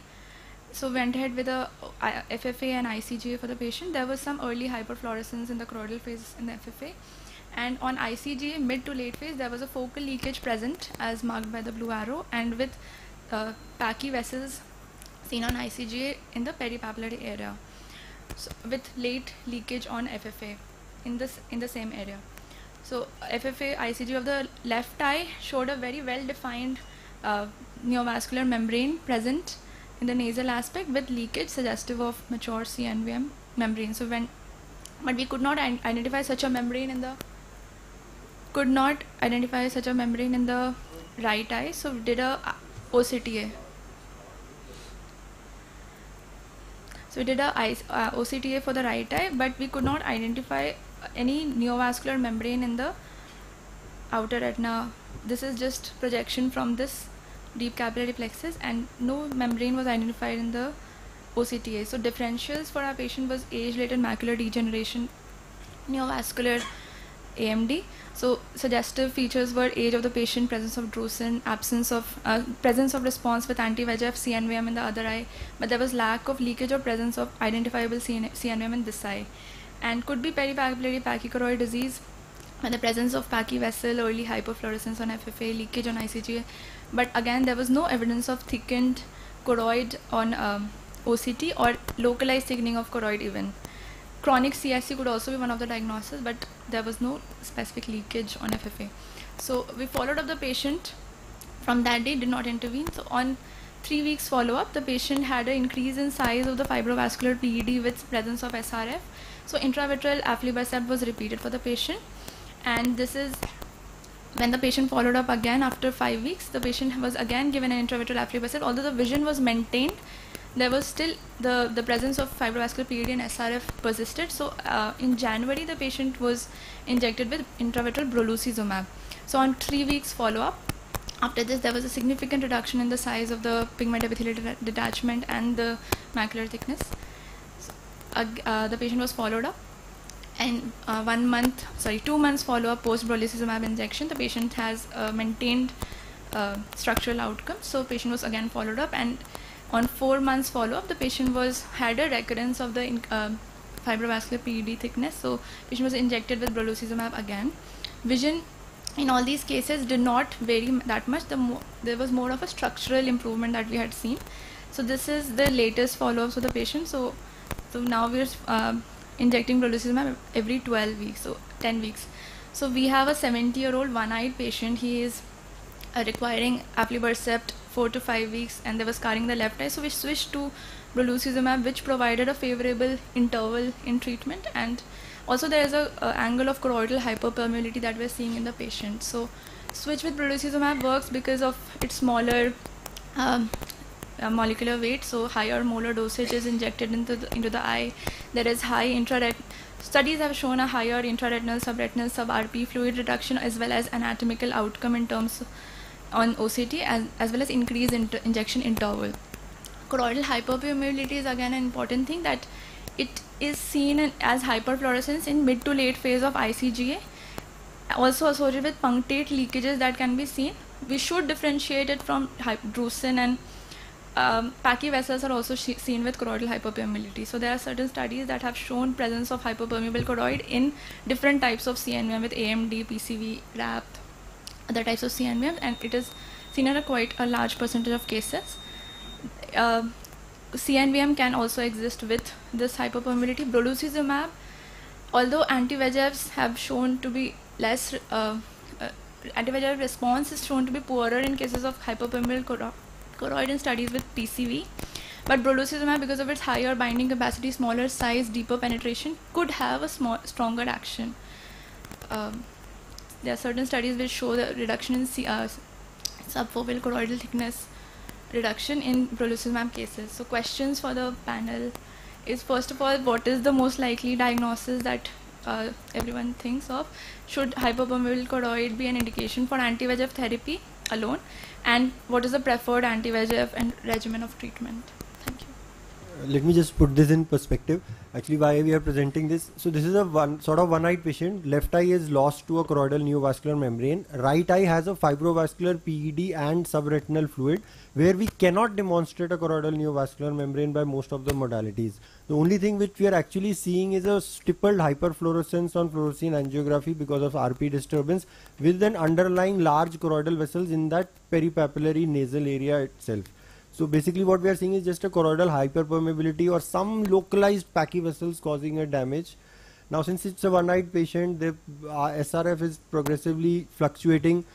Uh, initially we did observe the patient for a while, but since the SRF is increasing, we cannot just sit back and say that we don't know what's happening. So we did try an anti-VEGF and what we just showed was that brolucizumab acted better but again it did not resolve the pathology totally but it just acted better at least anatomically and we are just planning to maintain that anatomical benefit at maybe a four month gap of the injection itself. But what we want to discuss is what exactly is that fibrovascular PD is it a CNVM there or it is just choroidal hyperpermeability and should we be injecting in such cases or should we just hold our hands No, no, but you have a polyp, no? You had a polyp no, in no. your initial. There's no def, the no well defined. No, the, you show the ICG. ICG showed- No, ICG just shows those prominent choroidal vessels, four five vessels there. Can you just show the ICG? Initial ICG? Yes, sir. Yeah, just. So Yeah, so there is a polyp there. No, I don't think those are well defined. Uh, No, no, well defined. need- The only one polyp is there. The rest are choroidal vessels which are thickened. Well, actually, they are not Why fitting not into it is all the criteria of polyp. So I. So Uh, what criteria do you want to look for? No, no. What is the late phase of that? What is the late phase of this? This is the late phase. It's not No, no, really show the late This is not a late phase. Okay, so according to sir, maybe it's a polyp, but See, what I felt was that these are just linear lines. To see for staining would be after 15 minutes. This is not 15 minutes. This is not late phase. And in this phase, you can see these are three, four areas which are showing up, which could be polyps if you had taken them to the late phase. So effectively, you have a PCV lesion. I- and the other this thing, the only thing is that now the, what you're saying OCT. Go to the OCT. The OCT doesn't show double double layer vessel uh, uh, sign very clearly, though it does show one relatively peak PED and the other irregular PED. So irregular PED with a uh, double uh, with a, a relatively peak PED because more than 70 degrees is the angle considered for a peak PED.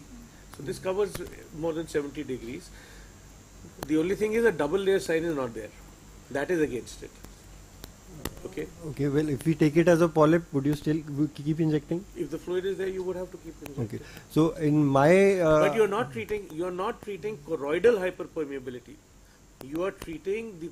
You're treating the SRF, which is. Uh, basically, there's a difference between what you're treating, and especially if the SRF is responding to a particular treatment, then you need to continue it.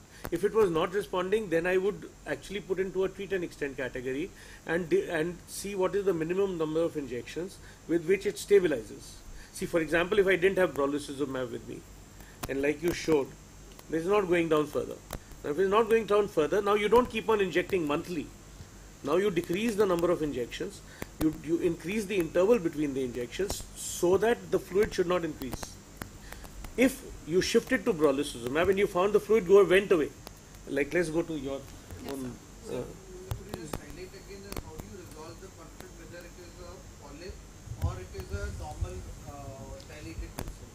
yeah, so so I would I would take it to the late phase. Okay, in the late phase, the normal vessels would not be there; they would wash off. But if there is a polyp, there would be staining over there. And if you see this also, go back. Yes. Actually, if you go to the next slide. Uh, yeah. So actually, if you see this area.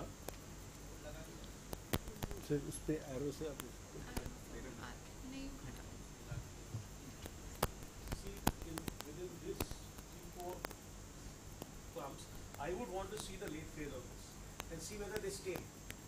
If they stain, then I would think that this is a point. If it doesn't stain, if it all washes off completely, then I, then it's not a, then it's just uh, the vessels are uh, those were large vessels. So this is one aspect. The second, the only thing which is going against at the moment is the is the is the OCT where the go to the OCT.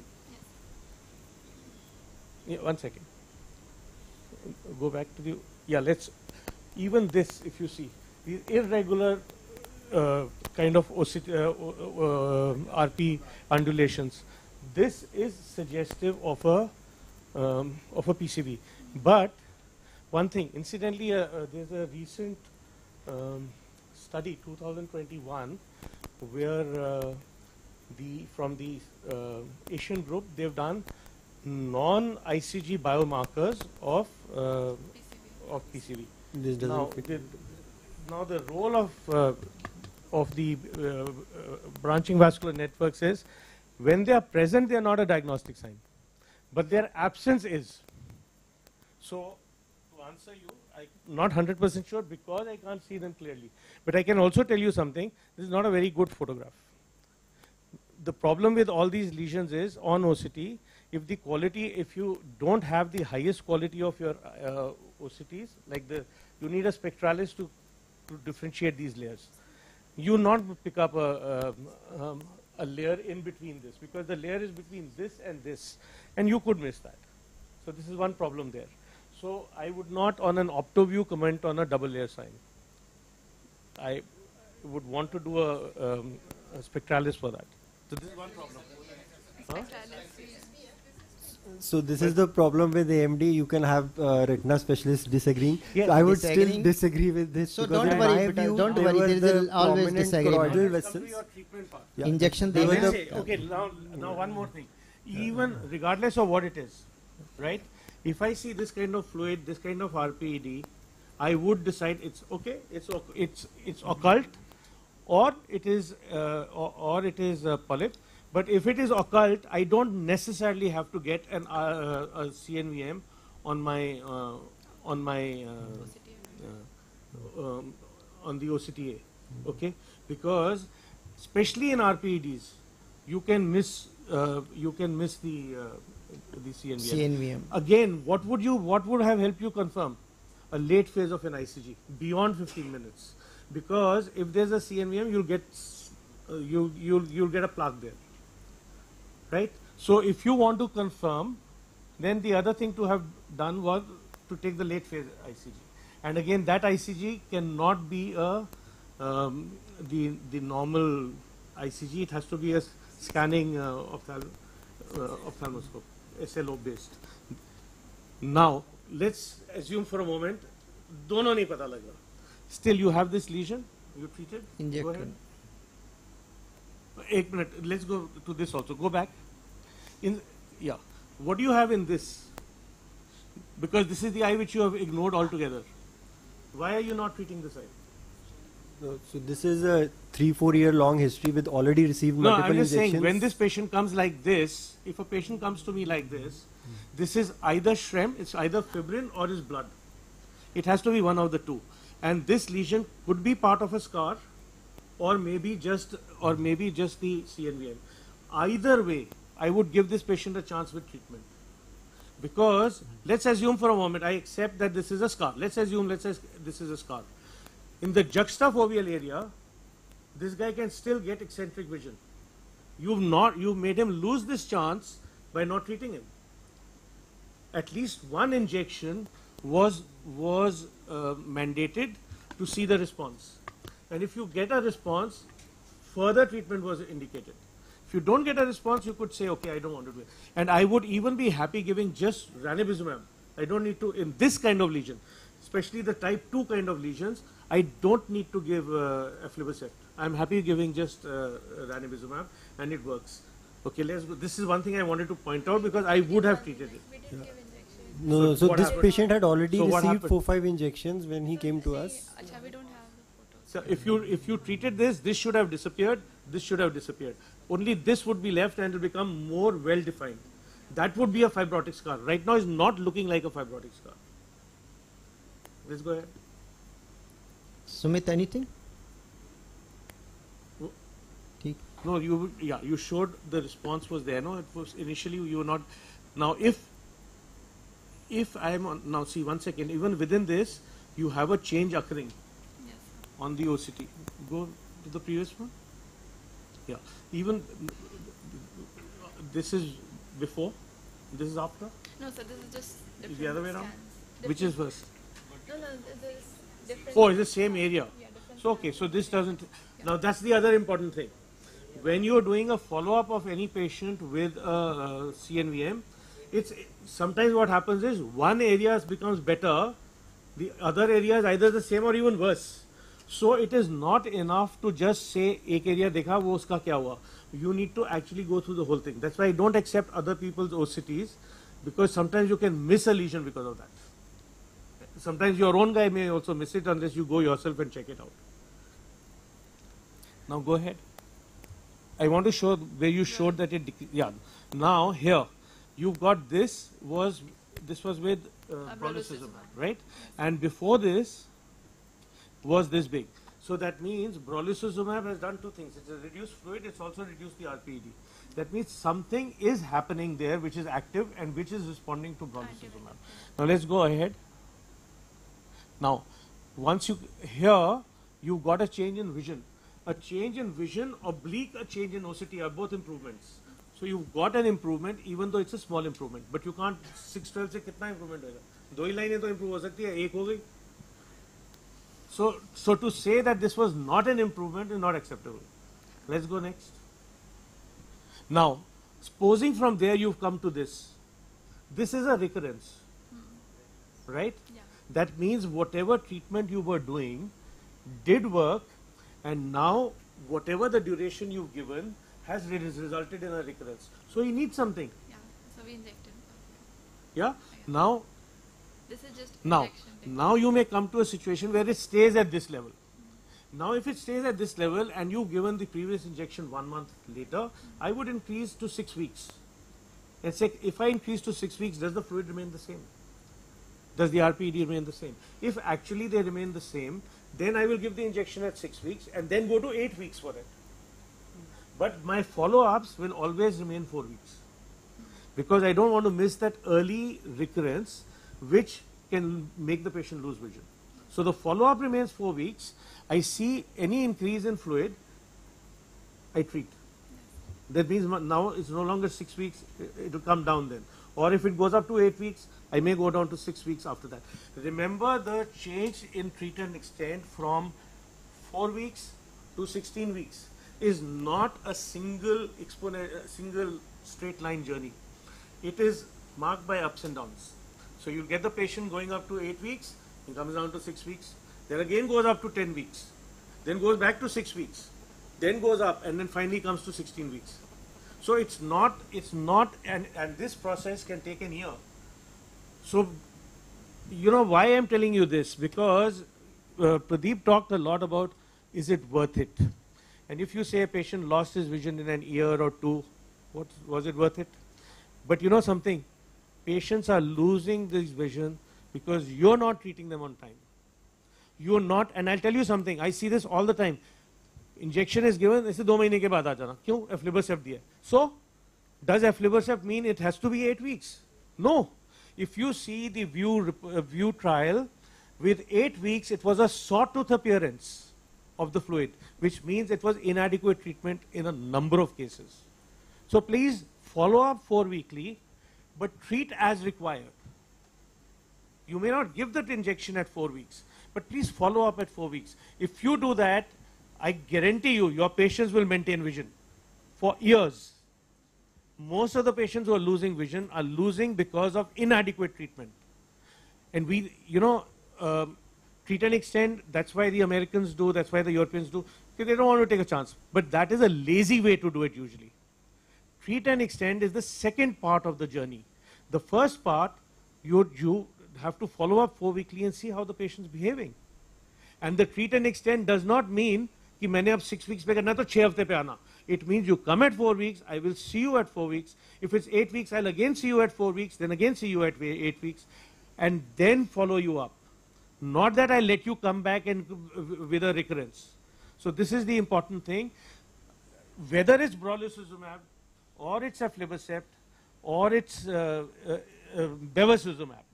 The important thing is if you want to put the patient on treat and extend, do it with four weekly follow-ups. And you could have done this also. Before I quickly summarize, can next I take case. a comment from Dr. Pradeep? Next case mein chalta next, okay. next case. Good. Okay, just you. to solve the confusion, I think I'll just say that even if you cannot demonstrate on uh, imaging a neovascular process, the no, Dr. Talwar is right because I have seen so many patients, eight weeks subretinal bleed, vision gone from six. 24 to finger counting. So Judy's, that is why the, we have to. Yes. It yeah, is so the neovascular process may exist, and if it is responding to therapy, uh, we cannot hold our hand, and we have yes, to continue next, the next treatment. Yes, yeah, actually, we are saying the same thing yes. in different ways. Yeah. Okay, yeah, Doctor.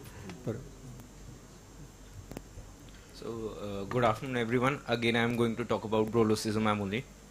So, uh, about the patient, it was a 70-year-old male. In the right eye, we had a type active type 1 CNVM, and the presenting visual acuity best corrected was 618 parts. In the left eye, there was a disciform scar there, and the visual acuity was 6 by 60. Multiple injections had been tried outside, this was the best uh, visual acuity which, which we, uh, they were able to achieve. So in the right eye, we gave three loading doses of aflibercept one month apart, and on along with the second inje- injection, we had also done a phacoemulsification surgery as there was IMSC there. So we can see scarred CNVM in the left eye. So after th- uh, the third loading dose of aflibercept, there was resolved activity, and the patient was followed up. Uh, we followed the normal treat and extend regimen. At six week follow up of, of aflibercept, uh, reactivation was noted as we can see with the SRF there. So the fourth aflibercept was injected at the six week interval. So in this case, there was no uh, reactivation at every four week follow up, and on treat and extend, at every sixth weekly follow up, there was reactivation. So we could not extend the interval between injections beyond six weeks in this case. So uh, within uh, in this case, a total of seven aflibercepts were given in, to the patient in the right eye, three loading doses, and four injections at six weekly interval. So again, after the seventh injection, there was a reactivation there. So at that time, we had uh, we got our hands on brolucizumab. It was introduced into, into our center. So we counseled the patient, and being one-eyed, we again told about the intraocular inflammation and the chance of occlusive vasculitis. We counseled the patient. Patient agreed, and we gave a trial of brolucizumab there. Being a one-eyed patient, again we- we were fearing whether there was there might be some inflammation or there was something or not. But on two weekly follow up, like a magic, along with the SRF, there was uh, excess, mm, uh, the PD decreased significantly. There was significant decrease in PD along with the SRF. So again, uh, we follow up the patient now at on reaching the dreaded six week follow up at um, with aflibercept on every six weekly follow up we had a reactivation but on six but on six weekly follow up of uh, first brolucizumab there was no reactivation there here on eight weekly follow up although there was no uh, srf or irf there but there was slight increase in the height of the ped so on eight weekly follow up we decided to re-inject second brolucizumab. In this case, we didn't give three uh, loading dose of brolucizumab one monthly interval. Now at six week again of uh, second brolucizumab, there was no reactivation. There was decrease, significant decrease in height of the PED. And uh, at eight weeks, again there was increase in the height of the PD. Again, no significant SRF or IRF was there. So we reinjected the third brolucizumab. so at again eight weekly follow-up third uh, brolucizumab, there was increase in PD, but there was no SRF IRF. So we decided that we should wait and watch, and we didn't inject this time at eight weekly follow-up. So there was increase in PD, but no significant SRF. Then we again called back the patient on 10th weekly follow-up. Now there was more increase in the height of PD, but still we did not eject because there was no significant SRF or IRF there. Now at 12 weekly follow-up of the third injection, there was clear-cut reactivation with SRF there. So we injected a third injection of brolucizumab, and there was again a decrease in SRF and PED. So the advantage we found here was it was much if more effective in reducing the activity. Um, there was decrease in both SRF, IRF, and significant decrease in PED. We were able to extend the uh, treatment-free interval to 8 to 12 weeks in this case and uh, luckily we had no uh, evidence of any intraocular inflammation in this case and visual acuity we were able to maintain in this one-eyed patient at 6 6 parts. So thank you. So I think this also highlights the same treat and extend, so we may not discuss too much. The Next- only next- thing next- I might say is that initial is- brolucizumab response was quite good, and I was I thought that maybe it will be work wonders, but initially it just extended it by two weeks from six to eight, so that may not be that much of an advantage. But finally, it's not my case. Finally, he's next saying that it extended to 12 weeks. So maybe next that presenter kaun hai? Okay, so we'll go to the next, next session. Next presenter. Just one thing: Did the yeah. vision improve when the uh, when the RPED became better? When the RPED became less, yes. did the vision become better? And when the RPED came back without the SRF, did did the patient say my symptoms have increased? So with the change in the height of PED, there was no change in visual acuity at last in, before the last injection at 12 weekly follow-up. The patient had a loss of uh, one line with SRF. With SRF, not With without SRF, the SRF. Not without. With okay, SRF. uh, Pradeep, my question to you is: Do you do we run after the PEDs? No, I think quiescent I would not go. In fact, No, I mean if in this case the PED increased following uh, the initial uh, resolution, now the PED has come back. Would you would you like to treat? Say the PED No came SRF. back at four. No No, SRF. SRF. PED Yeah. came back four weeks. Uh, it's come back a little bit, and eight weeks has become a little larger. Yeah, so would so- you treat? Yeah, so one one thing is I would like to see the scans so that the vectors are at the same region. I think that precision is a necessity. hope that- here. that- yeah, so uh, presuming that I would not inject. I'll just follow up. I'll not treat a PED. Alone. Yeah, six. That's what I asked. That's what he said. Six, yeah. That's what he said. The vision was stable. So the question, because the question is, are we dealing? If we are dealing with activity, so are we dealing with a activity which can now um, suddenly go to it could go to a stage of hemorrhage also, and if he's one-eyed, whether it's justified to treat at that stage when the PED comes back? And my only reason for not treating this guy would be because he's on brolucizumab and I don't want to give brolucizumab, less than eight weeks. So probably I would not have treated four weeks, but eight weeks if the RPD increased. Whether that is an indication for treatment. What about you, uh, Rohan? Nick, contrarily, actually, I have a faculty member from cardiac anesthesia who's following up. So we treated her again with Eylea uh, two years back. And then again, suddenly a small amount of PED started showing up. And then I had planned an injection. She couldn't come on that day, so there was a delay. So when repeated the uh, the OCT, again the PED on its own had gone down. So ever since, it's showing a spontaneous increase, not significant increase, Okay. but spontaneous increase and then going back. That's one of the difficult cases. I've it explained to her, she's got six six vision. I've explained to her about the situation and I've told her that I don't know how to manage your case, Yeah. and unless I see SRF, I'll not treat. Yeah. So, if it's yeah. two-eyed, I wouldn't bother. Yeah, she is. Uh, she is, but I've not. but if it's her. one-eyed, my problem is which So, way to go. Yeah. So when to treat a type 1 sort of I'm CNVM? talking about the kind of picture So you got, I, like I, the- I'll talk about it in my talk. I have something in No, yes, uh, what Dr. Talwar said, I have seen uh, three, four patients in which not injected and they came with a subretinal bleed. So you have to have a very careful. You cannot, you know, if you have to, if you increase the You thing. can never predict the bleed. So हाँ, that is why you the cannot- fear. that is why I'm saying And that's the you reason. उस cannot fear के predict. चक्कर में तो uh, the Western world is cor- is uh, sort of bankrupting itself हाँ. with the treat and extend injections. Treat and extend. Wh- Treat- For every case where it's Every not case. needed also. So we'll just give a Ne- memento to Dr. Shreyas. Uh, Dr. Shaurya, please. Dr. Shreyas. Pradeep, Paji. Dr. Pradeep. Pradeep. Flight.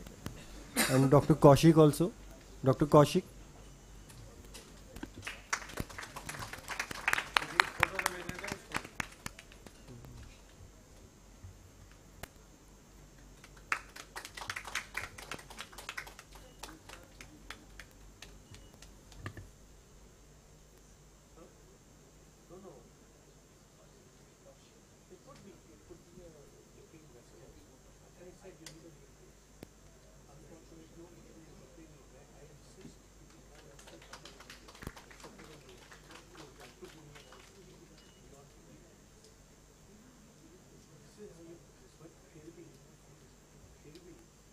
No choice. I will give the treatment. So no, this is what I meant. Ki- Okay, so we start. Sorry. So we start the debate session, and first we have uh, Dr. Ruchir, again ex-senior resident at RP Center. He would be talking on innovator molecules are the way to go. A very good afternoon to everyone, and thanks uh, to everyone for giving me this opportunity. It's, it's always a great uh, pleasure to come back to Alma Mater and speak. So I've changed the topic a little bit. I'll be talking about why I still choose innovators and not why I only choose innovators, because that would not be the truth. So this is the disclaimer. There's no financial interest involved. Okay, carry on. So before we can start a meaningful discussion about innovators and biosimilars, we need to understand what these are. So innovators are basically the parent molecules which are developed after immense research and development. It takes years to develop a molecule and they have a robust efficacy and safety profile. So before a molecule is released into the market, a lot of research goes in, a lot of uh, studies happen, lot of data is gathered and only after that is the molecule released. So when we get a molecule, we know everything about it more or less and whatever we do not know, we get from the post-marketing data. It is actually the innovator molecules and the companies that are developing these molecules that, that, uh, that will drive the cycle of innovation further. You don't see any other company making new molecules. So if we do not use innovators, we won't be helping them make newer molecules. Now what are biosimilars?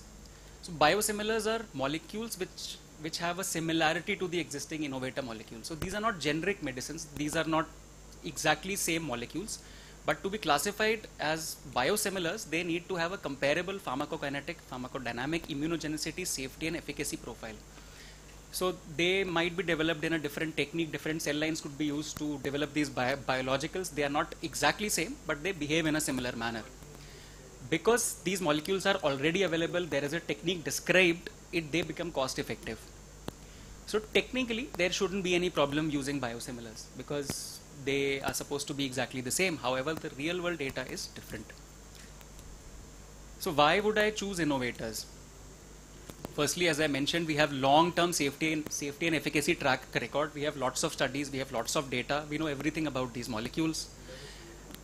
Secondly, innovators, the companies that are making innovators, they are glo- they are globally tested. So this they adhere to strict manufacturing protocols and they have a very good inter-batch comparability. Now, what that means is that if I'm using one one Lucentis injection, and if I are using the same injection again from a different batch, I know that if the patient is not responding, I may need to change the injection. It's not just that the injection was less efficacious this time, and safety profile there is no doubt about it.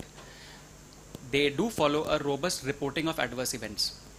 So uh, till today, I don't think that the Indian pharmaceutical companies are, are following the same guidelines, and uh, and the guidelines are much stricter in the international market. Competition is much more, and much less leverage is given to the pharma companies as compared to what we have in India. Safety is paramount. With biosimilars, there have been multiple cases of infective or non-infective inflammation recorded. Unfortunately, most cases become anecdotal. They go unreported. So these are recorded by doctors, but they're not reported. What that means is that we'll be discussing them in webinars. We'll be discussing them in ki- in uh, uh, uh, uh, in between our uh, colleagues, but the government does not know that that's ha- that that has happened. So company का response is sir bad bad batch हम इसको बदल देंगे कोई बात नहीं होता है. So this is such a nonsensical response to a complication which the doctor has to face, and the company is not held accountable at all. So this is uh, one of the reasons. So I'll share a personal anecdote. I was using biosimilars. Uh, this was in 21. I used about 120 vials of a particular biosimilar Indian company. I had three cases of sterile inflammation. Now these were all from different batches. I reported it to the company. I filled all the forms that were supposed to be filled. I sent all emails to uh, to everyone. Now the response that I get from the company is because two cases were done along with cataract. They said the inflammation was because of cataract, so they will not even report it as an inflammation because of the injection. Fine. What about the last case which only had the response of the injection? They said that supposedly there is a government dictum that three, uh, a, a- minimum of three cases have to have uh, happened for it to be reported to the government. Now, this case, these uh, cases were particularly interesting because this biosimilar molecule was being marketed by a different company and was manufactured by a separate company. So there was a webinar happening by the parent company where I raised this issue. A lot of retina colleagues were there, a lot of company people were there. Lots of calls were received by me from the head of the company, from the head of the engineering team. I received a lot of calls. A lot of physical meetings happened between the company representatives. I was assured that something will come out of it, but uh, uh, till uh, today, I don't have any update on the cause or the corrective actions taken by the company. And unfortunately, everything was lost between the two marketing companies. So it is only in in uh, difficult situations that you start questioning your judgment. So what are the difficult situations for me? First is ROP babies. I have never till date used any Indian biosimilar in an ROP baby because I would never want to do that. To risk even if there is a 0.1 chance of sterile inflammation happening. Second is one-eyed patients. So one of the inflammation cases that I had was a one-eyed CRVO patient. I had sleepless nights for a month. I had to give him oral steroids. He was a glaucoma patient. He had IOP spikes. It was a very bad time for me. And third is something that I was taught at RP Center. Always personalize. Are you ready to give that injection to your own relative? If you are so uh, convinced about using that injection in your own father or your mother, then maybe you can offer it to the patient as well. So, what is the conclusion? I don't think we have reached that stage where biosimilars are same as innovator. We are on the right track, but it will still take time. We need more accountability from the pharma companies. We need better regulations. We need better adverse drug reaction things. And I think because VRSI has has actually come up with an adverse drug reaction portal, that these things are now coming to the fore. One thing that is good has happened is because of the more uh, competition in the market, different patient support programs have uh, come up from the innovator companies, which have significantly decreased the financial burden to the patient. And finally, as uh, Talwar sir also said, you know, you have to do financial planning for the patient. So you you you should choose your own patient. You should discuss the financial situation, but the final decision lies with the patient. Give the patient all the options, and if the patient chooses uh, the innovator molecule, there is nothing like it. Thank you. Thank you, Ruchir. Uh, Dr. Sumit Khanduja, I think we'll take the next talk and then the discussion. Uh, so, Dr. Sumit would be opposing the motion and will be talking in favor of biosimilars.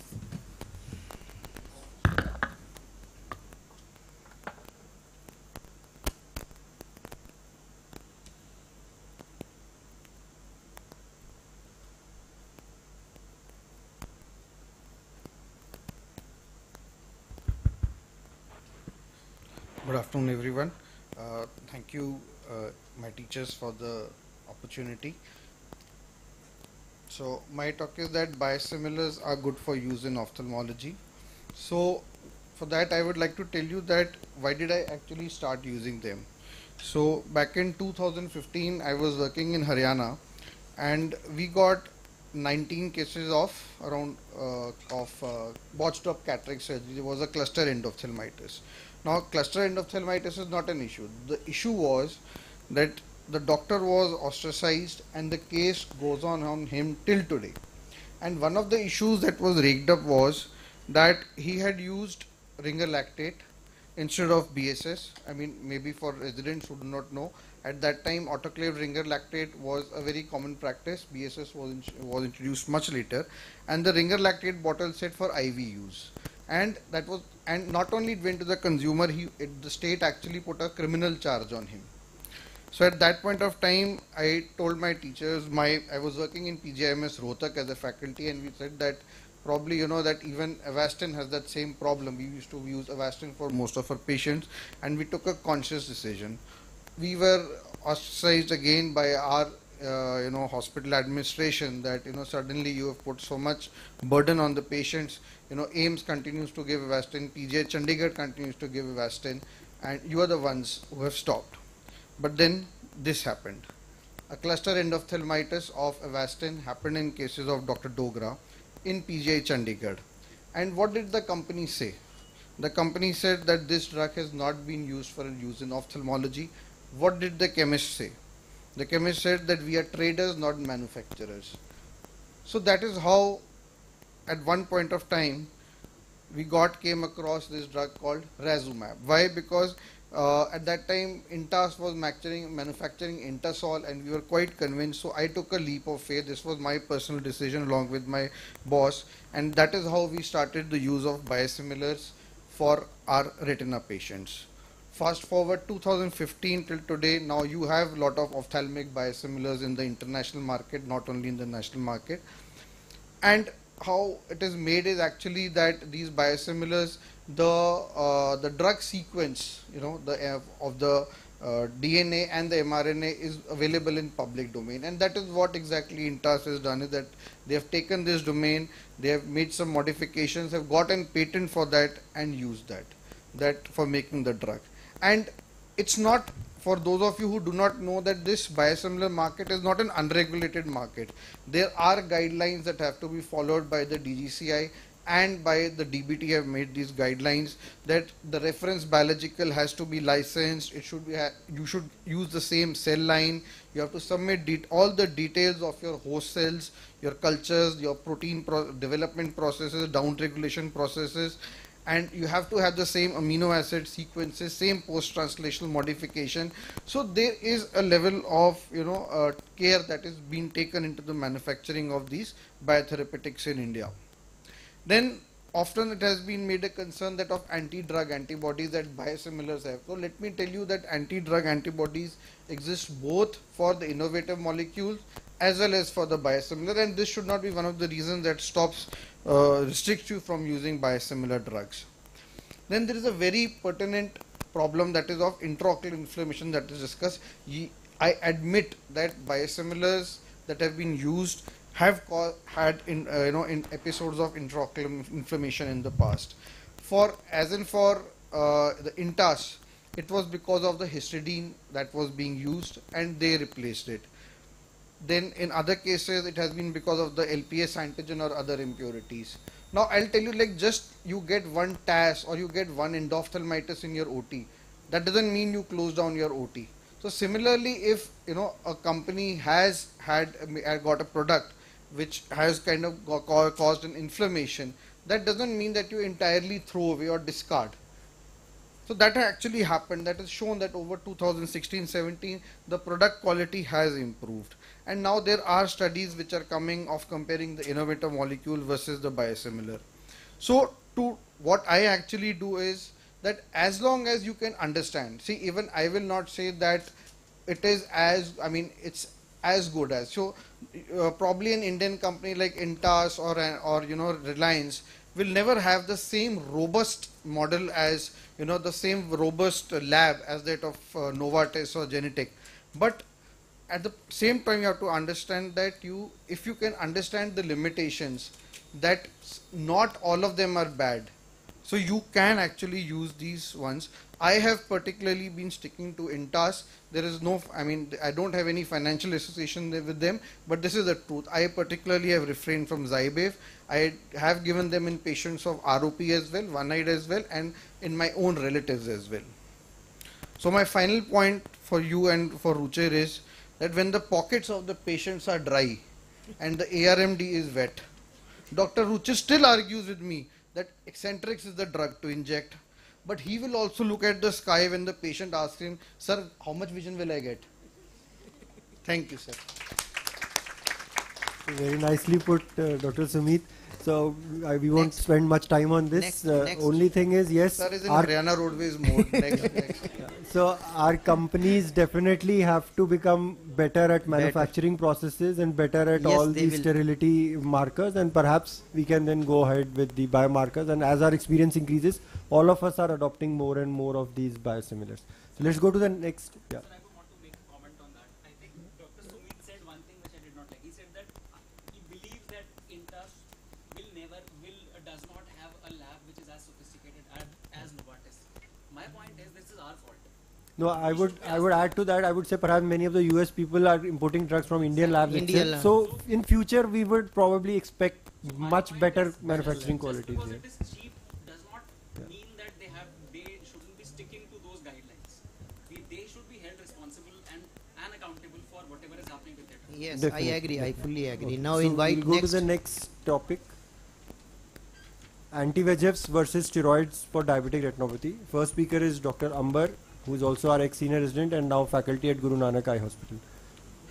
Uh, uh, good afternoon, everyone. Uh, I'll be talking on anti-VEGFs for uh, diabetic retinopathy. Uh, for, for the junior residents, I would like to summarize three studies which uh, documented safety and efficacy of anti-VEGFs over steroid. The first is uh, Diabetic Retinopathy Clinical uh, Research Network Protocol I, which did a head-on comparison of uh, ranibizumab with prompt laser and deferred laser with an interval of six months versus uh, intravitreal triamcinolone and prompt laser. They documented that the visual outcomes of uh, ranibizumab group were superior to triamcinolone. The effect was maintained over two years. Second study was BEVORDEX, where uh, monthly bevacizumab injections were compared with four monthly Ozurdex or dexamethasone implantable injections, and they evaluated eyes over two years. Uh, in all the eyes, uh, bevacizumab was considered superior to uh, uh, injections as far as the visual acuity was concerned. When they uh, reanalyzed the subgroups of the pseudophakic and phakic eyes, they found that bevacizumab fared better in phakic eyes and um, dexamethasone implants were better in pseudophakic eyes.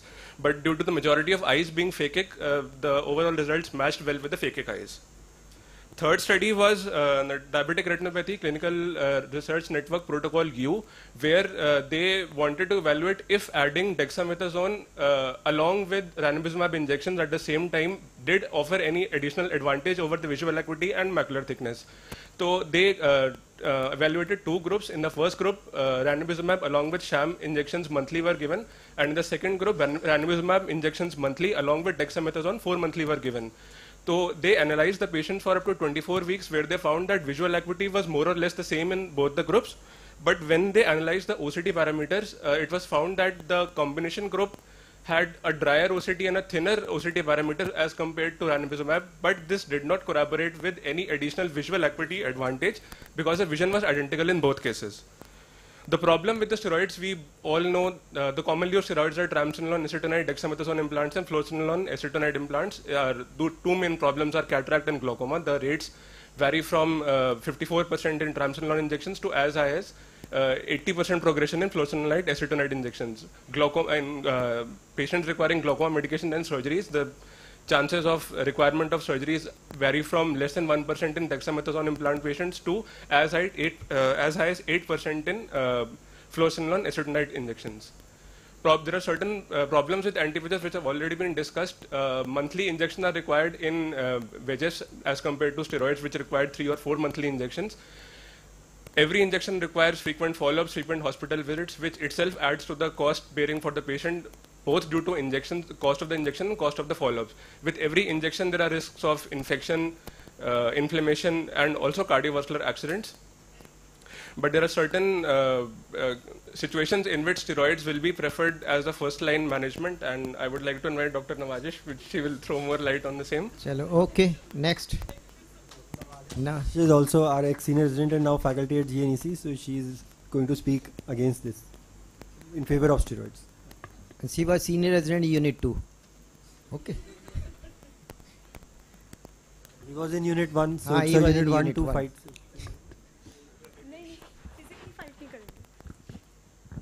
So, good afternoon, respected seniors and my dear colleagues. I'm Dr. Nawaza Sheikh, and I'll be discussing whether corticosteroids are the way to go in diabetic retinopathy.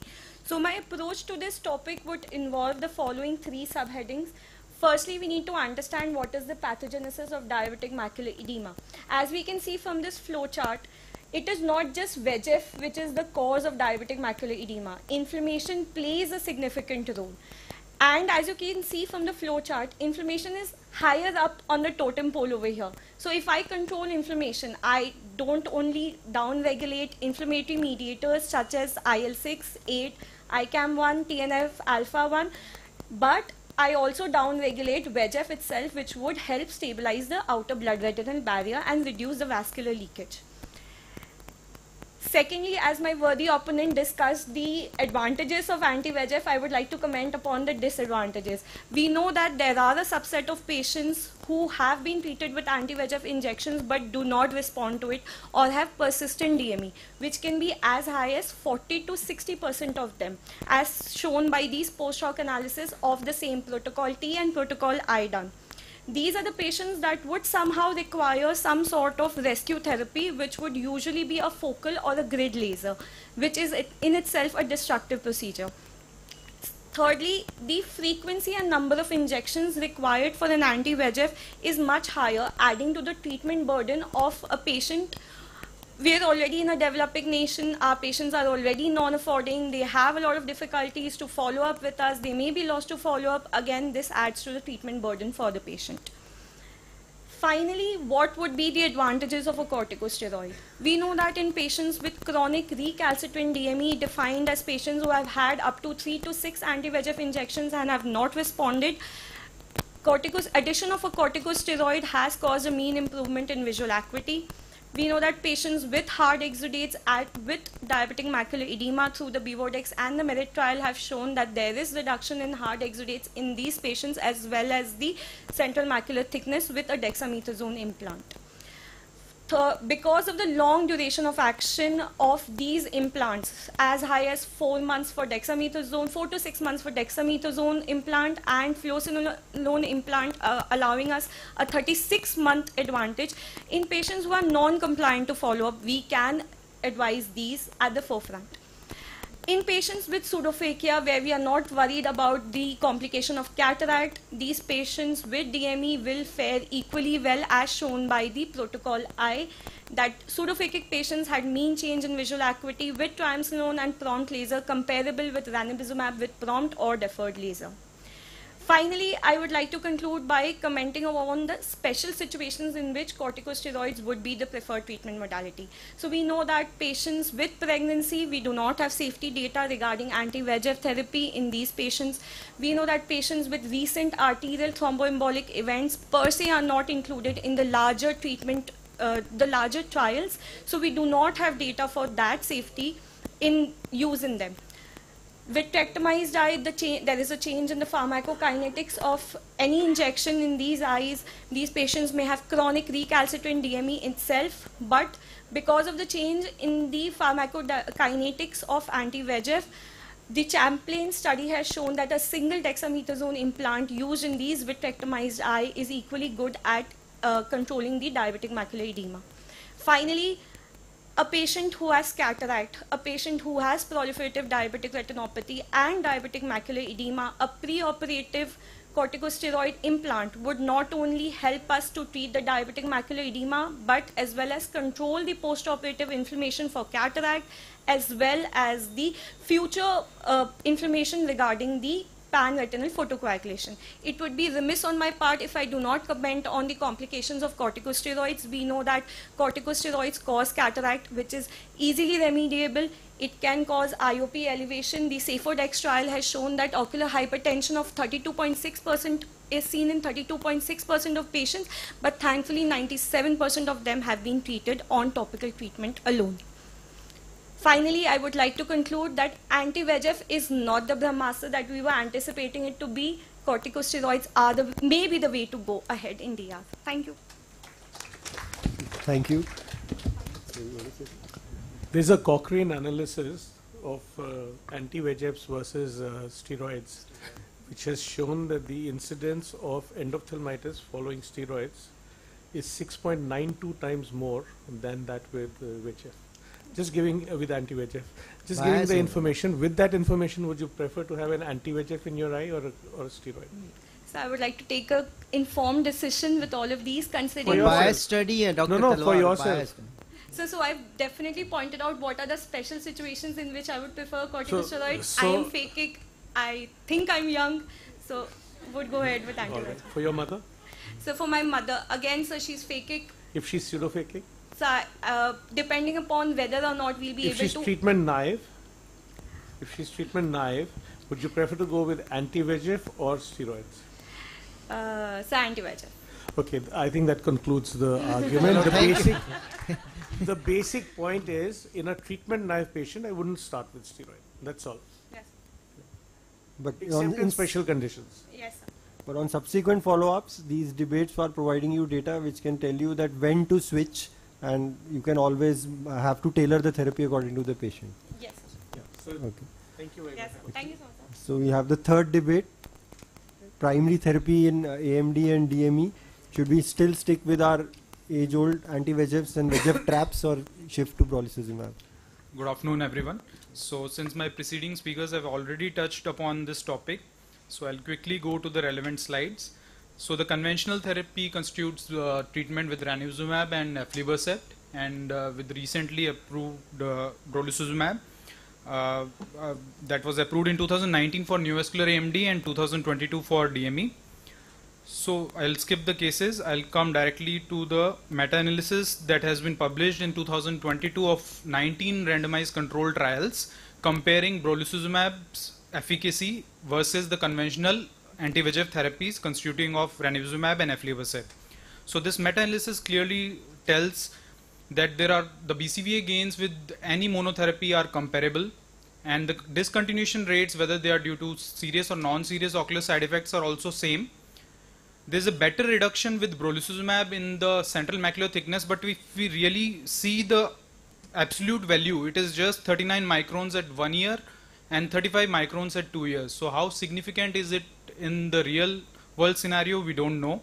And the lowest injection frequency also it has been told it has been seen that it is lowest with brolucizumab. But if we see the absolute mean value it is 5.7 for brolucizumab and for aflibercept it is 6.5 again there is a statistical difference but how significant is the difference we have to keep in mind. If we see the meta-analysis done for the DME there are 14 RCTs that have been included in this uh, meta-analysis study published in July 2023 and in all the parameters including the BCVA, CMT reduction, discontinuation rates all are same along uh, among the brolucizumab and afli- aflibercept treated patients. Now coming to the safety profile, this is where the ranibizumab and aflibercept have an edge. Brolucizumab has definite associated intraocular inf- inflammation risk and it is up as high as 5%, 4.6% that was reported in the Hawk and Harrier trials and the inflammation could be as severe as uh, uh, vasculitis, retinal vasculitis and that could also be uh, that could also lead to an arterial occlusion in certain patients. And moderate vision loss occurs in up to 0.8% of the treated brolucizumab patient eyes compared to 0.1% of the aflibercept. If we see the post-marketing surveillance, that is also in sync with the published Hawk and Harrier trial reports that vasculitis and vascular occlusions do happen after brolucizumab. And if we if if we see these meta-analysis studies, there are not much studies from the Indian subcontinent. Only two studies are there. One of which is a randomized control trial from the RR hospital in New Delhi. And in that also the comparable results were noted between the two anti-VEGF therapy groups and only one adverse event was noted of severe vitritis but here the sample size was of nearly 115 patients only. And in another study which is a retrospective study where no comparison has been made, intraocular adverse effects were seen in 3.6% of the patients including severe vitritis. So to conclude, the conventional anti-VEGF therapy, given their efficacy and safety profile, remains the primary therapy for neovascular AMD and DME. And brolucizumab is a viable option when we are considering switch from the conventional therapy. Maybe it can be because of poor response or inability to extend the dosing intervals. Thank you. Dr. Pradeep is consultant at RRR, R&R Hospital. Firstly, I'd like to thank Professor Rajpal and all the faculty at RP Center for inviting me. It's a great honor to be here. I'll be talking about new anti-VEGFs for neovascular AMD and DME, whether they should be our first choice or not. So the facts which have been stated till now are that neovascular AMD is primarily anti-VEGF dependent, while DME has some sort of anti-inflammatory role also for treatment. Brolucizumab and faricimab are two drugs which we have for longer duration of action. The choice of treatment in a patient also depends on cost of each visit and there are definite risk of intraocular inflammation with brolucizumab. Now after this, I like to talk about the evidence which we have as of 2023 with these meta-analysis. We all know that there is a superior reduction in retinal thickness while having comparable BCVA gains.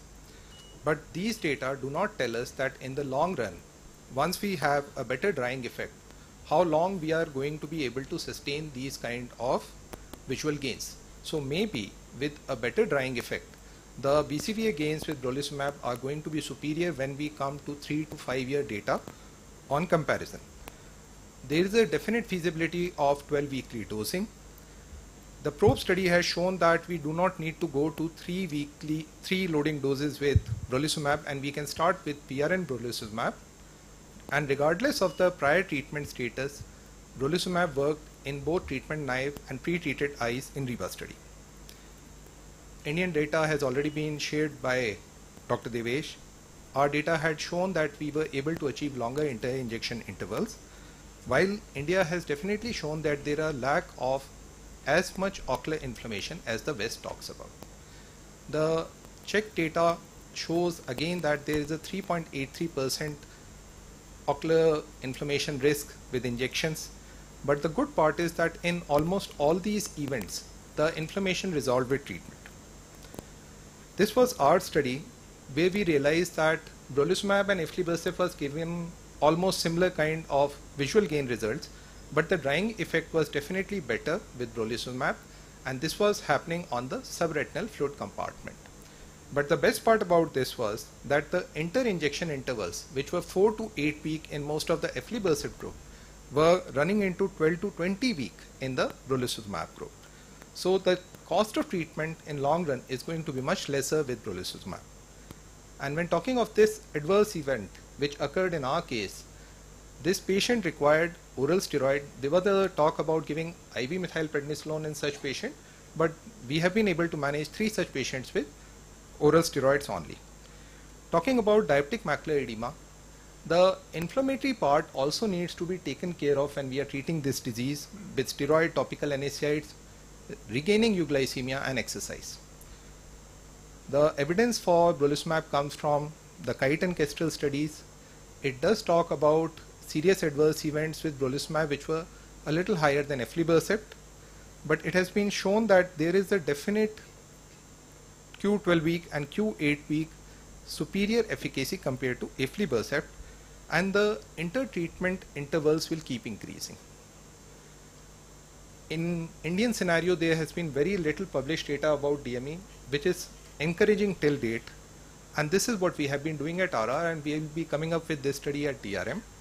And we have been able to establish that on using two different doses of brolucizumab, that is 3.6 milligram and 6 milligram, in 149 injections in one group and 154 injections in the other group, we had sustainable 8 to 12 week dosing intervals and patients retained good vision.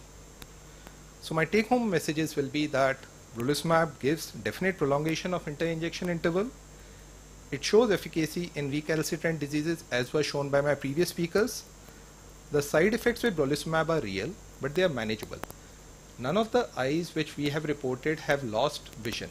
They were all able to regain vision after management with oral oblique topical steroids. And one, if a question arises, when should I choose anti-VEGF? I will say that primarily it can be chosen for any case, but definitely for recalcitrant diseases, patients who are unlikely to follow up, patients who are intelligent enough to report a serious adverse event, but are not going to follow up with you for next two to three months, brolucimab is definitely a choice. It is economically more viable than ranibizumab or aflibercept. If anybody talks about the economics of it, brolucimab will work out cheaper, almost comparable to the biosimilars. And at RR, this remains our first choice of drug for neovascular AMD and diabetic macular edema as of date. We have completed about 1100 injections till now. We have had three serious ocular adverse events. All three were manageable with steroids. Thank you, sir. Thank you. So in interest of time, we will not discuss too much, but I'll just summarize that with every new drug, there is a euphoria, initial euphoria. It was there with aflibercept. The same thing has happened with brolucizumab. Unfortunately, it has been dented by some of these side effects. But I think uh, it's another drug in our armamentarium and uh, judicially used and wherever, like in take-home message, Dr. Pradeep has pointed out, there are definite certain indications. And one thing which I definitely want to look out in the future is for diabetics. If I can extend the duration of action with brolucizumab, that would be much more of an advantage. So we can use all these drugs in combination. And I would again like to give a memento. So Dr. Rajpal said you want to say something? I, I was just saying that actually with uh, brolucizumab, the the number of patients whom uh, you cannot extend is around, uh, I think, 20 to 25 percent. That figure goes up to probably 30 percent or 35 percent with uh, aflibercept. But even with aflibercept, you have 40 percent patients who are extended to 16 weeks, and 60 percent of the patients who are actually at 12 weeks. So the difference between the two is of some 15% or so. Um, so in terms of the extension of the uh, frequency uh, of the uh, intervals, there's only a small difference. So, uh, so I would actually uh, normally use, since aflibercept is safer, start with the aflibercept, and if I can't extend, then prefer to use brolucizumab because that actually is working to weed off uh, a significant number of patients. So if I can take away 50 60 percent of patients, now they don't have the risk of this inflammation and all those things which are coming up. And the ones who don't respond, then now I have two reasons for shifting them. One, they're not responding, and this they may respond with this. Now that higher risk involved with the intraocular inflammation becomes more acceptable. So this is the uh, a little difference in the approach that I, you know I would generally use. And would you use brolucizumab from the beginning as once in three months, or would you use it as um, monthly initially and then three monthly? Once in three months now, even for neovascular. Uh, s- starting from the beginning. Starting from beginning, first injection, we again, as you had pointed out, we call back all our patients at four to six weekly intervals. That Yeah. is the only way we are managing. Okay. Otherwise, generally 10 to 12. Okay, so PRN from initiation is the difference with brolucizumab, which is something which can be an advantage. So PRN, I would definitely agree. But Dr. Pradeep, suppose you gave the first injection and after say six weeks, patient is not totally dry. You won't repeat brolucizumab at six weeks. You'll still wait for three months. No, sir. The, in those cases. Sir, the talk about 12 week is only when the patient is dry. If the Yeah. patient is not dry, definitely in a. PRN regime you are going to repeat. But the strict three loading doses at four weekly interval, mandatory dosings are out. We are not doing that. Mandatory dosing, I think, are always probably uh, not that definite now. We all know maybe they are the company sponsored part. Okay. So Dr. Rajpal, please would you present uh, to Dr. Ruchir? Okay, Dr. Pradeep first. And in the previous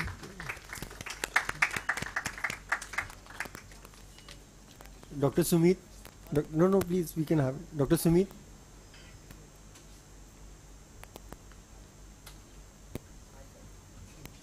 Dr. Ambar and Dr. Nawazish.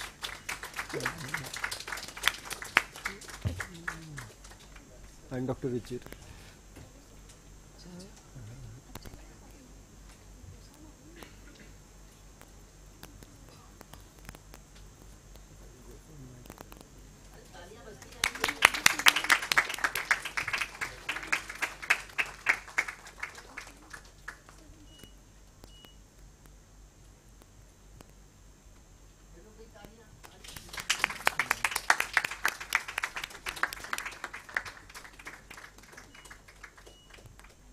Dr. Ruchir.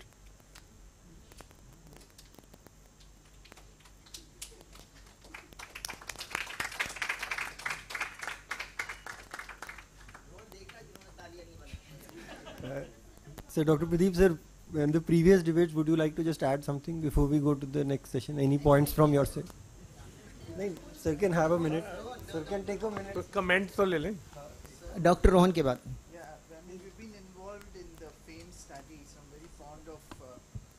yeah, so I'm very fond of uh, the Iluvien implant. Unfortunately, it's not available, probably because of the cost. So I think if pseudophakic patients, I have access to Illu- Iluvien, I think that'll be my first choice with a 25 gauge kind of an insertion. And uh, I think it's it's wonderful. I, I'd go with that. Yeah. in treatment naive patients. In in, pseudo pseudophakic, pseudophakic, pseudophakic patients with DME, with DME, yeah. I would go with Iluvien if it becomes available okay. because it has a three-year duration of release. So I think it works well also, and uh, and it's not like the 22 gauge Ozurdex; it's a 25 gauge implant. Yeah. And it's costly. 4.5 lakh. 4.5 lakh. US, in US. It might soon come to India. Yeah, next. So moving on from therapeutics to diagnostics, I would be talking a bit on OCT angiography. So this is a novel new technology which is dye-less, which can be done in spectral domain as well as swept source domain and uh, the en face imaging gives us a real segmentation of the and a possibility of segmentation of each separate layer of vasculature of the retina and choroid and better understanding of what is happening in these vascular diseases. But a drawback is we cannot see the leaking, which is in some cases is an advantage and in some it can also be a drawback. So just for the residents and all those uh, people, just for their understanding, uh, what it does is it analyzes the decorrelation of the OCT signal of the RBCs as they move through the red blood cell, uh, these vessels, and the decorrelation is analyzed as a flow signal, and you get the representation of these blood vessels without the injection of the dye. Now the limitations are currently we have a limited field of view. And in case the retinal architecture is seriously distorted or too thickened then the image segmentation suffers. Especially in structures which have elevated pigment epithelial detachments we are unable to actually get the image of what we want to see. Like we can miss the choroidal neovascular membranes there. And in cases of high refractive errors also imaging may be difficult. Other things which I will be coming to in subsequent slide, but which you need to understand are the artifacts. So one of the most important is the projection artifacts, which can lead to a false impression of vasculature, and uh, vascular flow through small uh, low flow structures such as microaneurysms and polyps are not imaged well by this modality at present, and even the deeper choroidal vessels are not imaged as well. And presently, OCTA cannot be taken to define the end point of anti-VEGF therapy. So just to give you an example of what segmentation actually is. So you see these four images depict the different layers of the retinal vasculature, superficial, deep, deeper and the much deeper below the RPE. So if you take these two lines, so you must always see the B scan flow and where your uh, optometrist or where the imaging technician has taken the image from. So this shows the segmentation. So these two blue lines represent the cut which you are imaging in this part of your frame. Okay, so this is the light green which they have bordered and so these two light green show that this is the part which they have actually imaged. So this should actually lie where you want it to be. If it lies at a different plane, you might misjudge the level of the vascularity. For example, here you might say that there is a new vascular membrane coming right up in the superficial or the deeper retina. Whereas when you properly segment it, you will notice that it actually lies much deeper, only in the deep retina or under the RP or the choriocapillaris level. So you have to ensure proper segmentation to improve image quality and to actually discern where is the level of the abnormal vasculature. This is one thing you must uh, understand before you analyze these images. Uh, another example here you see, so you these two blue lines is where the image has been segmented and so you will see the blue box over here and this shows the small abnormal vasculature just beneath the retinal pigment epithelium over here. And even on the B scan you can see the flow signals highlighted with these colored dots. So again you should analyze which colored dots are corresponding to my en face image that will tell you what type of CNVM it is. So this is the box to be seen when you are seeing those two blue lines. So why are you seeing these vessels in this scan so these are superficial retinal vessels, but again you are seeing in the deepest scan. So this is what is a projection artifact. So because of the retinal pigment epithelium being highly reflected, the signal of the superficial vessels is uh, getting reflected from the RP and again being captured even in the deeper cut. So this is a projection of the superficial vessels in the deeper layer. Do not confuse it with anything else. These are very linear dichotomous branching, so you know that these are retinal vessels, but sometimes you may have some smaller vessels also and you may confuse it with CNVM. So please be sure that it is not an projection artifact and to get rid of it you have to just adjust these lines to go below the RP. If you adjust the, your segmentation just below the RP many of the projection artifacts will go away. Just to show here so there is uh, and this causes trouble in cases of drusen. People have defined ill-defined CNVMs in these conditions and this is nothing but a projection artifact because of the elevated RP over there. This is not a CNVM another example in a different OCT again you might say there are flow signals. So white things are said to be flow signals. Dark is a non-flow signal. There are flow signals in the deeper cuts and they may be neovascular membranes even in drusen but they are again projection artifacts. So you have to be a little careful while you are analyzing this.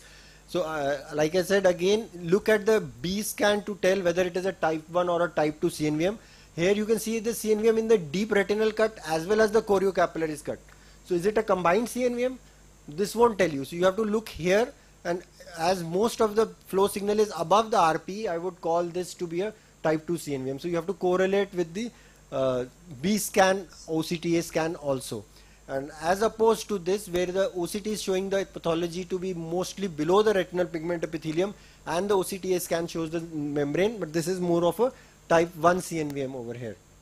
Again, sometimes you can get artifacts like you have a halo here with some signal. So halo with signal, many people can call it a CNVM, but look at the B scan. This is just a PED and no flow signal here. So that is just an artifactual impression that may, there may be a separate membrane there. Please, this is not a CNVM. So you have to be a little careful of these artifacts while you analyze it.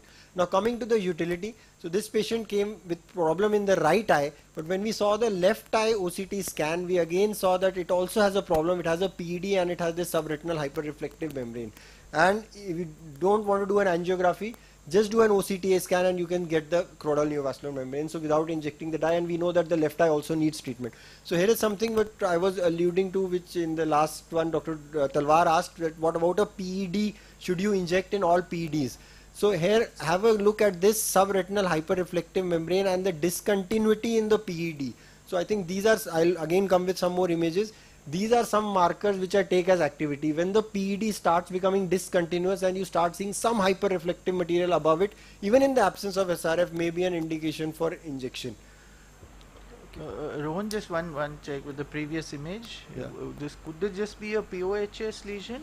Because it doesn't seem like AMD. It, it's more so like this patient was uh, 60 plus and uh, I would probably uh, diagnose it as a uh, type 1 or a type uh, mixed type 1 type 2 CNVM. Ocular histoplasmosis at this age group plus in our uh, subcontinent I would not diagnose and just by and this also had a bleed adjacent to it if we look at it carefully and no other signs of inflammation in the eye. Yeah, generally they are quiet, but at age probably. Okay, fine, Rohan, thanks. So uh, I found this to be very helpful in idiopathic CNVMs where you don't get the typical sometimes bleed or even fluid on OCT but just the subretinal hyperreflective material and OCTA scan immediately shows up the membrane and even on the after injection you get uh, good response, but this response can be variable.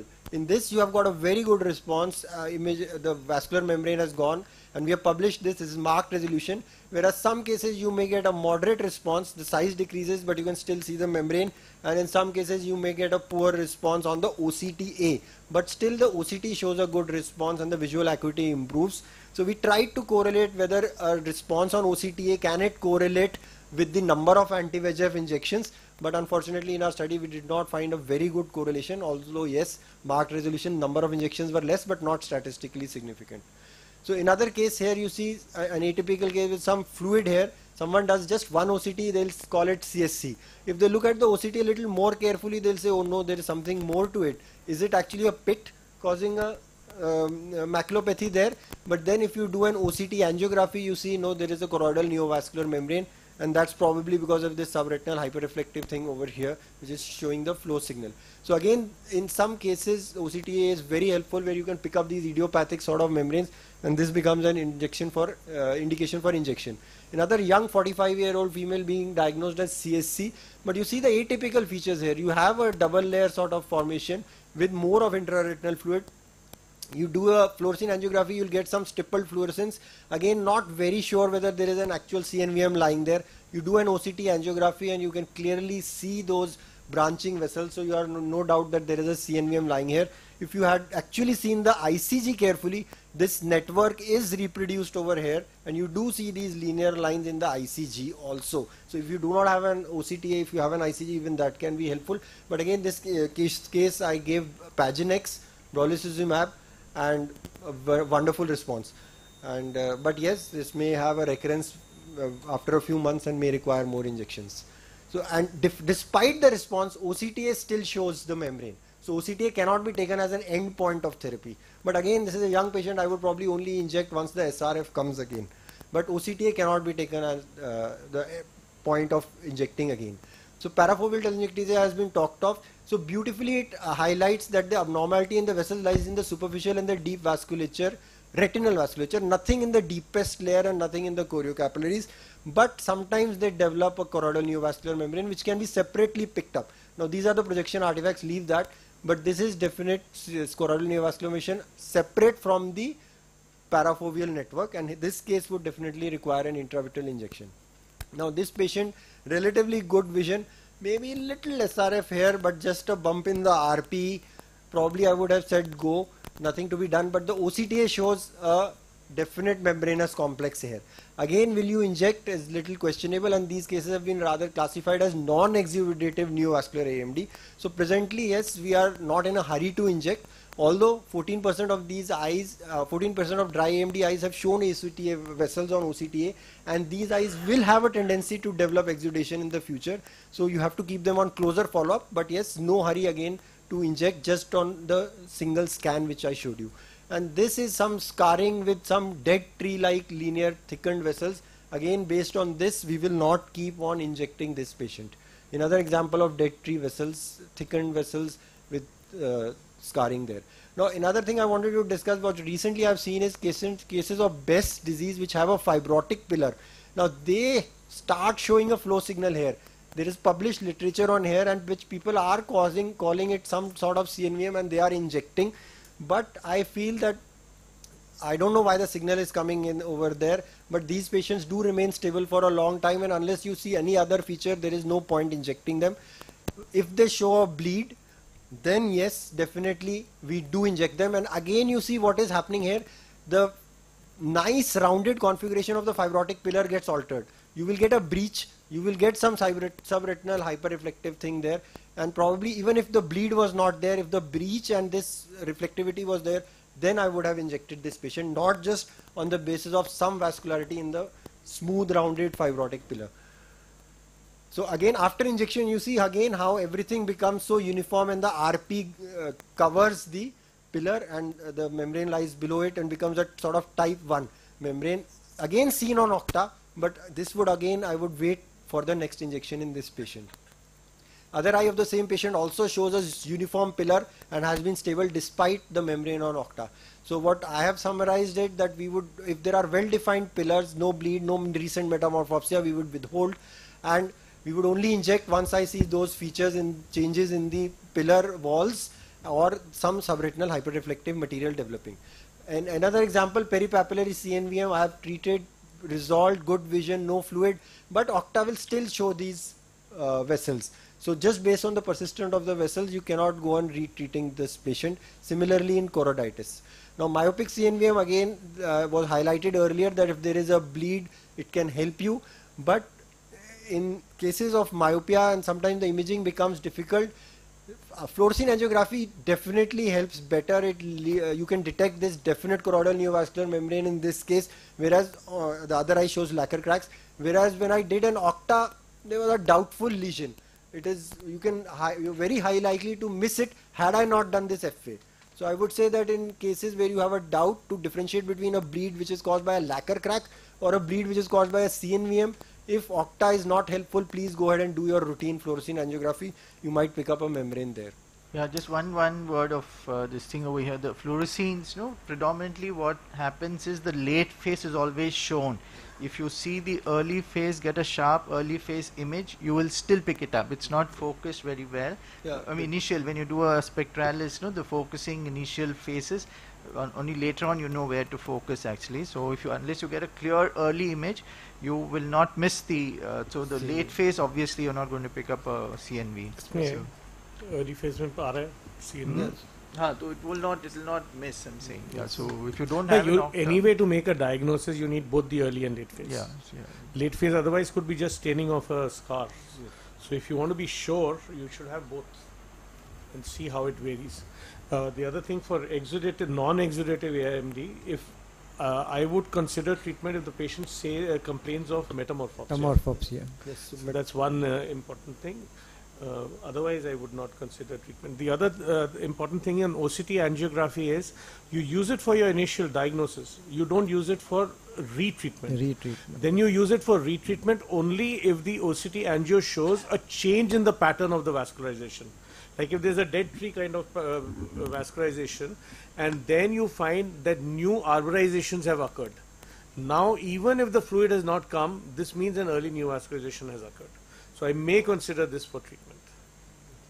The same patient. Especially if it's like myopic or idiopathic, where the fluid may not come early.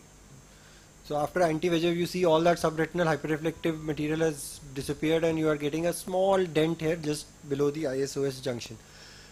So uh, now this patient could not afford the expensive anti-VEGFs, has been only on Avastin. Despite Avastin, some fluid remains, but again you see what I want to highlight is very nicely defined humps and all whatever activity is occurring is probably the type 1 sort of activity and I think these cases we are not in that much of a hurry to re-inject unless the fluid increases or something else happens. So again the octa shows this membrane but I was still waiting in this patient because I, I've given so many that this much fluid doesn't go.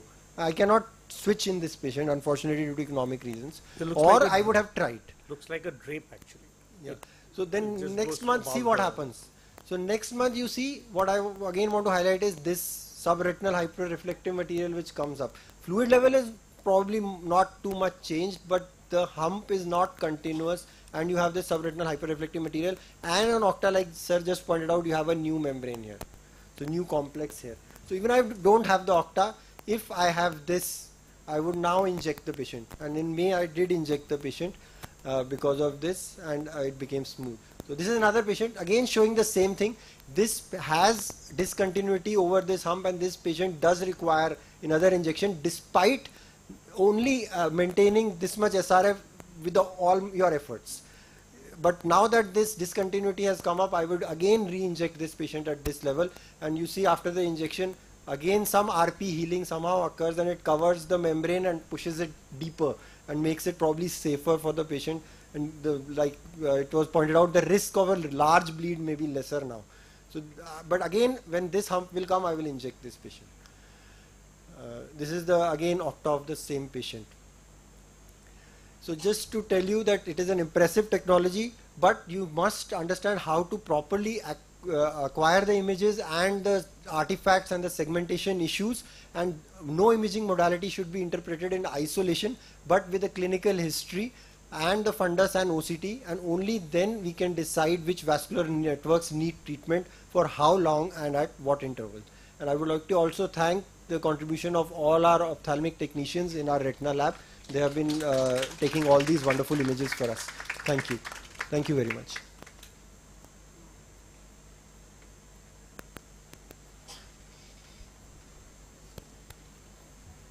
Patient. So I invite Dr. Saurabh for the last talk.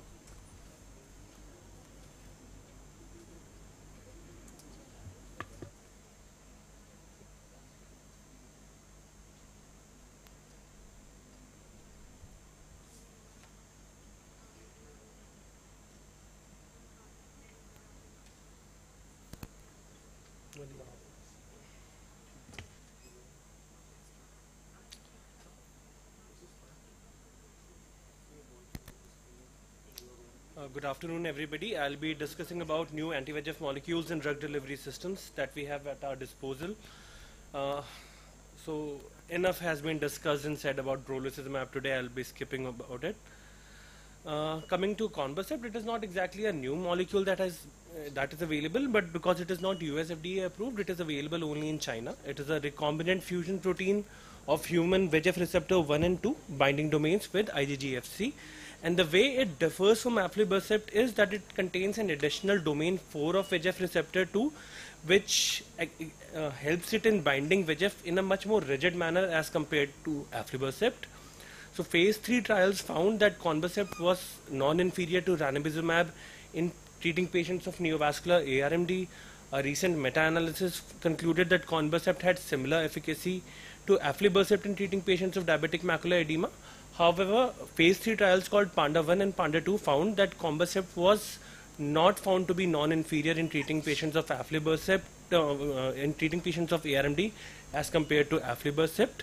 Uh, the safety profile of this molecule has been very well established in phase 2 and phase 3 trials in China. This is another new molecule which is being investigated called KSI 301. It is a conjugate of an antibody and a phosphorylcholine biopolymer.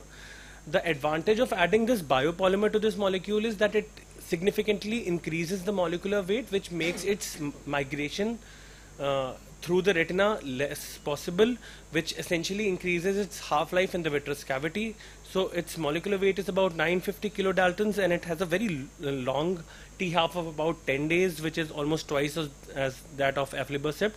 Again, its safety profile has been well established in phase 2 trials.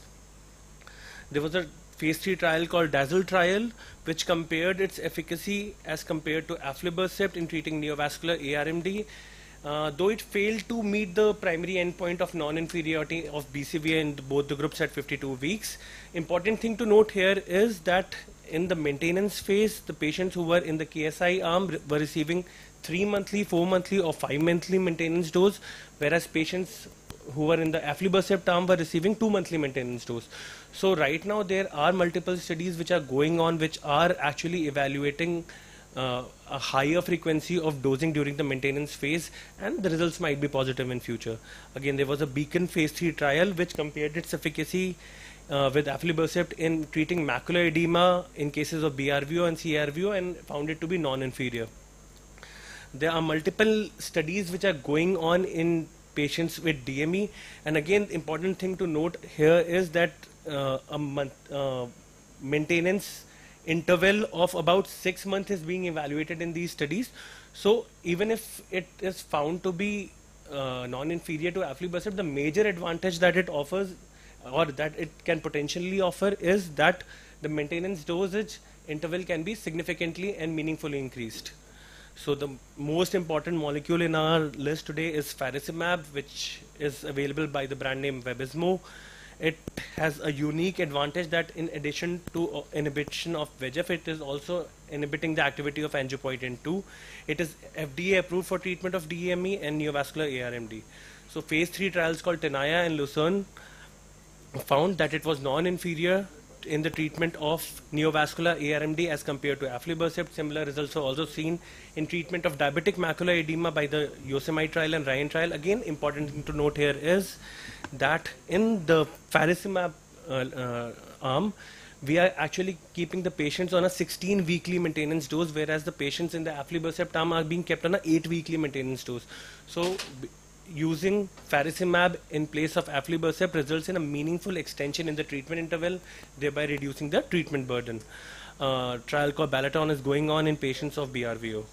Abicipar pegol is the only anti-VEGF molecule that we have which doesn't rely on some sort of antibody reaction. So it is a genetically engineered protein which has very high affinity towards VEGF and binds VEGF. Uh, it has a half-life of 13 days, again very significantly higher than the existing more commonly used molecules. Um, CEDAR and SEQUOIA trials were done in patients of neovascular ARMD and found that it was non-inferior as compared to ranibizumab in treating neovascular ARMD. However, FDA did not approve its use in neovascular ARMD, citing its unfavorable benefit to risk ratio because around 15.7% of the eyes showed some degree of inflammation and almost 1.7% patients had severe loss of vision.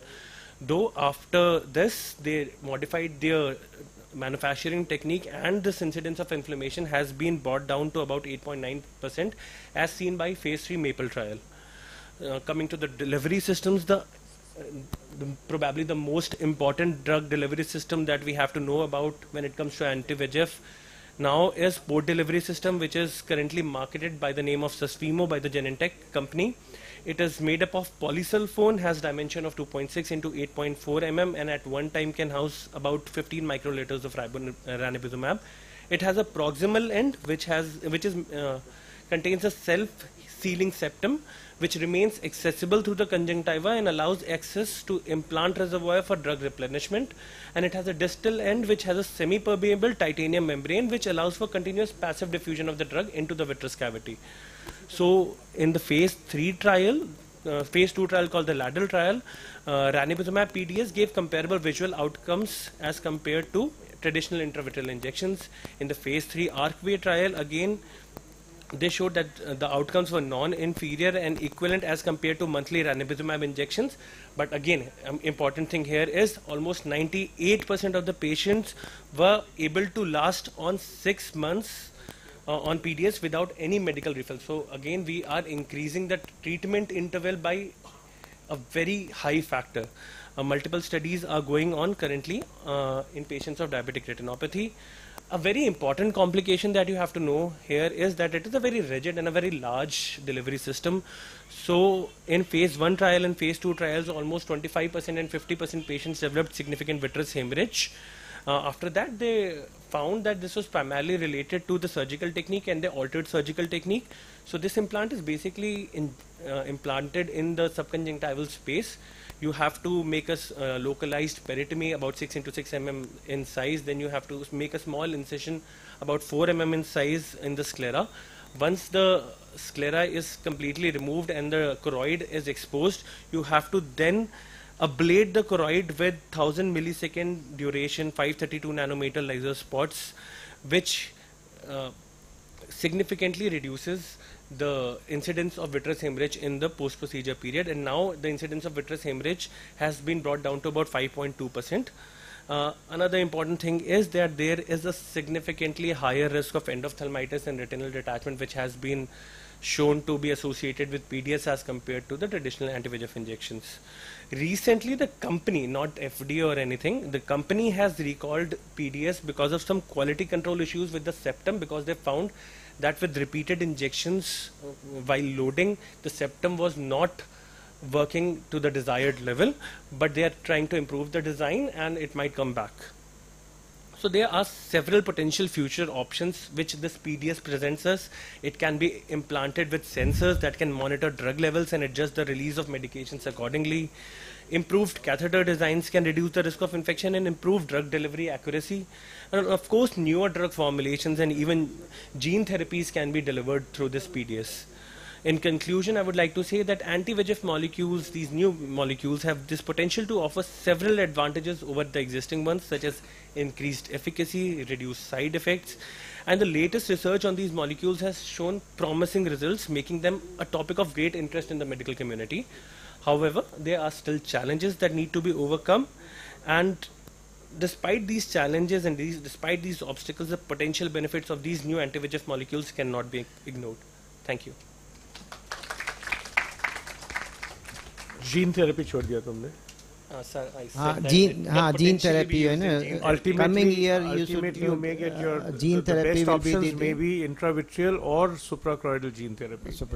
And and that is easy for the for this for uh, for AMD and DME. It's actually just one step forward because you already have the plasmid, which has the ranibizumab, and all you have to do is put it into the um, uh, virus vector, and you have the molecule unlike unlike for uh, gene therapy for uh, uh, inherited diseases where it's a completely different cup of tea because then you have to create the entire gene and here the the gene equivalent of the gene is created which is the ranibizumab Nee, finally gene therapy is going that to come. the- so that is the forget about all these things. so- uh, so superconductor, quantum I physics, lot I- of thing is going to be I, in next I 10 think years. that is what's going Ah. to come up in the next uh, um, uh, few years And there is a technology by putting drop in the sclera, it will go inside. So things are going on. Thank you. Thank you. So we have extended We are- by one and a half hour, but still I think we had good discussions. Mhm.